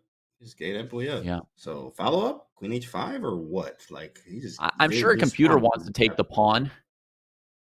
As as a human, there's all kinds of things to be afraid of with Knight F5 and Knight C5. Well, he, he took away that Knight C5 jump, and I mean, there's a knight mm. f5 that looks great, but can this bishop just yeah. slide back here and defend everything? Mm. I feel like mm. Christopher Yoo just has yeah, I think, like a clean extra pawn. You're right. Yeah, I think Chris feels really actually solid here with this bishop trade on e4, simplifying the situation, giving up the bishop pair, but it just becomes so clear that he can solidly defend the d4 pawn. If that d4 pawn stays well defended, then White's position is pretty pretty bad. Whoa, what a move. G6. G6, so... I understand. I think after bishop f6, it might have been f4. And then g6, knight h6, e5. And I mean, there's complications. It's like strange things here, obviously. But I mm-hmm. mean, I understand. He just wants to like kick some stuff. But f4, yeah, he wants that knight. That makes sense. That makes wow. a lot of sense. That was strong. That was strong, bro. Wow. That was really strong because f4, e5 was coming, but he just stopped that whole idea. But yeah, knight d4, I mean, knight d4, queen d4 pawn on e4 can't be taken at the end because of back rank mate. So it seems to sim- to sort of peter out. Yeah. Although maybe he'll go for tactics like Queen B6 because the F2 pawn is hanging behind that knight. I- I'm getting confused looking at this board. And I saw it before Hikaru was looking off to the side, uh, trying to figure out what to do. You know, he's thinking and calculating, but I don't know what to make of it. Yeah. Is he talking too? Is he streaming? I hope he's streaming. Yeah, he's streaming. Yeah. Yeah. Because otherwise he's just talking to himself. Yeah, I believe he is streaming. And by the way, uh, Well, not Fedoseev because of did that, but because I Zoe think it's a distraction. So. Oh, yeah. Yeah, actually, I mean, he himself has said that. Like, you know, you play worse when you're streaming just because you're talking and not fully focused. But all right, we see Bishop F6 played instead of any Queen B6 stuff. And Christopher down under a minute. And I was, wait. Oh, no, there's 97. Oh, and look at him laughing. Oh man, Aw. that hurt. Oh, come on, Brutal. man. Yeah. Oh, David, sorry to, you know, ha- have to watch that, but it seems he just overlooked 97 check and then in a clean Yeah. extra exchange for white. Yep. That's going to be probably the round for New York, which which can happen. Um, Definitely happen. he played so well this game, bro. He really did. Nothing you can do about that. Yeah, no, Yeah. I just feel like this turned uh, into something sad because Sam Shankland also just lost his game against Shamsiddin and Vokhidov. So, uh, David, I, I feel awful. Yeah. Like we brought you on, we were you know having a good conversation, but you know I, I Yeah, hate I to be mean, the bearer of bad news. Yeah, there's nothing where you can guarantee me that my team is going to do well. Um, if you could, I would I would come on every round. Uh, well, Mm. David, you know, it is always a pleasure to have you. Uh, we want to give another shout out to the Chess Dojo Live community. And for those of you who are watching right now and don't already follow the channel, do so immediately. Great educational and fun content. So, David, we'll let you go. Uh, we'll see if your team can bounce back. But thanks, as always, for joining us. Everybody here loves you. All right. Thanks, Robert and James. You did it. Have a good one. James, nothing worse, man, than bringing on the team captain or manager and then seeing their squad just lose all the games. Lose right there. I mean, uh, man, that's tough, bro. And they have a great squad. I mean, like he is very. I mean, obviously, very proud of the squad. I mean, you got three 2700s on the team. Like, bro, there's only a few 2700s in the league. Like, what do you mean? All three of them on one team, right? So, and two on another team. So that's like five right there, 2700. So, very strong team here, but right now, just not going their way. Oh, what a nice move. Rook b6. If pawn takes, trade rooks, get an outside pass pawn. This should be a win for Hikaru Nakamura right now. Simple stuff. So while he considers the next option, does Christopher Yoo with 10 seconds remaining on his clock, we might just see him resign. Mm, yeah, it's a pretty tough game. I mean, he played very well up until that point. One blunder, that's what it takes. That's what it takes. Is uh, you know, sometimes one move. That's how chess is. Can you okay? No, nothing. Yeah, He- he's yeah, just pretty- losing yeah. this pawn over here. The rooks come to the seventh rank. Down goes f7, and there's the game. So it's a win for Hikaru. The pineapple behind him, serving him well. And we see him talking to his community. So he's a happy camper. He gets that win. It was a shaky position. He was down a pawn for what looked like minimal compensation, but he was able to uh, get a knight fork tactic to win. So let's go Right. to our bird's eye view. Sam Shankland in the bottom left, he got checkmated. His king on h3 over there. Oof, that was a rough ending. In the Yikes. top right, Fedoseev, he beats Zoe Tang. Uh, that's a huge rating differential, so we get it. But Alua Nurmanova, she's still fighting for the Gotham Knights. The California Unicorns absolutely require Ray Robson to win this game because they have lost all three games thus far in the round. Ray needs to win. Yeah, Ray needs to win here, and of course, it is Big Ray. Have a nice day. One of the strongest players on the planet, especially when it comes to puzzles. When you play him, you already just feel like you're gonna blunder something because he sees more puzzles than you. So it's very scary uh, playing this guy here. But you have to give ultimate credit for Alua here, who's like, yeah, Engine says White's crushing, obviously, but at the same time, I mean, you know, practically speaking, Black definitely still has chances, especially having the bishop pair here. But I mean, White does have the outside passer there, so she's playing good though against Ray. Against Ray, this is the position you got. You're not getting crushed. Yeah, this is a good game from lord. And in the first game, she had really good chances against Sam Shankland. So I feel like the play it does not match the score. Like she has been playing quite decently, as you're saying. Uh, right now, it's a tough position for her because this outside pass pawn uh, will let Ray run to victory. And yeah, you can just kick this queen out of there, saying, "What are you doing? Let me just make a move like knight f3 because you do not want to blunder a piece." Bishop takes, drags the queen away from this bishop on f1. So as long as Ray does not make a horrendous blunder, he should take this one. It is difficult. I mean, it's kind of strange. Like he doesn't miss many tactics, right? Unless obviously if time is low, then anyone can miss tactics. But here, he has enough time to not make any tactical blunders. He does have the outside A. King can run the A2 for shelter too as well. White is just trying um, to convert, you know, the pawn advantage I have right now. I feel like there's nowhere for black to attack, right? Yeah. This pawn is well defended by the knight. This pawn on h3 for now defended by the bishop over here. And even if you win this pawn, I mean, that's just way too slow. The a pawn is sprinting to the other side. It's just a, our mind is having tunnel vision because that pawn is just going to the other side. Yeah, this is a this is a clean clean one. Very clean plan too as well. Bishop c8 I thought, I thought had to be played. So then now we have to figure out how do we actually queen. Like we still want a queen, but uh, bishop c8 was a very nice way to stop it practically. Maybe bishop. No, that doesn't work. Hmm. I was gonna play bishop e2. Yeah, just push it anyway. Why not? Bishop e2 and bishop g4 is the idea. Just kind of play the game there, risk free. E3, okay. H3, it's under attack, but you don't want to capture it because that does allow the pawn to get all the way up to A6, uh, which black cannot afford. The problem is this knight is not in the game. Maybe it's going to come around this way. That could give some hope. But Ray, look at him. It's too yeah, strong. Yeah, you just swap you, them you, queens. The, the end game is completely winning for white. I'm up to pawn here. I mean, you know, your pieces aren't the greatest here. I totally understand. Queen e2 is a beautiful move. Queen f4, not trading, 100% correct. Knight b5, just attack things, right? Makes sense. Going for this c7 pawn, and it, this knight g5 can go after e4, but c7 does feel a little bit more important. Uh, and he doesn't even give up e4. It's bishop g2. Yeah, I don't, I don't want to give you any type of counterplay here. Queen f7, probably. Queen f7, and then what is next? Yeah, it's getting defensive. Uh, queen f7 does protect that pawn over there. Maybe there's knight a7 at some moment, but queen. Oh, watch out! I didn't even see this knight was hanging. I was like, what is queen g3? That knight is loose over here. Easy to blunder. Always ask, what are they doing? Right? That's the problem. If you don't ask what are they doing, you won't see it. And he saw it. King a2, take on h3, but then wait, she fighting. She man, come on. Alu out here fighting. Yes, okay, the engine's like, yeah, this is over. But like the way that this is Oh. over is not that much, right? It's not like Oh, oh, crushed. uh oh. She's really fighting here. Knight Hey, b5 watch move. Wait, but James, watch out because the H pawn for black could play a big role in this game. If this bishop gets out the way and some of the H pawn gets going, this could be a problem in the future for Ray, who's down to about 30 seconds. That girl playing chess. She playing chess right now. Okay, she's playing some real chess. Wow. Great play by her at the moment. And what does Ray even do here? He doesn't see an easy move. You can bring your knight back, but it's going the wrong direction. And how do you kick this bishop out of here?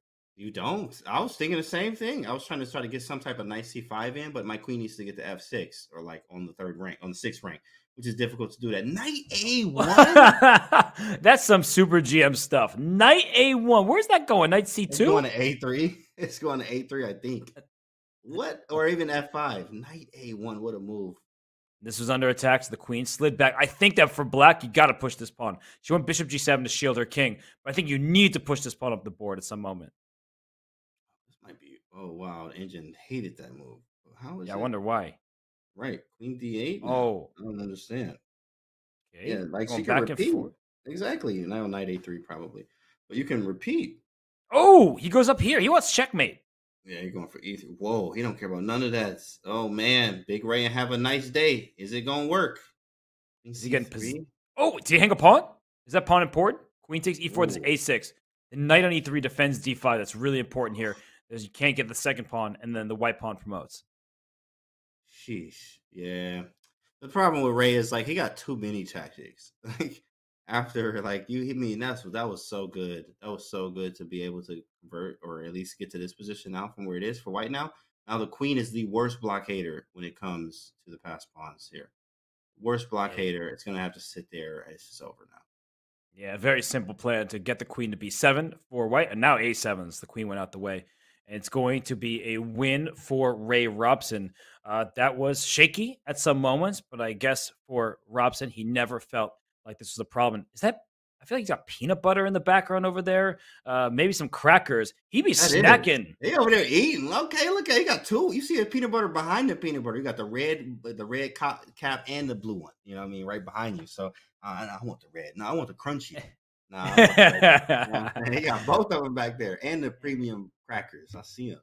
Hey, James, he wants it all and he wants it now. He has both creamy and crunchy peanut butter. He also just scored for the California Unicorns. Ray Robson, the super grandmaster from the United States, is the only person to win for the Unicorns because look at the left side. I see one in the column for Nakamura, Fedoseev, and Vokhidov. That was a monster score the Knights. Yeah, that's scary. If they keep that up, you know what I mean? Like this about to be another mix up here. If, if they keep that up, this is gonna be over in the next round. Now, of course, we you know Ray has to strike back, Chris has to strike back. Shankland had a bad game there, but you know they can heat up too as well. But if they stay in the right form as Gotham is right now, Gotham Knights, this is uh this could be a blowout in the next round, which we don't want to see. And we actually see the difference, right? Shamsin and Vokhidov took down Shankland. If that result had gone the other way, game. it would still be a tie. So uh, Vokhidov, maybe one of the heroes for the Knights, taking down the top board for the Unicorns.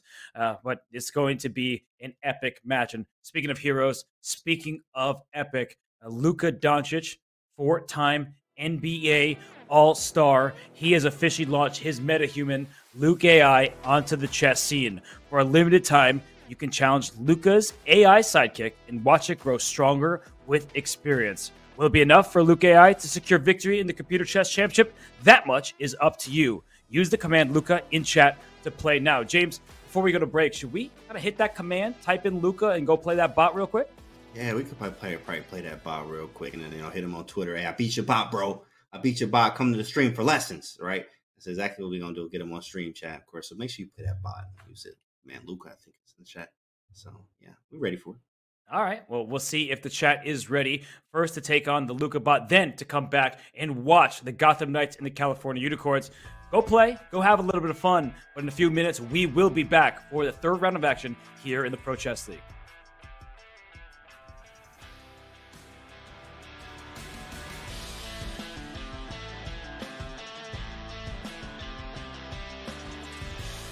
Hey everybody, it's Danny here, and as you may know, chess.com and Chessable are now one, and I'm here to show you how you can make your chess.com and Chessable one in just a few clicks. To start, let's log in and connect our chess.com account.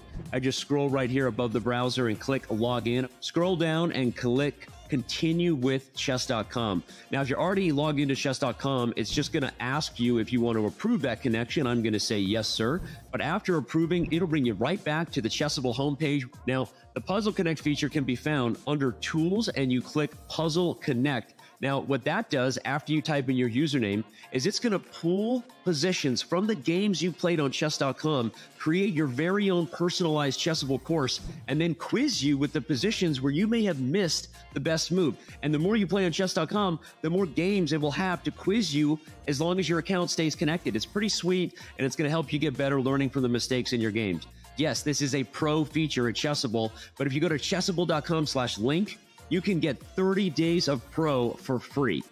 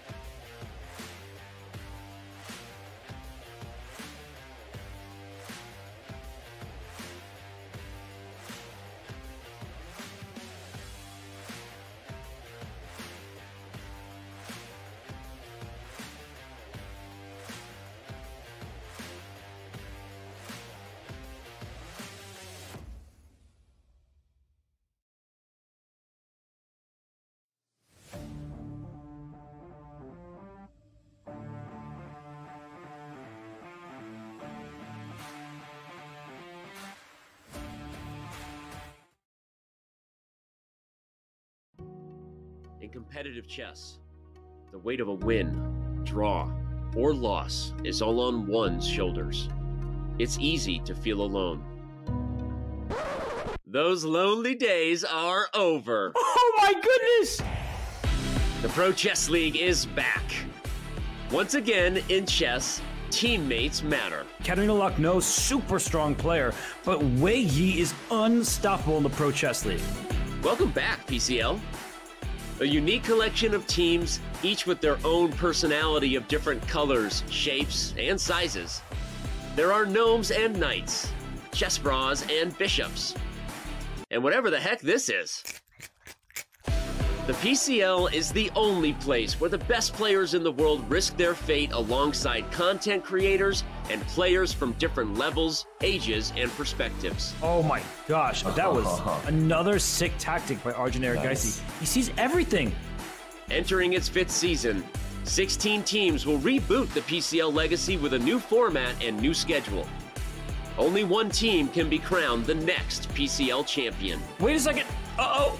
Grischuk is super unhappy.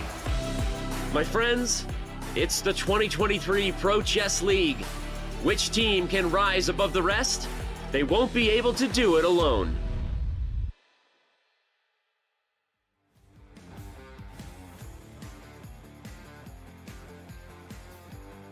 It's a chair stream for Hikaru Nakamura. You recognize the pineapple, and that looks like Snoopy on the shelf.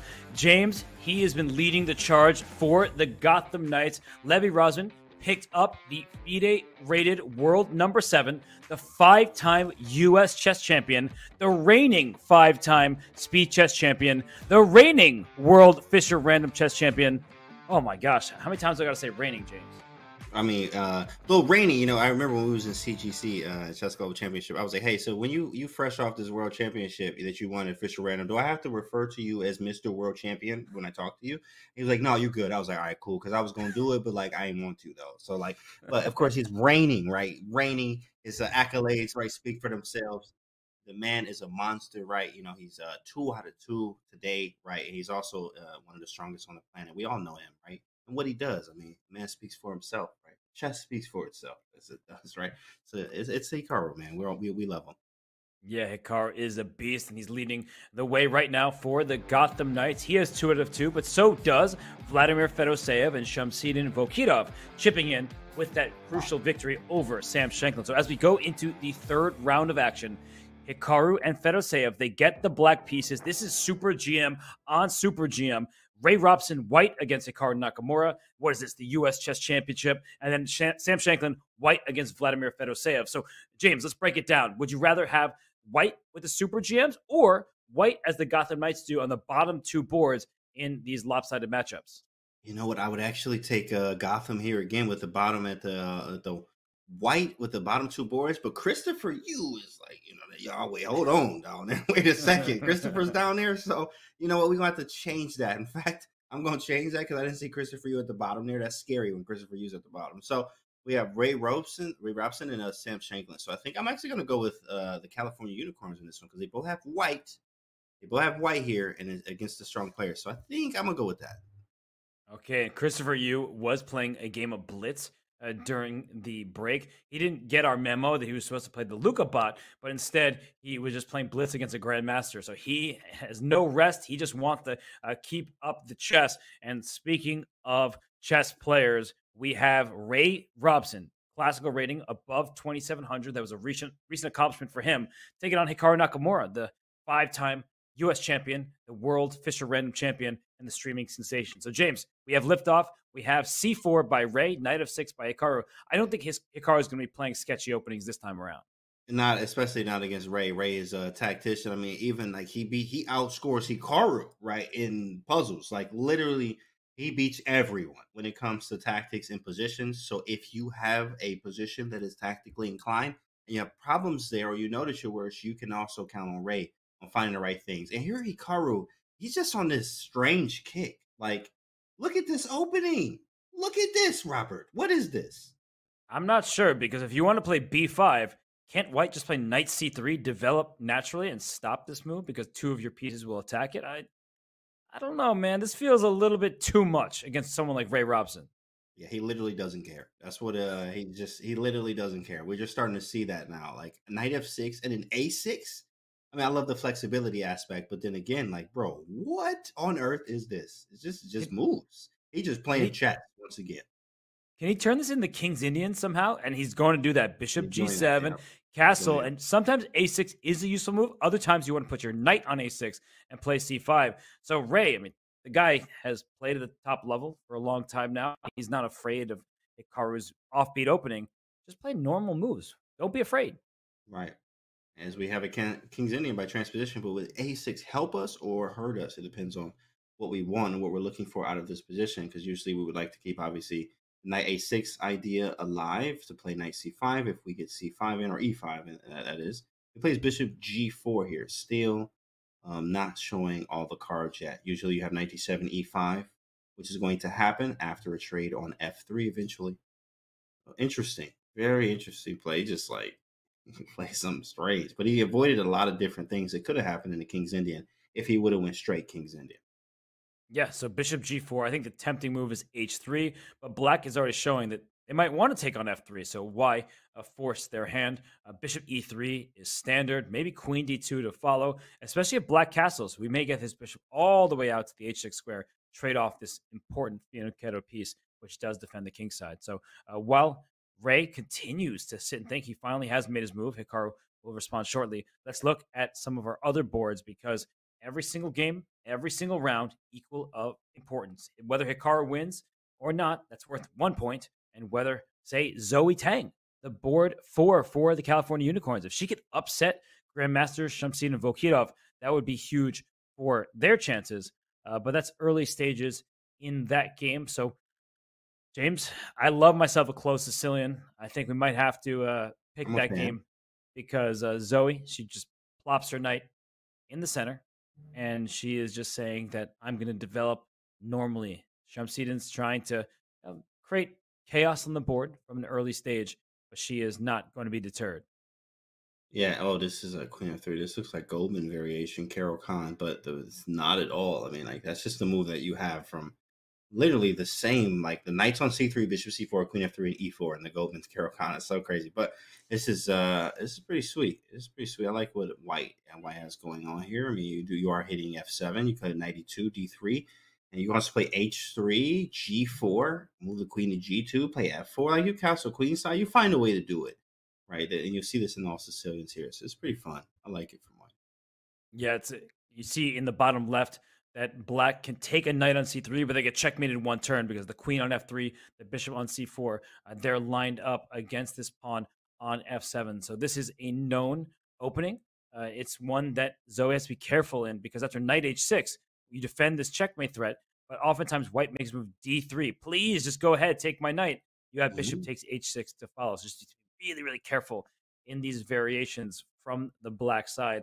And after queen f3, she is still thinking e6 is also not the best move because the knight hops to b5 and around to the d6 square. You're just creating too many holes in the position.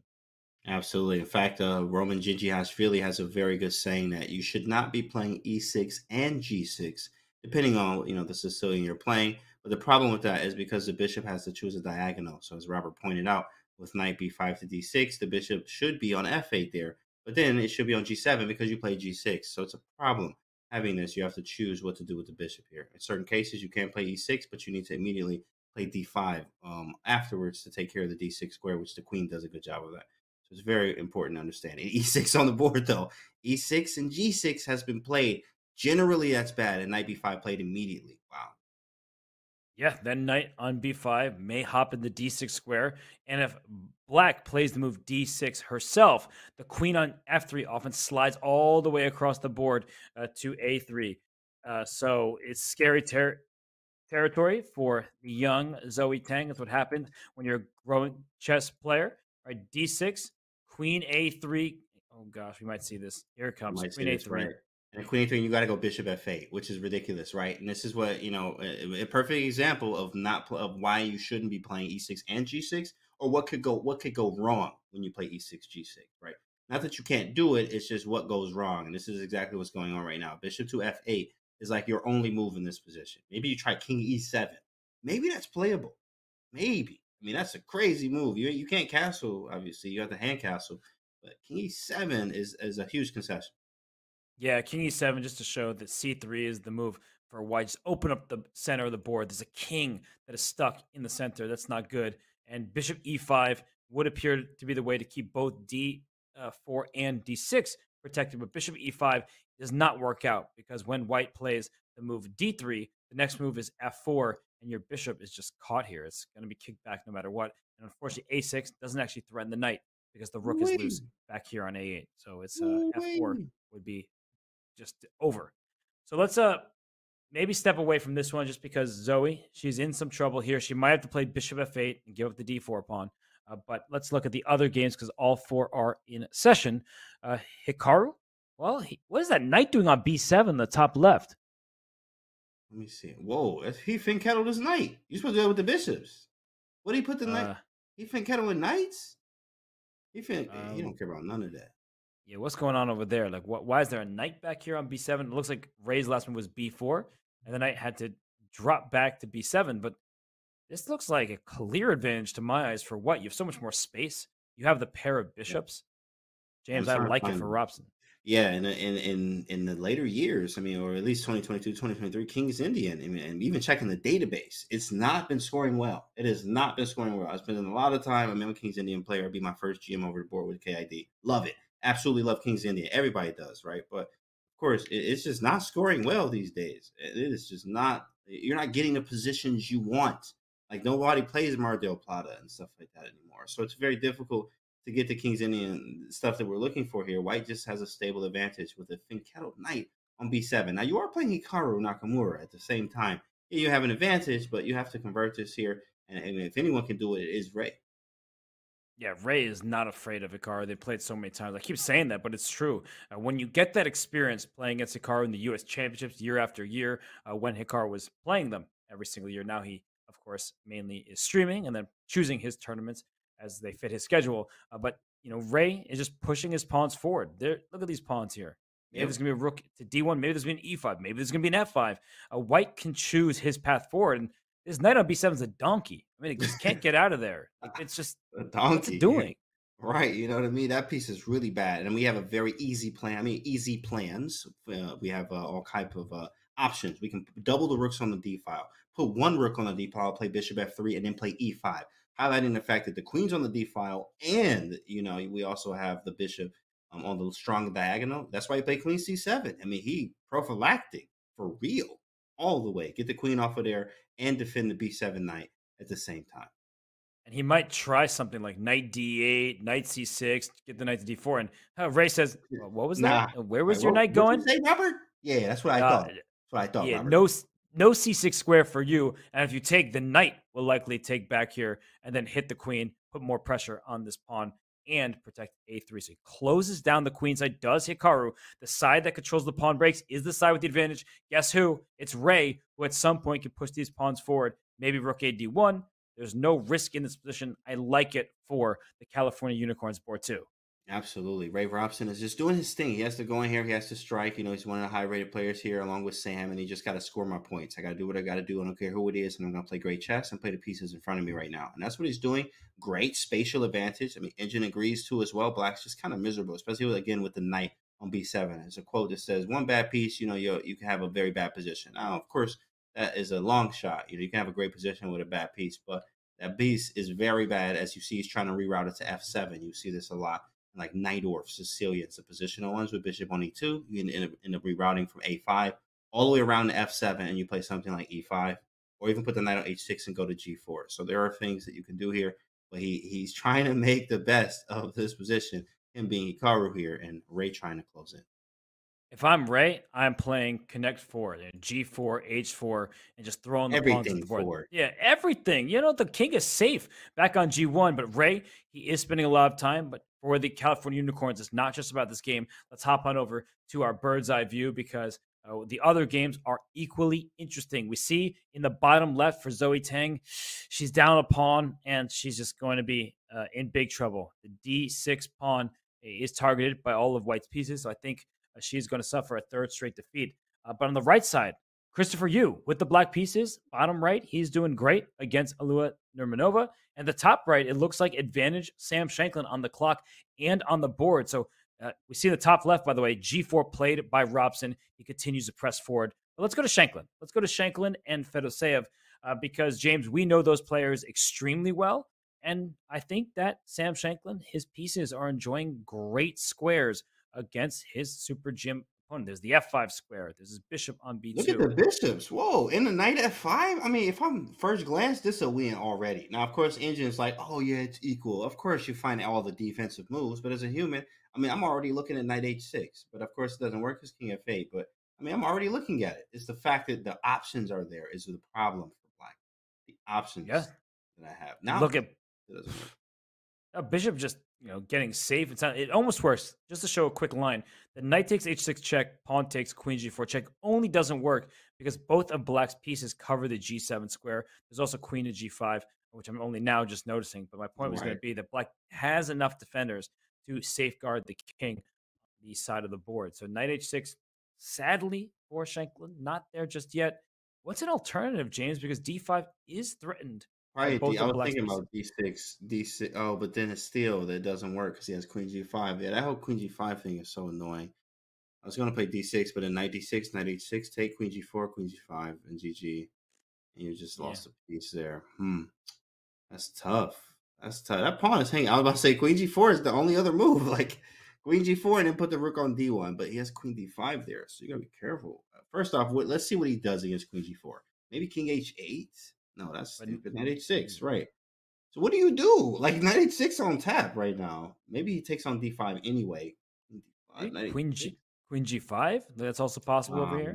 Again, stupidly queen g5. That's just an annoying move. Queen g5 yeah, is so annoying, bro. I, I feel like you know the queen trade doesn't solve all the problems. First of all, and second of all, the queen could have gone to e4. Oh, oh. Whoa! You got to You have lost your absolute on national television like this. Wow. Um, G6? Wow. You, can you get away with that? I guess you yeah, can because. I, I, I guess How do can. I do it? Ah. Oh, ah, ah. It doesn't work. uh, it doesn't work. It doesn't work. G6 is insane. For the say yeah. I showing off here. Sam went into the think tank. I would too. Wow. G6. So can I not go H4 here? H4 maybe Queen D5. Yeah, this pawn is now so officially wow. Wow. Red. Oh my goodness. He is so strong. Fedoseev, you have to. I mean, look, I'm not even gonna lie. You underestimate how strong this guy is. Like that is a move. D6. I see. I see like five different moves that look good for white. I don't know. Rook D1, Rook E1, even Knight E3, a simple retreat to defend the pawn comes to mind. Uh, but mm, 93, yeah. I actually like D6 and a sack on H6 and G6. Or you're just uh, going for it all. I'm just like, don't care about life, right? Don't care about nothing. D6, knight D6, knight H6, bishop H6, bishop G6, F G6, queen G6. I'm like, it's a nasty line. It's literally attack everything. You know what I mean? But obviously, he doesn't have to take. But me, this is very wicked. But yes, queen G5 once again. Like, queen G5 is the move of the day. Every time. Every, Every time. time. So he drops back with knight E3. The knight came up to F6. Uh, that forks the queen and this pawn. So is that the end of the world? Like if black wins this pawn, uh, extra material for Fedoseev, but Sam is actually being tricky. He said, please take and then walk into this pin down here. Yeah, he just walked into the pin here. Takes, takes, queen at wait a second. Oh yeah, bishop e4. You're right. Just bishop e4 immediately. So he plays bishop g7. Man, Fedoseev's so strong, bro. To be able to play g6, and now both the bishops are Fianchetto here. Now we're able to deal with the pawn on d5. That was impressive. That was very impressive because g6 looked like a move that you cannot play. And I guess, you know, lesson in here in, to learn here, Chad, is like you can play, you know, look at the moves that you think you can't play, right? You know, recheck them, recheck them. G6 was a beautiful move. G6 was awesome. I mean, such a scary move to make, but uh, that was a good one. And now the question is, can this pawn d5 be picked up? I think I know the answer because I see the evaluation bar at minus one. Fedoseev does not have that luxury. Knight takes d5. It looks terrible uh, because if you take on g7 and automatically play king takes, then bishop e4 wins the game. There are pins left and right. But that's the thing about chess. You don't just have to take back. There's knight takes e3 intermezzo. If you take the bishop, you'll lose the rook. If you take the knight, just king takes g7, black steals a pawn, and with queen g5, the move of the day coming next, it should be a good opportunity for Fedoseev. So it's now down to two minutes for him. Man, he's good. really struggling on the clock, considering how complicated the position is. And I just want to point out that uh, Shamsiddin Vokhidov did beat Zoe Tang. So board three for the Knights did defeat board four for the Unicorns. And we'll see how the other games go. And whoa, Nakamura, we, I think we have to go away from here, even though we have a kind of wild game in this one. Nakamura and Robson, things have changed in that one. And Ray down to a minute on his clock. Right down to a minute. Let's see what we have on the board. And Hikaru with this. the facial expressions. D5. Whoa. Captures. Rook takes F4. Whoa, bro, chill. Chill out. Chill out. Relax. Okay. What happened? No move yet. Ray's thinking, but he's down oh, a minute. The... Whoa, relax. This is crazy. Rook F4 is nuts here. Uh, what is White's move? King G2 is definitely possible here. Can I not get out of this? Knight D5. Take on E6. Oh shoot! just knight d5 is very. But there easy. might be like a, a, take and like a sack. Ah, I'm too confused. There's, is there like a rook? Oh my goodness! There was rook g4, bishop g4, queen g3. I think that's probably why he wasn't going for that. And you can take on e3 too. Like there's so many things hanging after that whole thing, which is why I think g2 makes sense because it, it, covers the g3 square. Yes, so you can't stack on g4 anymore. That's sick. Yeah, sorry. Just queen to g3 was a big threat in many different variations. So knight e2 back, Hikaru up three minutes on the clock, right down to 33 seconds. And the eval bar now is in Hikaru's favor. So uh, this could get out of hand for the Unicorns. I mean, Ray needs to survive this game. If he can win it, that would be huge, but he at least needs to try to make a draw here because otherwise the Gotham Knights are leaping out to such a huge lead. Man, this is crazy, bro. If you have a lot of time, you can figure this out. But I mean, okay, so since we down this rabbit hole here, maybe it's Rook F395 just keep going and just keep attacking everything. But I mean, I could, yeah, if 395 is definitely possible. You can also sack it back, sack the exchange back. There, this is chaos, and it's not enough time. Three minutes is not enough time to figure out what is going on right now and what Hikaru should do based off of obviously the engine saying black's better here. Now, you know, both players are like, what is going on? Who we don't know who's winning. White thinks he's winning, black probably think he winning. Oh, and a mistake by Hikaru. Let's bring up an analysis board very quickly because I understand the mistake that Hikaru made. It wasn't the initial sacrifice in F3, but I think after knight e5, the rook and the pawn are under attack, so the rook has to be protected. And after knight takes, rook takes, you think, okay, I have to move my bishop here. Bishop takes there, queen takes, there's a pin here. This does not look good for black from a distance with the rook barreling towards the black king. But instead, mm-hmm. maybe there's e5, and this position's still hard to assess. But black, wow. according to the engines, is better. Wow. So the engines, you know, they make it seem easy. It is not. But I think that in this position, the king on g8, the light square is being vulnerable, I'm worried for Ray Robson. So what's the, engine, the engine move was rook f3 though. It was rook f3. Yeah. Yes. Let's go. Let's go. Let's go. One for the Jedi. Come on, chat. One for the Jedi. That's right. All the Jedi in the chat. Rook f3, that was nice. Rook f3 was the move, and then g5 for the for the follow up. This one is uh, very difficult to. Oh, look at that bishop on a1, bro. Queen b2, and what do you do, right? Like, whoa. I'm just gonna be there for a long time, constant pressure, and all kind of tactics. King h1 to the corner. He goes. Queen takes a3, takes away the b2 and c3 oh. squares from the queen. d4 already off limits, and it threatened the bishop on oh, f3. Dirty dog, you. Yeah, he didn't take on A3. That was so annoying. Queen takes A3, gets rid of every. Whoa, what is this?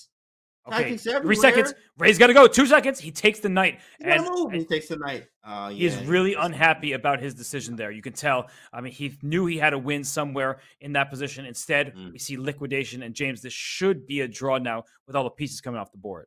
This is the problem. Oh! Oh! Chill. Everybody, hold on. Hikaru does it again. Oh my gosh, James, how does he do here. it every single time?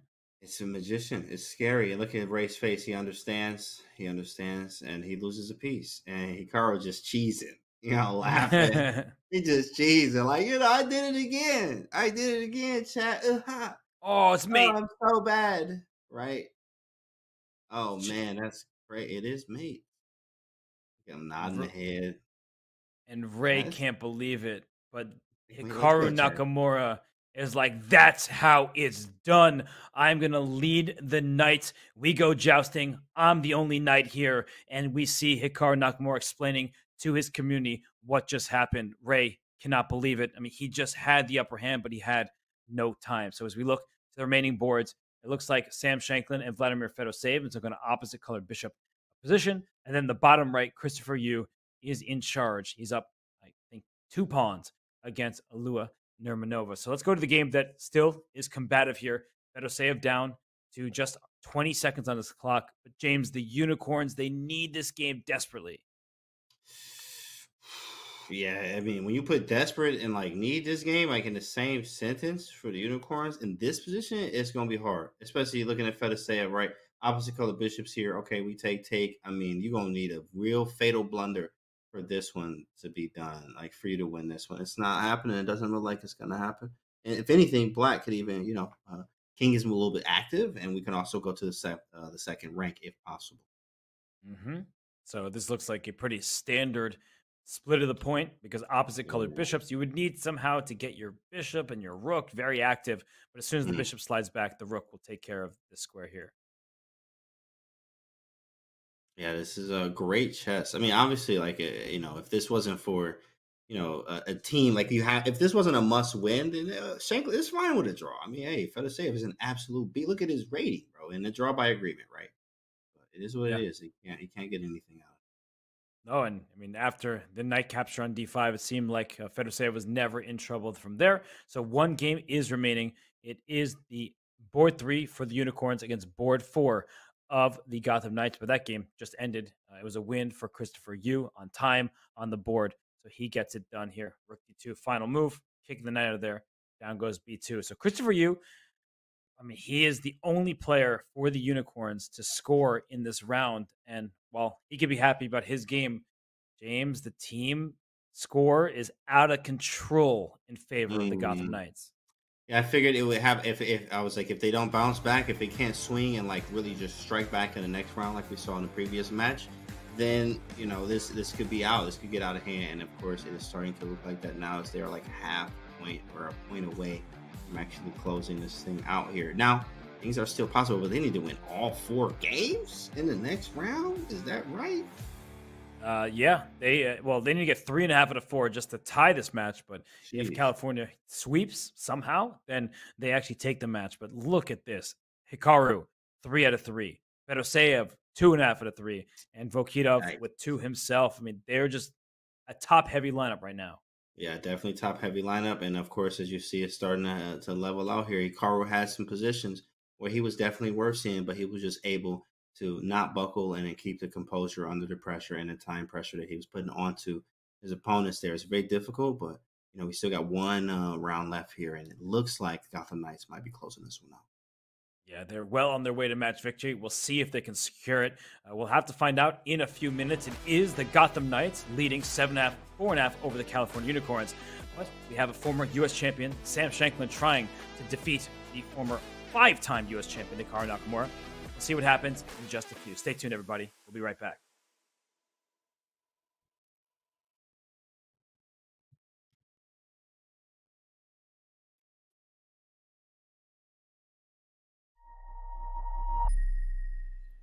I don't think about during the games, but I certainly like do think about how like few African Americans there are at like the top level. So I try to do my best to to motivate more people like us to give it a try and hopefully succeed.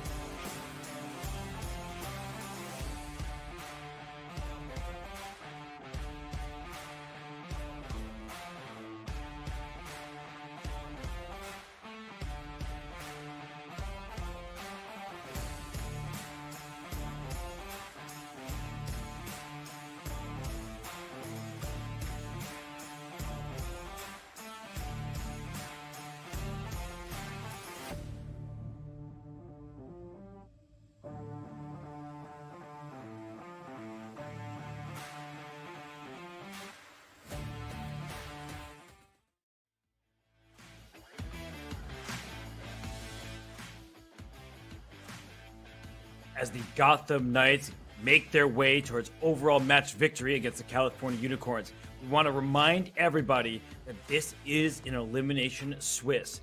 Three victories for your team, you make the playoffs. Three losses, you're out of there. And teams with the same record will face each other a week after week. So, James, you're captain. Your Garden State Passers won this past week. How important is it for the Gotham Knights to put this match away and get that much closer to the playoffs. I mean, hey, this win is very close. It's here. As soon as we win, we work on the next one and then try to make it to the playoffs here, which is huge. I mean, three wins, that's it. And Gotham Knights are very close to closing it right now. So they just need to stay focused, but also California Unicorns still have chances and shots to do it. It's a long shot and uh, the percentage is there, but it's very difficult to come back here. But if I am the Gotham Knights, I'm not celebrating yet. I just need to continue, get the job done. I got a job to do. Let's get it done right now.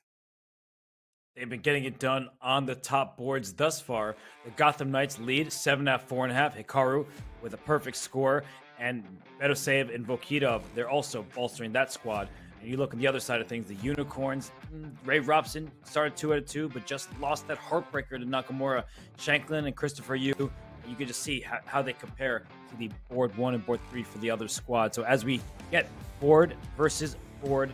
Uh, final round action. It's board one versus one, two versus two, three versus three, and four versus four. James, been asking you this every round. You like the matchup for the Unicorns or for the Knights, ignoring the fact that the Knights only need one point to win it? Uh, ignoring the fact, I'm still actually gonna go with uh, the Gotham Knights there. Um, I think that Hikaru first board there, of course, Shankland's gonna be in some trouble there. Fedoseev, Ray, I could go either way. Um, I'm going to take Vokhidov as a slight favorite in the Chris Yoo match. And, you know, I think uh, Nurmanova here will, uh, you know, it, that's going to be, I think that's even two as well. I think it's more, more of an even match. But at the end of the day, all they need is what a point here. So that's that's enough there. Like it, no, there's no lopsidedness in the unicorns. There's going to be something special, like we saw in the last match where it was like, oh, they got that right now in this round, and it was not that at all, not even close. In fact, and then we had to go into round four. So yeah, definitely some difficult chess here today, but one more one more round. Yeah, right? if, I, am Hikaru and I get the white pieces right here against Shankland, I might even try to force a draw. uh, not that Hikaru is, you know, the least bit scared of anybody, uh, right. uh, but you know your team needs just one point, and mm-hmm. he can mm-hmm. get the job done himself. Uh, but if the opportunity arises where he can play a forcing variation that ends the game with a split point, I think he could uh, go for it. It just makes it the rest of his teammates uh, feel better. But you know, Hikaru, he always wants the perfect score. And let's see what we have here. In fact, uh, I have all of Sam's courses on Chessable here. So let's see which one he goes with. He, they, we was probably going to see a classical Sicilian there.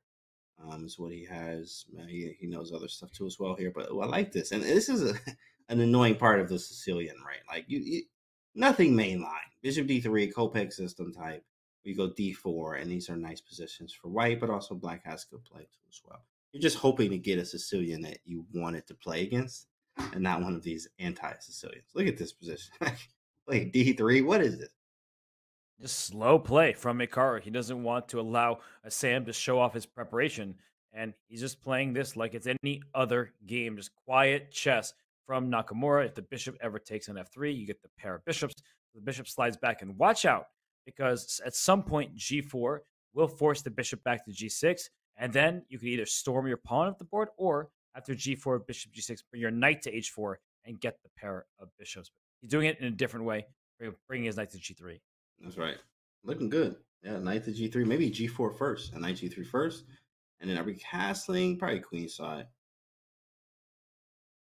What do you make of this, James? Because black castles queen side, white is castle king side in must win territory for Shankland. This probably is the kind of position you want even though you're playing the beast that is Hikaru. You do want some aggressive positions, and you want to be able to push the pawns and pieces forward here. And he does. He's actually like he's doing that. That's why he chose Sicilian too as well for some um, combative nature. But you know, uh, Hikaru chose to take it slow here, but he can, not for so long. You know, D five is a move. It's forcing some things. You you're, you're gonna have to make some decisions. Even uh, maybe even pawn C four in there to loosen up some stuff too as well. It's possible. It is possible for Black, but you know, uh, Black needs to just advance his pieces. I think the king is a clear target. You know, whoever gets to the king first is going to win. In these opposite side castles here, the bishop is on g6. It really is misplaced because you do want to be able to play h and g. the knights cover that. So it's kind of crazy how we're opposite side castles, but I don't have the attack I'm looking for yet. No, not yet. And uh, while Sam thinks about how to respond to Knights 4, I want to take our attention uh, to the bird's eye view because I feel like in the matchup between the second boards, uh, Fedoseev has not moved in a little while. And you know, he finally does bring his bishop out to c4, Bobby Fischer style, you know, Sozin uh, variations. But I thought for a moment that Fedoseev could try to make a little cheeky three time repetition. That is not what happened this game. So in the bottom left, Christopher Yoo with white against Shamsiddin Vokhidov. That one is spicy and open Spanish. So I like the way the unicorns are playing in, on all, well, I would say all four boards, but the fourth board only just started. But I think the unicorns, they just need to keep their chances alive. And at some point, you have to go all in. Yeah, you have to go all in. All right. And this is uh it's really opening choice. And of course, uh, how you feel here. Are you sharp? Tactics everywhere. You, you got to take any advantage. And if you think it's risky, hey, it, it is, probably is, maybe, but obviously calculation will help. So you just have to take chances and then take a few risks here, especially because this is for the team. Hey, it is what it is, right? I'd rather, you know, die trying, right? That's what it's about here. So you have to uh try to make it work because we need four wins. That's really tough. And I like what's happening on the fourth board matchup between Zoe Tang and Alua Nurmanova. So you see that G pawn go up to G4. We got a King's Indian going on over there. Uh, James, you should be pretty happy with this because early G4, uh, White is going to try to go this way and go for an attack at some point. I love it. I love it. Now, of course, in the lines, this is uh with the early G. Wait, it's Black's move, right? Because G4 is hanging. Oh, it's White's well, move. Black's, uh, White's move. Yeah, sorry. Yeah. Nice C5. So here, I used to play, you know, and I, will play a lot of King's Indian myself. I do love the King's Indian. So this, I forgot what is the move is F3. Bishop F3 was a problem. Bishop F3 is the move you don't want to play. So F3 was good. H5 though, right now I think that's premature. You're supposed to play that at a certain point, but it's not now. So H5 may be a slight error here, but okay. You know, I'm a fan of opening up to the side, so I'll take it. Maybe take it and play H4. Maybe just H4 right now. Give you the pawn. Takes Bishop G4, no good. Hmm. I just love your style of chess, James. You're always looking for that checkmating attack. You know, let's open that thing up. And she's playing this well, right? She, she decides to banish this knight. And if you play Queen D2, I mean, that knight is not getting out of here. We'll just swap pawns over here. Uh, but the problem that I could play F5. Could, oh, wow. Yeah, F5 was getting going to get spicy there, but this bishop maybe at the right moment could take. But it's interesting. She hasn't moved yet. So she's not thinking about taking with the bishop, I don't imagine, that frees the knight up to capture. So she does play HG. But I feel like those moments there, you could preserve those 10 seconds. There wasn't really a need for her to calculate there. That is true. Yeah, you could have. Uh, oh, oh, oh, that's that's theory. That's theory. That's theory, bro. That's real. Rook f4. I'm not even surprised. I'm not even surprised. That is the actual King's Indian theory, right? And then you take, and usually the bishop can go to e7. You reroute it to e7, and you take on g5 that way. But the g5 pawn is hanging. And this is what you you just open up the bishop line. That's a very cool sacrifice. This play, even Gawain Jones in his King's Indian course recommends this as well. Um, also, uh, who else? Kamil Plichta recommends his Rook F4. Right, you know he. This is a nice, nice positional sacrifice. Play quick by Alua. Chess, She's swinging right now. Chess Lover says they play this against the Canty bot. So oh, it's uh, that's Chess Lover. Chess Lover's in my chat every day, so that's who that is. What up, Dor? What's good, Chess Lover? That, Seeing that's hilarious because yeah. I mean, let's just show everybody. We'll bring up an mouse board. You put a rook on f4, a bishop can take it. Why not take some material? But the bishop takes, pawn takes. The bishop on g7 sees the length of the diagonal, and if you keep taking stuff, sure, you get uh, a rook and a pawn for now. But let's say I just take back on g5 with the knight.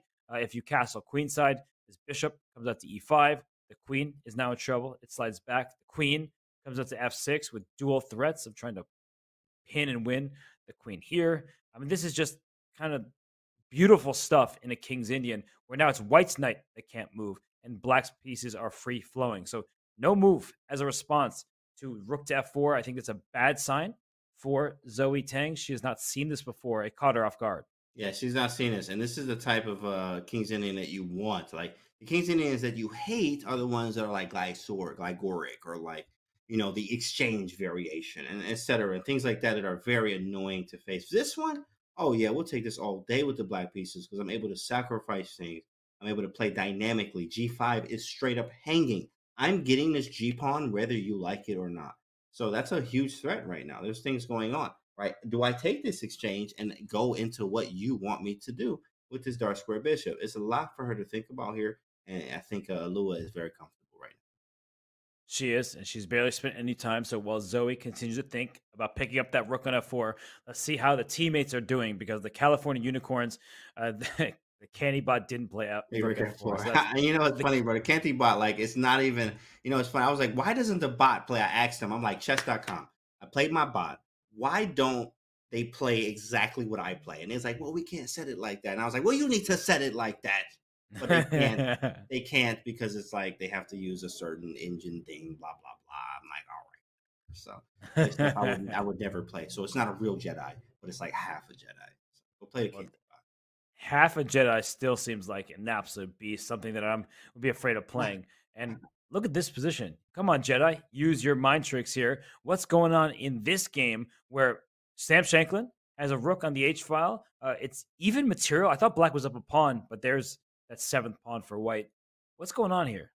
Ooh, you know, I actually like white in this situation. I mean, weird bishop on d1, but I'm definitely I feel like I can get b4 in because I have this pawn break that you mentioned before, right? With pawn breaks, how important those are.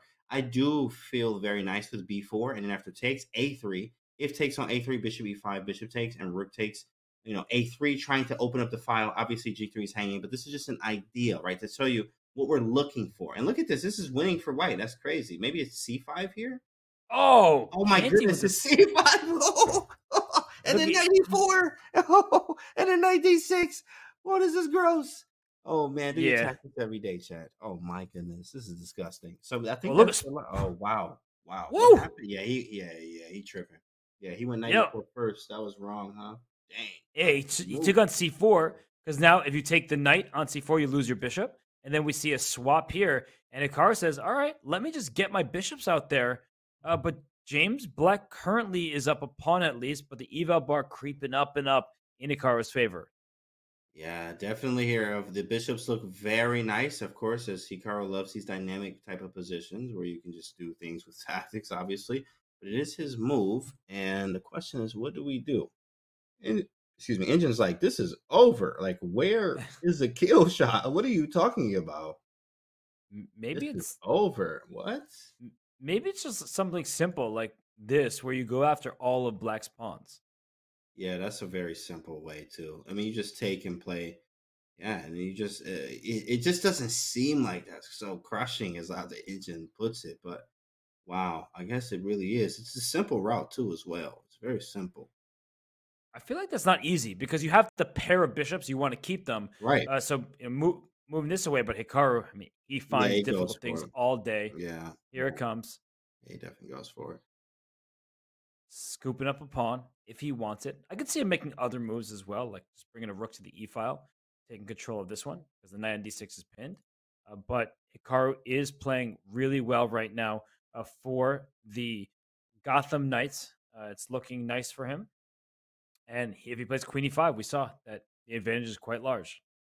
All he need is uh is a point here. That's it. It's just one point, and that's it. Gotham Knights are winning this one, and it look it's looking like that. If I'm Sam, I'm trying to hold off as long as I can. But then again, well, yeah, yeah, like it, you would need like all three of them to win, and you would still lose. Like, yeah, you can't lose. Like, it's just it's tough. It's a very tough. Yep. And Hikaru has not moved yet. So that's interesting to note that he is thinking about how to continue after taking the knight on d5. So maybe his intuition told him he had to part with the pair of bishops and have one versus this knight on d6. Right. But the second move will be very important because if black gets a couple turns, we have to remember that Sam is up a pawn, and maybe these pawns can start rolling up the queen side. Yeah, and there it is, Queen E5. I mean, he just played that boy. He found it. G7's hanging, D5 is hanging, right? And this can be, you could just take this to the house. Very easy. And also the knight is still pinned there, which is problem problematic. You may have to play something like Queen to C6 and just allow him to take on G7 and try to play a Rook to G8. But that doesn't even do anything. Can't even take on G5. That's tough, man. Tough. And Yeah, Shankland needs to get these pawns going, but they're so far away. You can't even push the C pawn without dropping the D pawn over here. So for Sam, uh, it looks like he is in a tough spot. As you see, Hikaru calculating with his hand. Oh, he's giving you the finger, James. Look at him. Right. Okay. He's like, oh yeah. Now, now, and then I do this and this and yes and uh yes and uh yes, a classic right triangle. classic right triangle. Well, I mean, Sam does not look very happy, and well, he needs to win. His teammates need to win.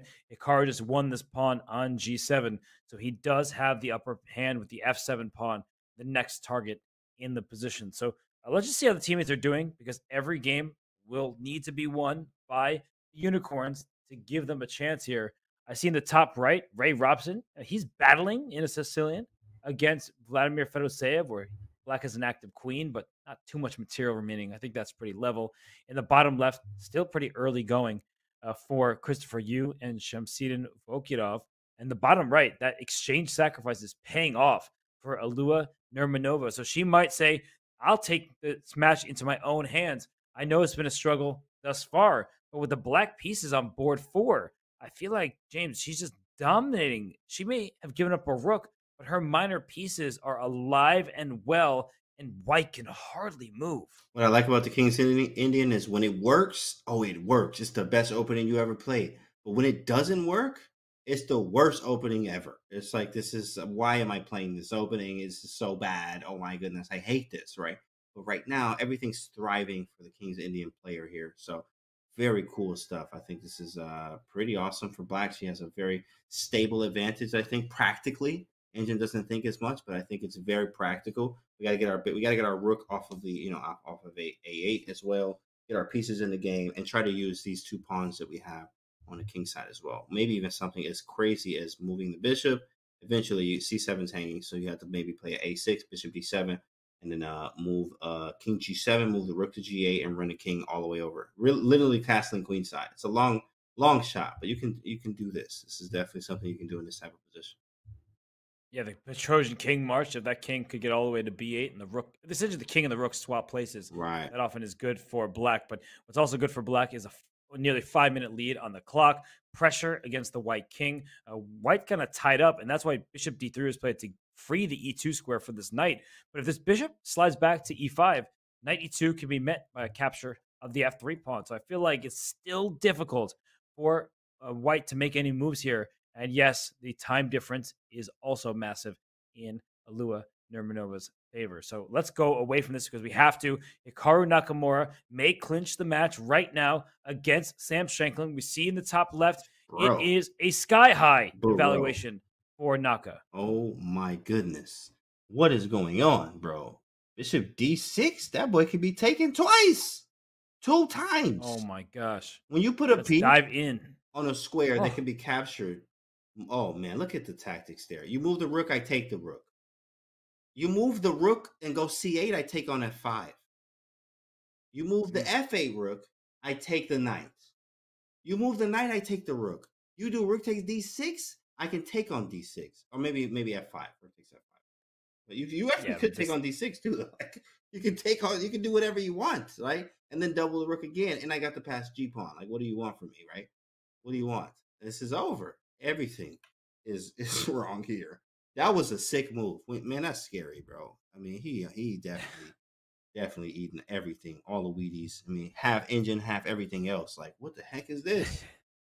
Bishop D. Yeah, he's playing a really nice game here. I think he saved his best for last because uh, earlier games there were some shaky moments against Christopher Yoo, for example. He was just down upon, but still managed to win and make it look easy. Uh, now he can play trade. Queen takes d6. This g pawn is scary.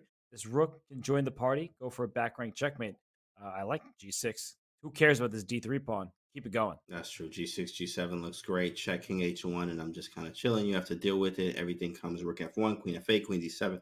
Everything is game over here. Beautiful game from Hikaru here. Wow. And rook F1, right? He could have did anything here. You know what kind of checkmate he wants? This is pretty sick. He wants if Queen D3, uh-huh. Rook F8, Queen E4. Like ah, protected. That's cute. Queen D8. Queen D8. Ugh. Is mate. Back rank. Back rank, Chad. Do your tactics. Is that happening? no, he played a6. I was like, what happened? Yeah, he. Oh man. But he can't stop this pawn now. Yeah, he can't. And it's too many things. And this pawn c5 is hanging with check as well. He played d3, g7, d2, g8, white queens first, and then there's a problem on the back rank. So yes, this is a win in the making for Hikaru Nakamura. Shankland may just resign, uh, but that means Nakamura goes to four out of four and leads the Knights to match victory. Yeah, I don't want to be the guy to lose and like make my match lose. So I'm just gonna just keep playing on and like let my time run out. so you're saying that let your, let another teammate wait the time out. I'm not resigning. So check back to F8 over here, and then play G7. Just this is promotion. Yeah. I don't think you can stop it. There is some stupid checks though. Queen e5 check, King g1 check. Mm. There's like some stupidness there, weirdly enough. What the heck is that about? Maybe I just go g3, check there, check there, King g2, check there, Queen e4, and then yeah, Queen King h2, Queen g6, Queen f8. I'm going to translate what James was just calculating for everybody. So bring up an analysis board. That at first it looks like just a simple promotion, but after, oh, he goes queen d6 instead, which is so nice. No right. more checks for the black queen, but check here. James and queen e5 check. And all of a sudden, this king may have some difficulty getting away. Like if you play g3, we got a check. We got another check. If you block with your queen, maybe I take this pawn. Mm. If you go up here, I got all these checks. Then you made your queen comes back over here, and the black queen's going this way. You're like all of a sudden, it's hard to get this pawn to promote because the queen's giving all these checks. It's so many. It's so many checks. This is the problem. So he just he just said queen d6. Like uh, deal with the checks now. But now we still yeah like still not over. Like it, it was too many checks. It's still not over. But okay, you have to win this game many times. Crazy. And resignation. He won it on the spot, and that means the match is over. The point was after Queen takes pawn, Queen takes this pawn, two extra pawns. Hikaru Nakamura, he takes a sip of whatever smoothie he's drinking, and it was a pretty smooth conversion for Hikaru. I hope it was a pineapple smoothie. Otherwise, it feels like a fraud in the background on the wall. For but real. No matter what, this player is not fraudulent. He is a champion, a world Fischer random champion. The board won for the Gotham Knights, and they have officially won this match against the California Unicorns. Yeah, and Hikaru being the star player there, four out of four, right after losing in, in the last game or in the last match, the first game. Uh, but he just 4 0 this time and definitely a dominant performance here. Eight and a half to four and a half. Still some games left, but at the same time, the Knights are making it. They are making it to the next match. Yeah, and the board two matchup is like the weirdest position ever. I, I don't really see what's happening there, where there's a bishop in front of the black king that wasn't captured. Ray Robson down to 20 seconds, and whoa, queen sacrifice from Fedoseev, uh, but his king is the safer of the two. Watch out for a checkmate. If this rook gets to h8. That's game. Yeah, maybe just uh okay, rook g1, maybe forced. I like it. Bring the bishop back to c3. I also have rook c1 too. Rook c1, uh, check, check, check. h4. Oh my goodness. Rook c1, queen d2, yeah. check, king h7, rook h8, king g6, h4. He has a rook f2, luckily. But if rook g2 is h5 is mate. Oh, James is going for this h5 checkmate, but as he's pointed out, it looks really strong. But rook f2 saves the day, cutting off the circulation between the rook and his bishop because h5 no longer is mate as the king can take this bishop. So yeah. let's go back to the game.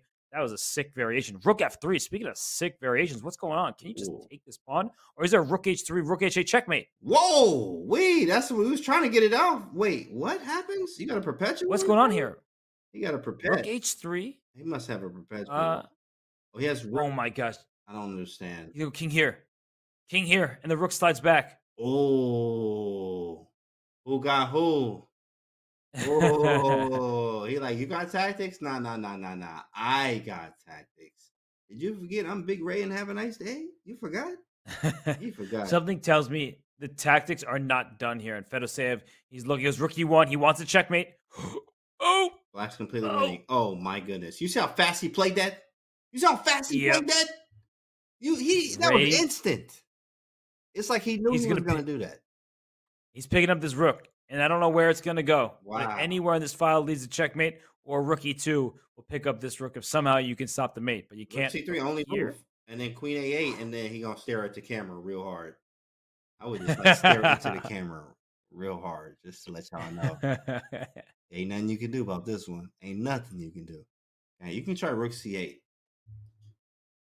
True. Distract the queen. The only Take move. the rook over here, but queen g4 check happens, and you're going to lose your bishop Oh on man. f6. It's loose pieces drop off, and this is going to be a win for Ray Robson. You know, not enough for the unicorns, but that will be a confidence builder for Ray. He had a good chance against Nakamura. That slipped away, but he's going to take down Fedoseev in the last round. Yeah, that was uh that was sick. Finally, we got some nice Ray tactics here. You know, some nice Ray tactics. Yeah, he's feeling good about this those. one. Nothing else to do. This rook slides back. It's going to be checkmate. If this rook slides here, you, you can sandwich uh, your rook in between. Uh, anywhere. Just go back there. Game. And over. And whoa, Christopher Yoo apparently winning in his game in the bottom left. So like suddenly all of the unicorns are winning, but Hikaru already got the job done. That's so funny. That's funny. They all woke up in this round. Unicorn was like, all right, let's fight. And then it's a little too late. Yeah, and it's good for the knights that Hikaru is such a monster because look at this position. This Ooh, pawn is hanging. If this pawn pushes c4 is hanging, white's already up. One pawn. In 30 seconds for Christopher Yoo. Yeah, look at that combo. right. Is that rook trap? I can go back here. F6. Hmm. Pretty good. Maybe F4 or something. Yeah, Queen D4. I mean, it's Oh. not over. Rook D5 is beautiful. Just look at those quiet moves, James. Right. I was looking for tactics. He's just like, nah, let me go win the d5 pawn. Yeah, I mean, it was D5. Easy. Easy work. Want to trade him off, bro? Easy. So Christopher Yoo can bring his rook up to d7 with check. Where's this king going? Ooh, Whoa. way. Got H4. Uh, Queen D5 too. That's beautiful. Yeah, you had to stop the check. Or not. At least neutralize. Queen H5 is mate. So he trades, but two extra pawns for Christopher Yoo. This is a clear win for him, and Vokhidov makes a couple moves, but just go after this pawn, and you just want to swap two extra pawns on the king side. H4, F4. Yeah, all the moves are, are going to be good, and Yeah. you're going to see a trade, and we might even see a resignation at this point because White is up. Yeah, there it is. White is There up is. three pawns, and so Christopher Yoo takes it down. Uh, of Shamsiddin and Vokhidov that leaves us with one game remaining between Zoe Tang and Alua Nurmanova. And I can't believe what I'm seeing there because Black's position was dominant on board four. So let's bring that game up. It's the only one remaining. And yeah, this is suddenly Zoe Tang. And this, this speaking of confidence builders, if she can take down her opponent here, maybe as she plays more pro Mhm. chess league matches, she'll start be feeling really good. Definitely, yeah. We have ourselves a swindle here. Something happened. This was that King's Indian game with the rook sacrifice on that four, which just seemed very nice and they're very cool and etc. But after the dust settled, and you do need a level of precision and accuracy after you able to sacrifice this exchange to be able to keep up with uh, what White can do. So um, she wasn't able to do that here, and White looks like she's just gonna come away with it. Man, unicorns crushed this round. Dang, Yeah. bro, they went crazy. Like they literally snapped this round. is just Hikaru because if Hikaru did not win that game, uh, this would not be a match victory for the Knights. But now with the king on e6, this king is soon going to be checkmated. It would appear. Just bring your rook to the last rank somehow. I mean, it's like a one point game now. I mean, literally, eh, yeah, because Hikaru won, you know, having a heavyweight like that on there just to get the job done. He got it done, but wow, I mean, eight and a half. This might be, and this was like eight and a half, seven and a half. That's what the Yeah. final might be. Just crazy. see- One point.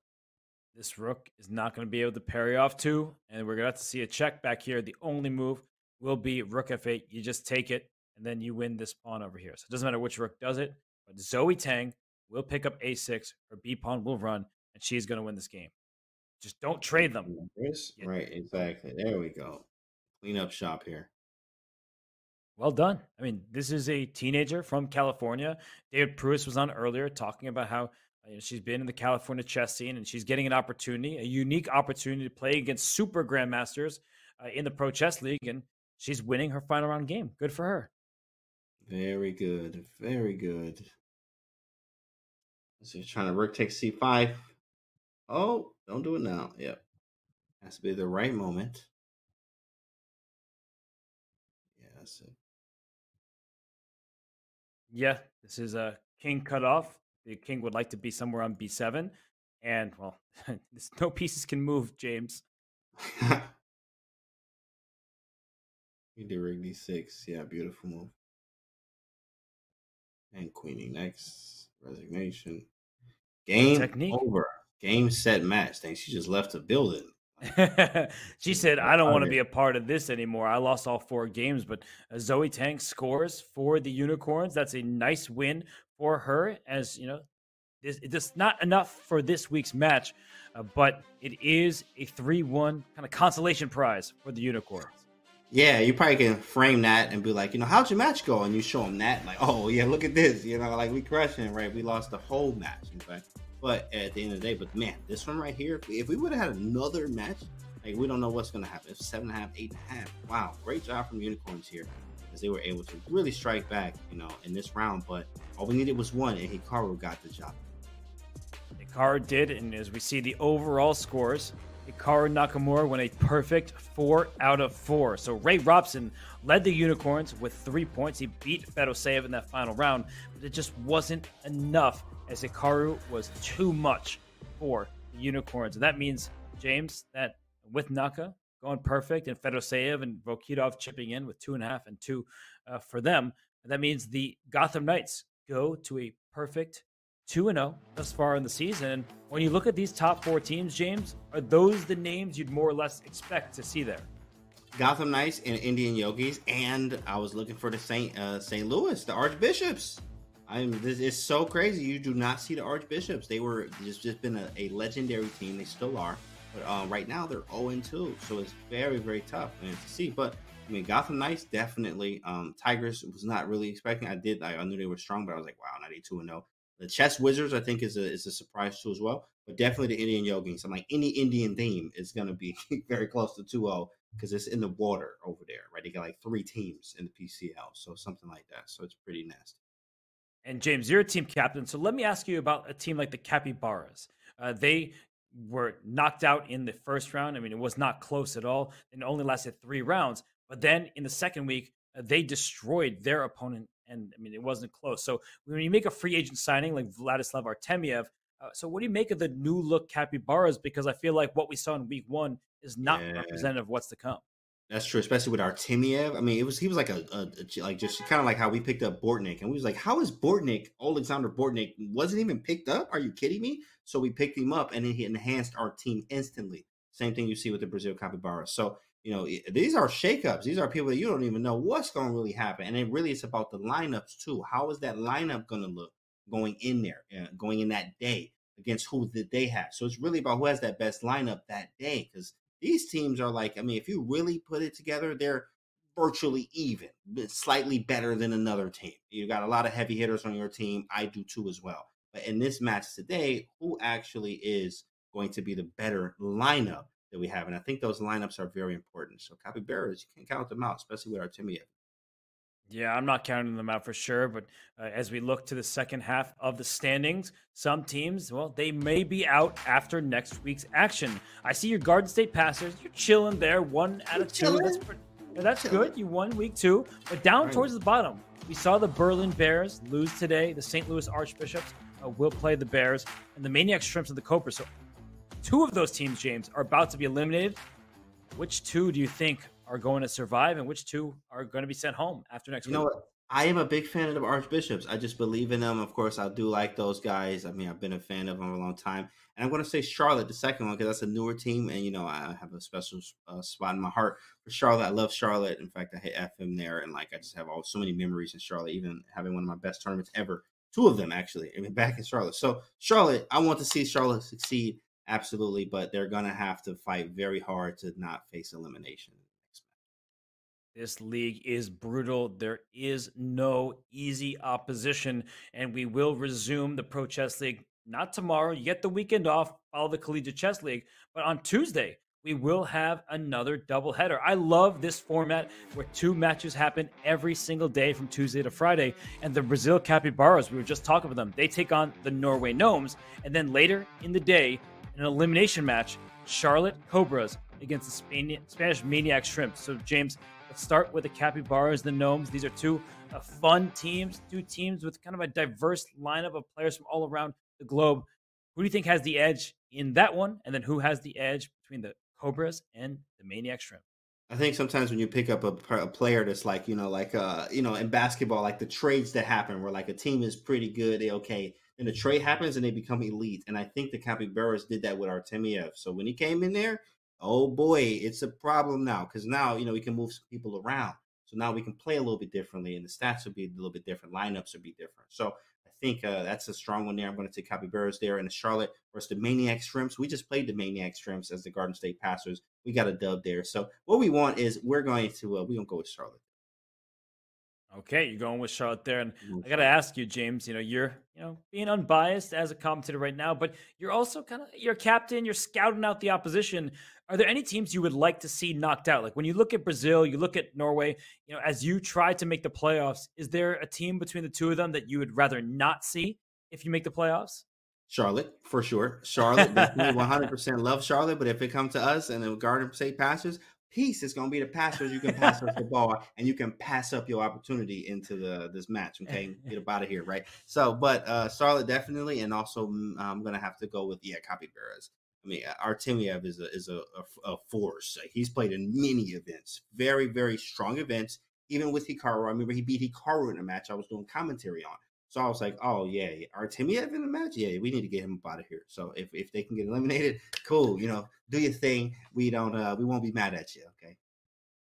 Yeah, I feel you, James. Vladislav Artemiev is a beast. He could take down even the best players in the world, like Hikaru and Magnus. The Capybaras and many other teams in the league have a new look, but the team, the season will continue next week. We have two weeks of action behind us. We know who's uh, thriving at the moment with 2 0 records. We know teams that are on the brink of elimination, and we will see who survives come week three, which happens on Tuesday, the 28th. So for now, we say goodbye. We thank you for joining us. We hope you have a great weekend. Enjoy more chess. The Collegiate Chess League is tomorrow. You can play the Luca bot at any moment. You can play my bot and James's bot. So go ahead, have some fun. Keep enjoying chess on chess.com. But for now, we say goodbye and see you on Tuesday.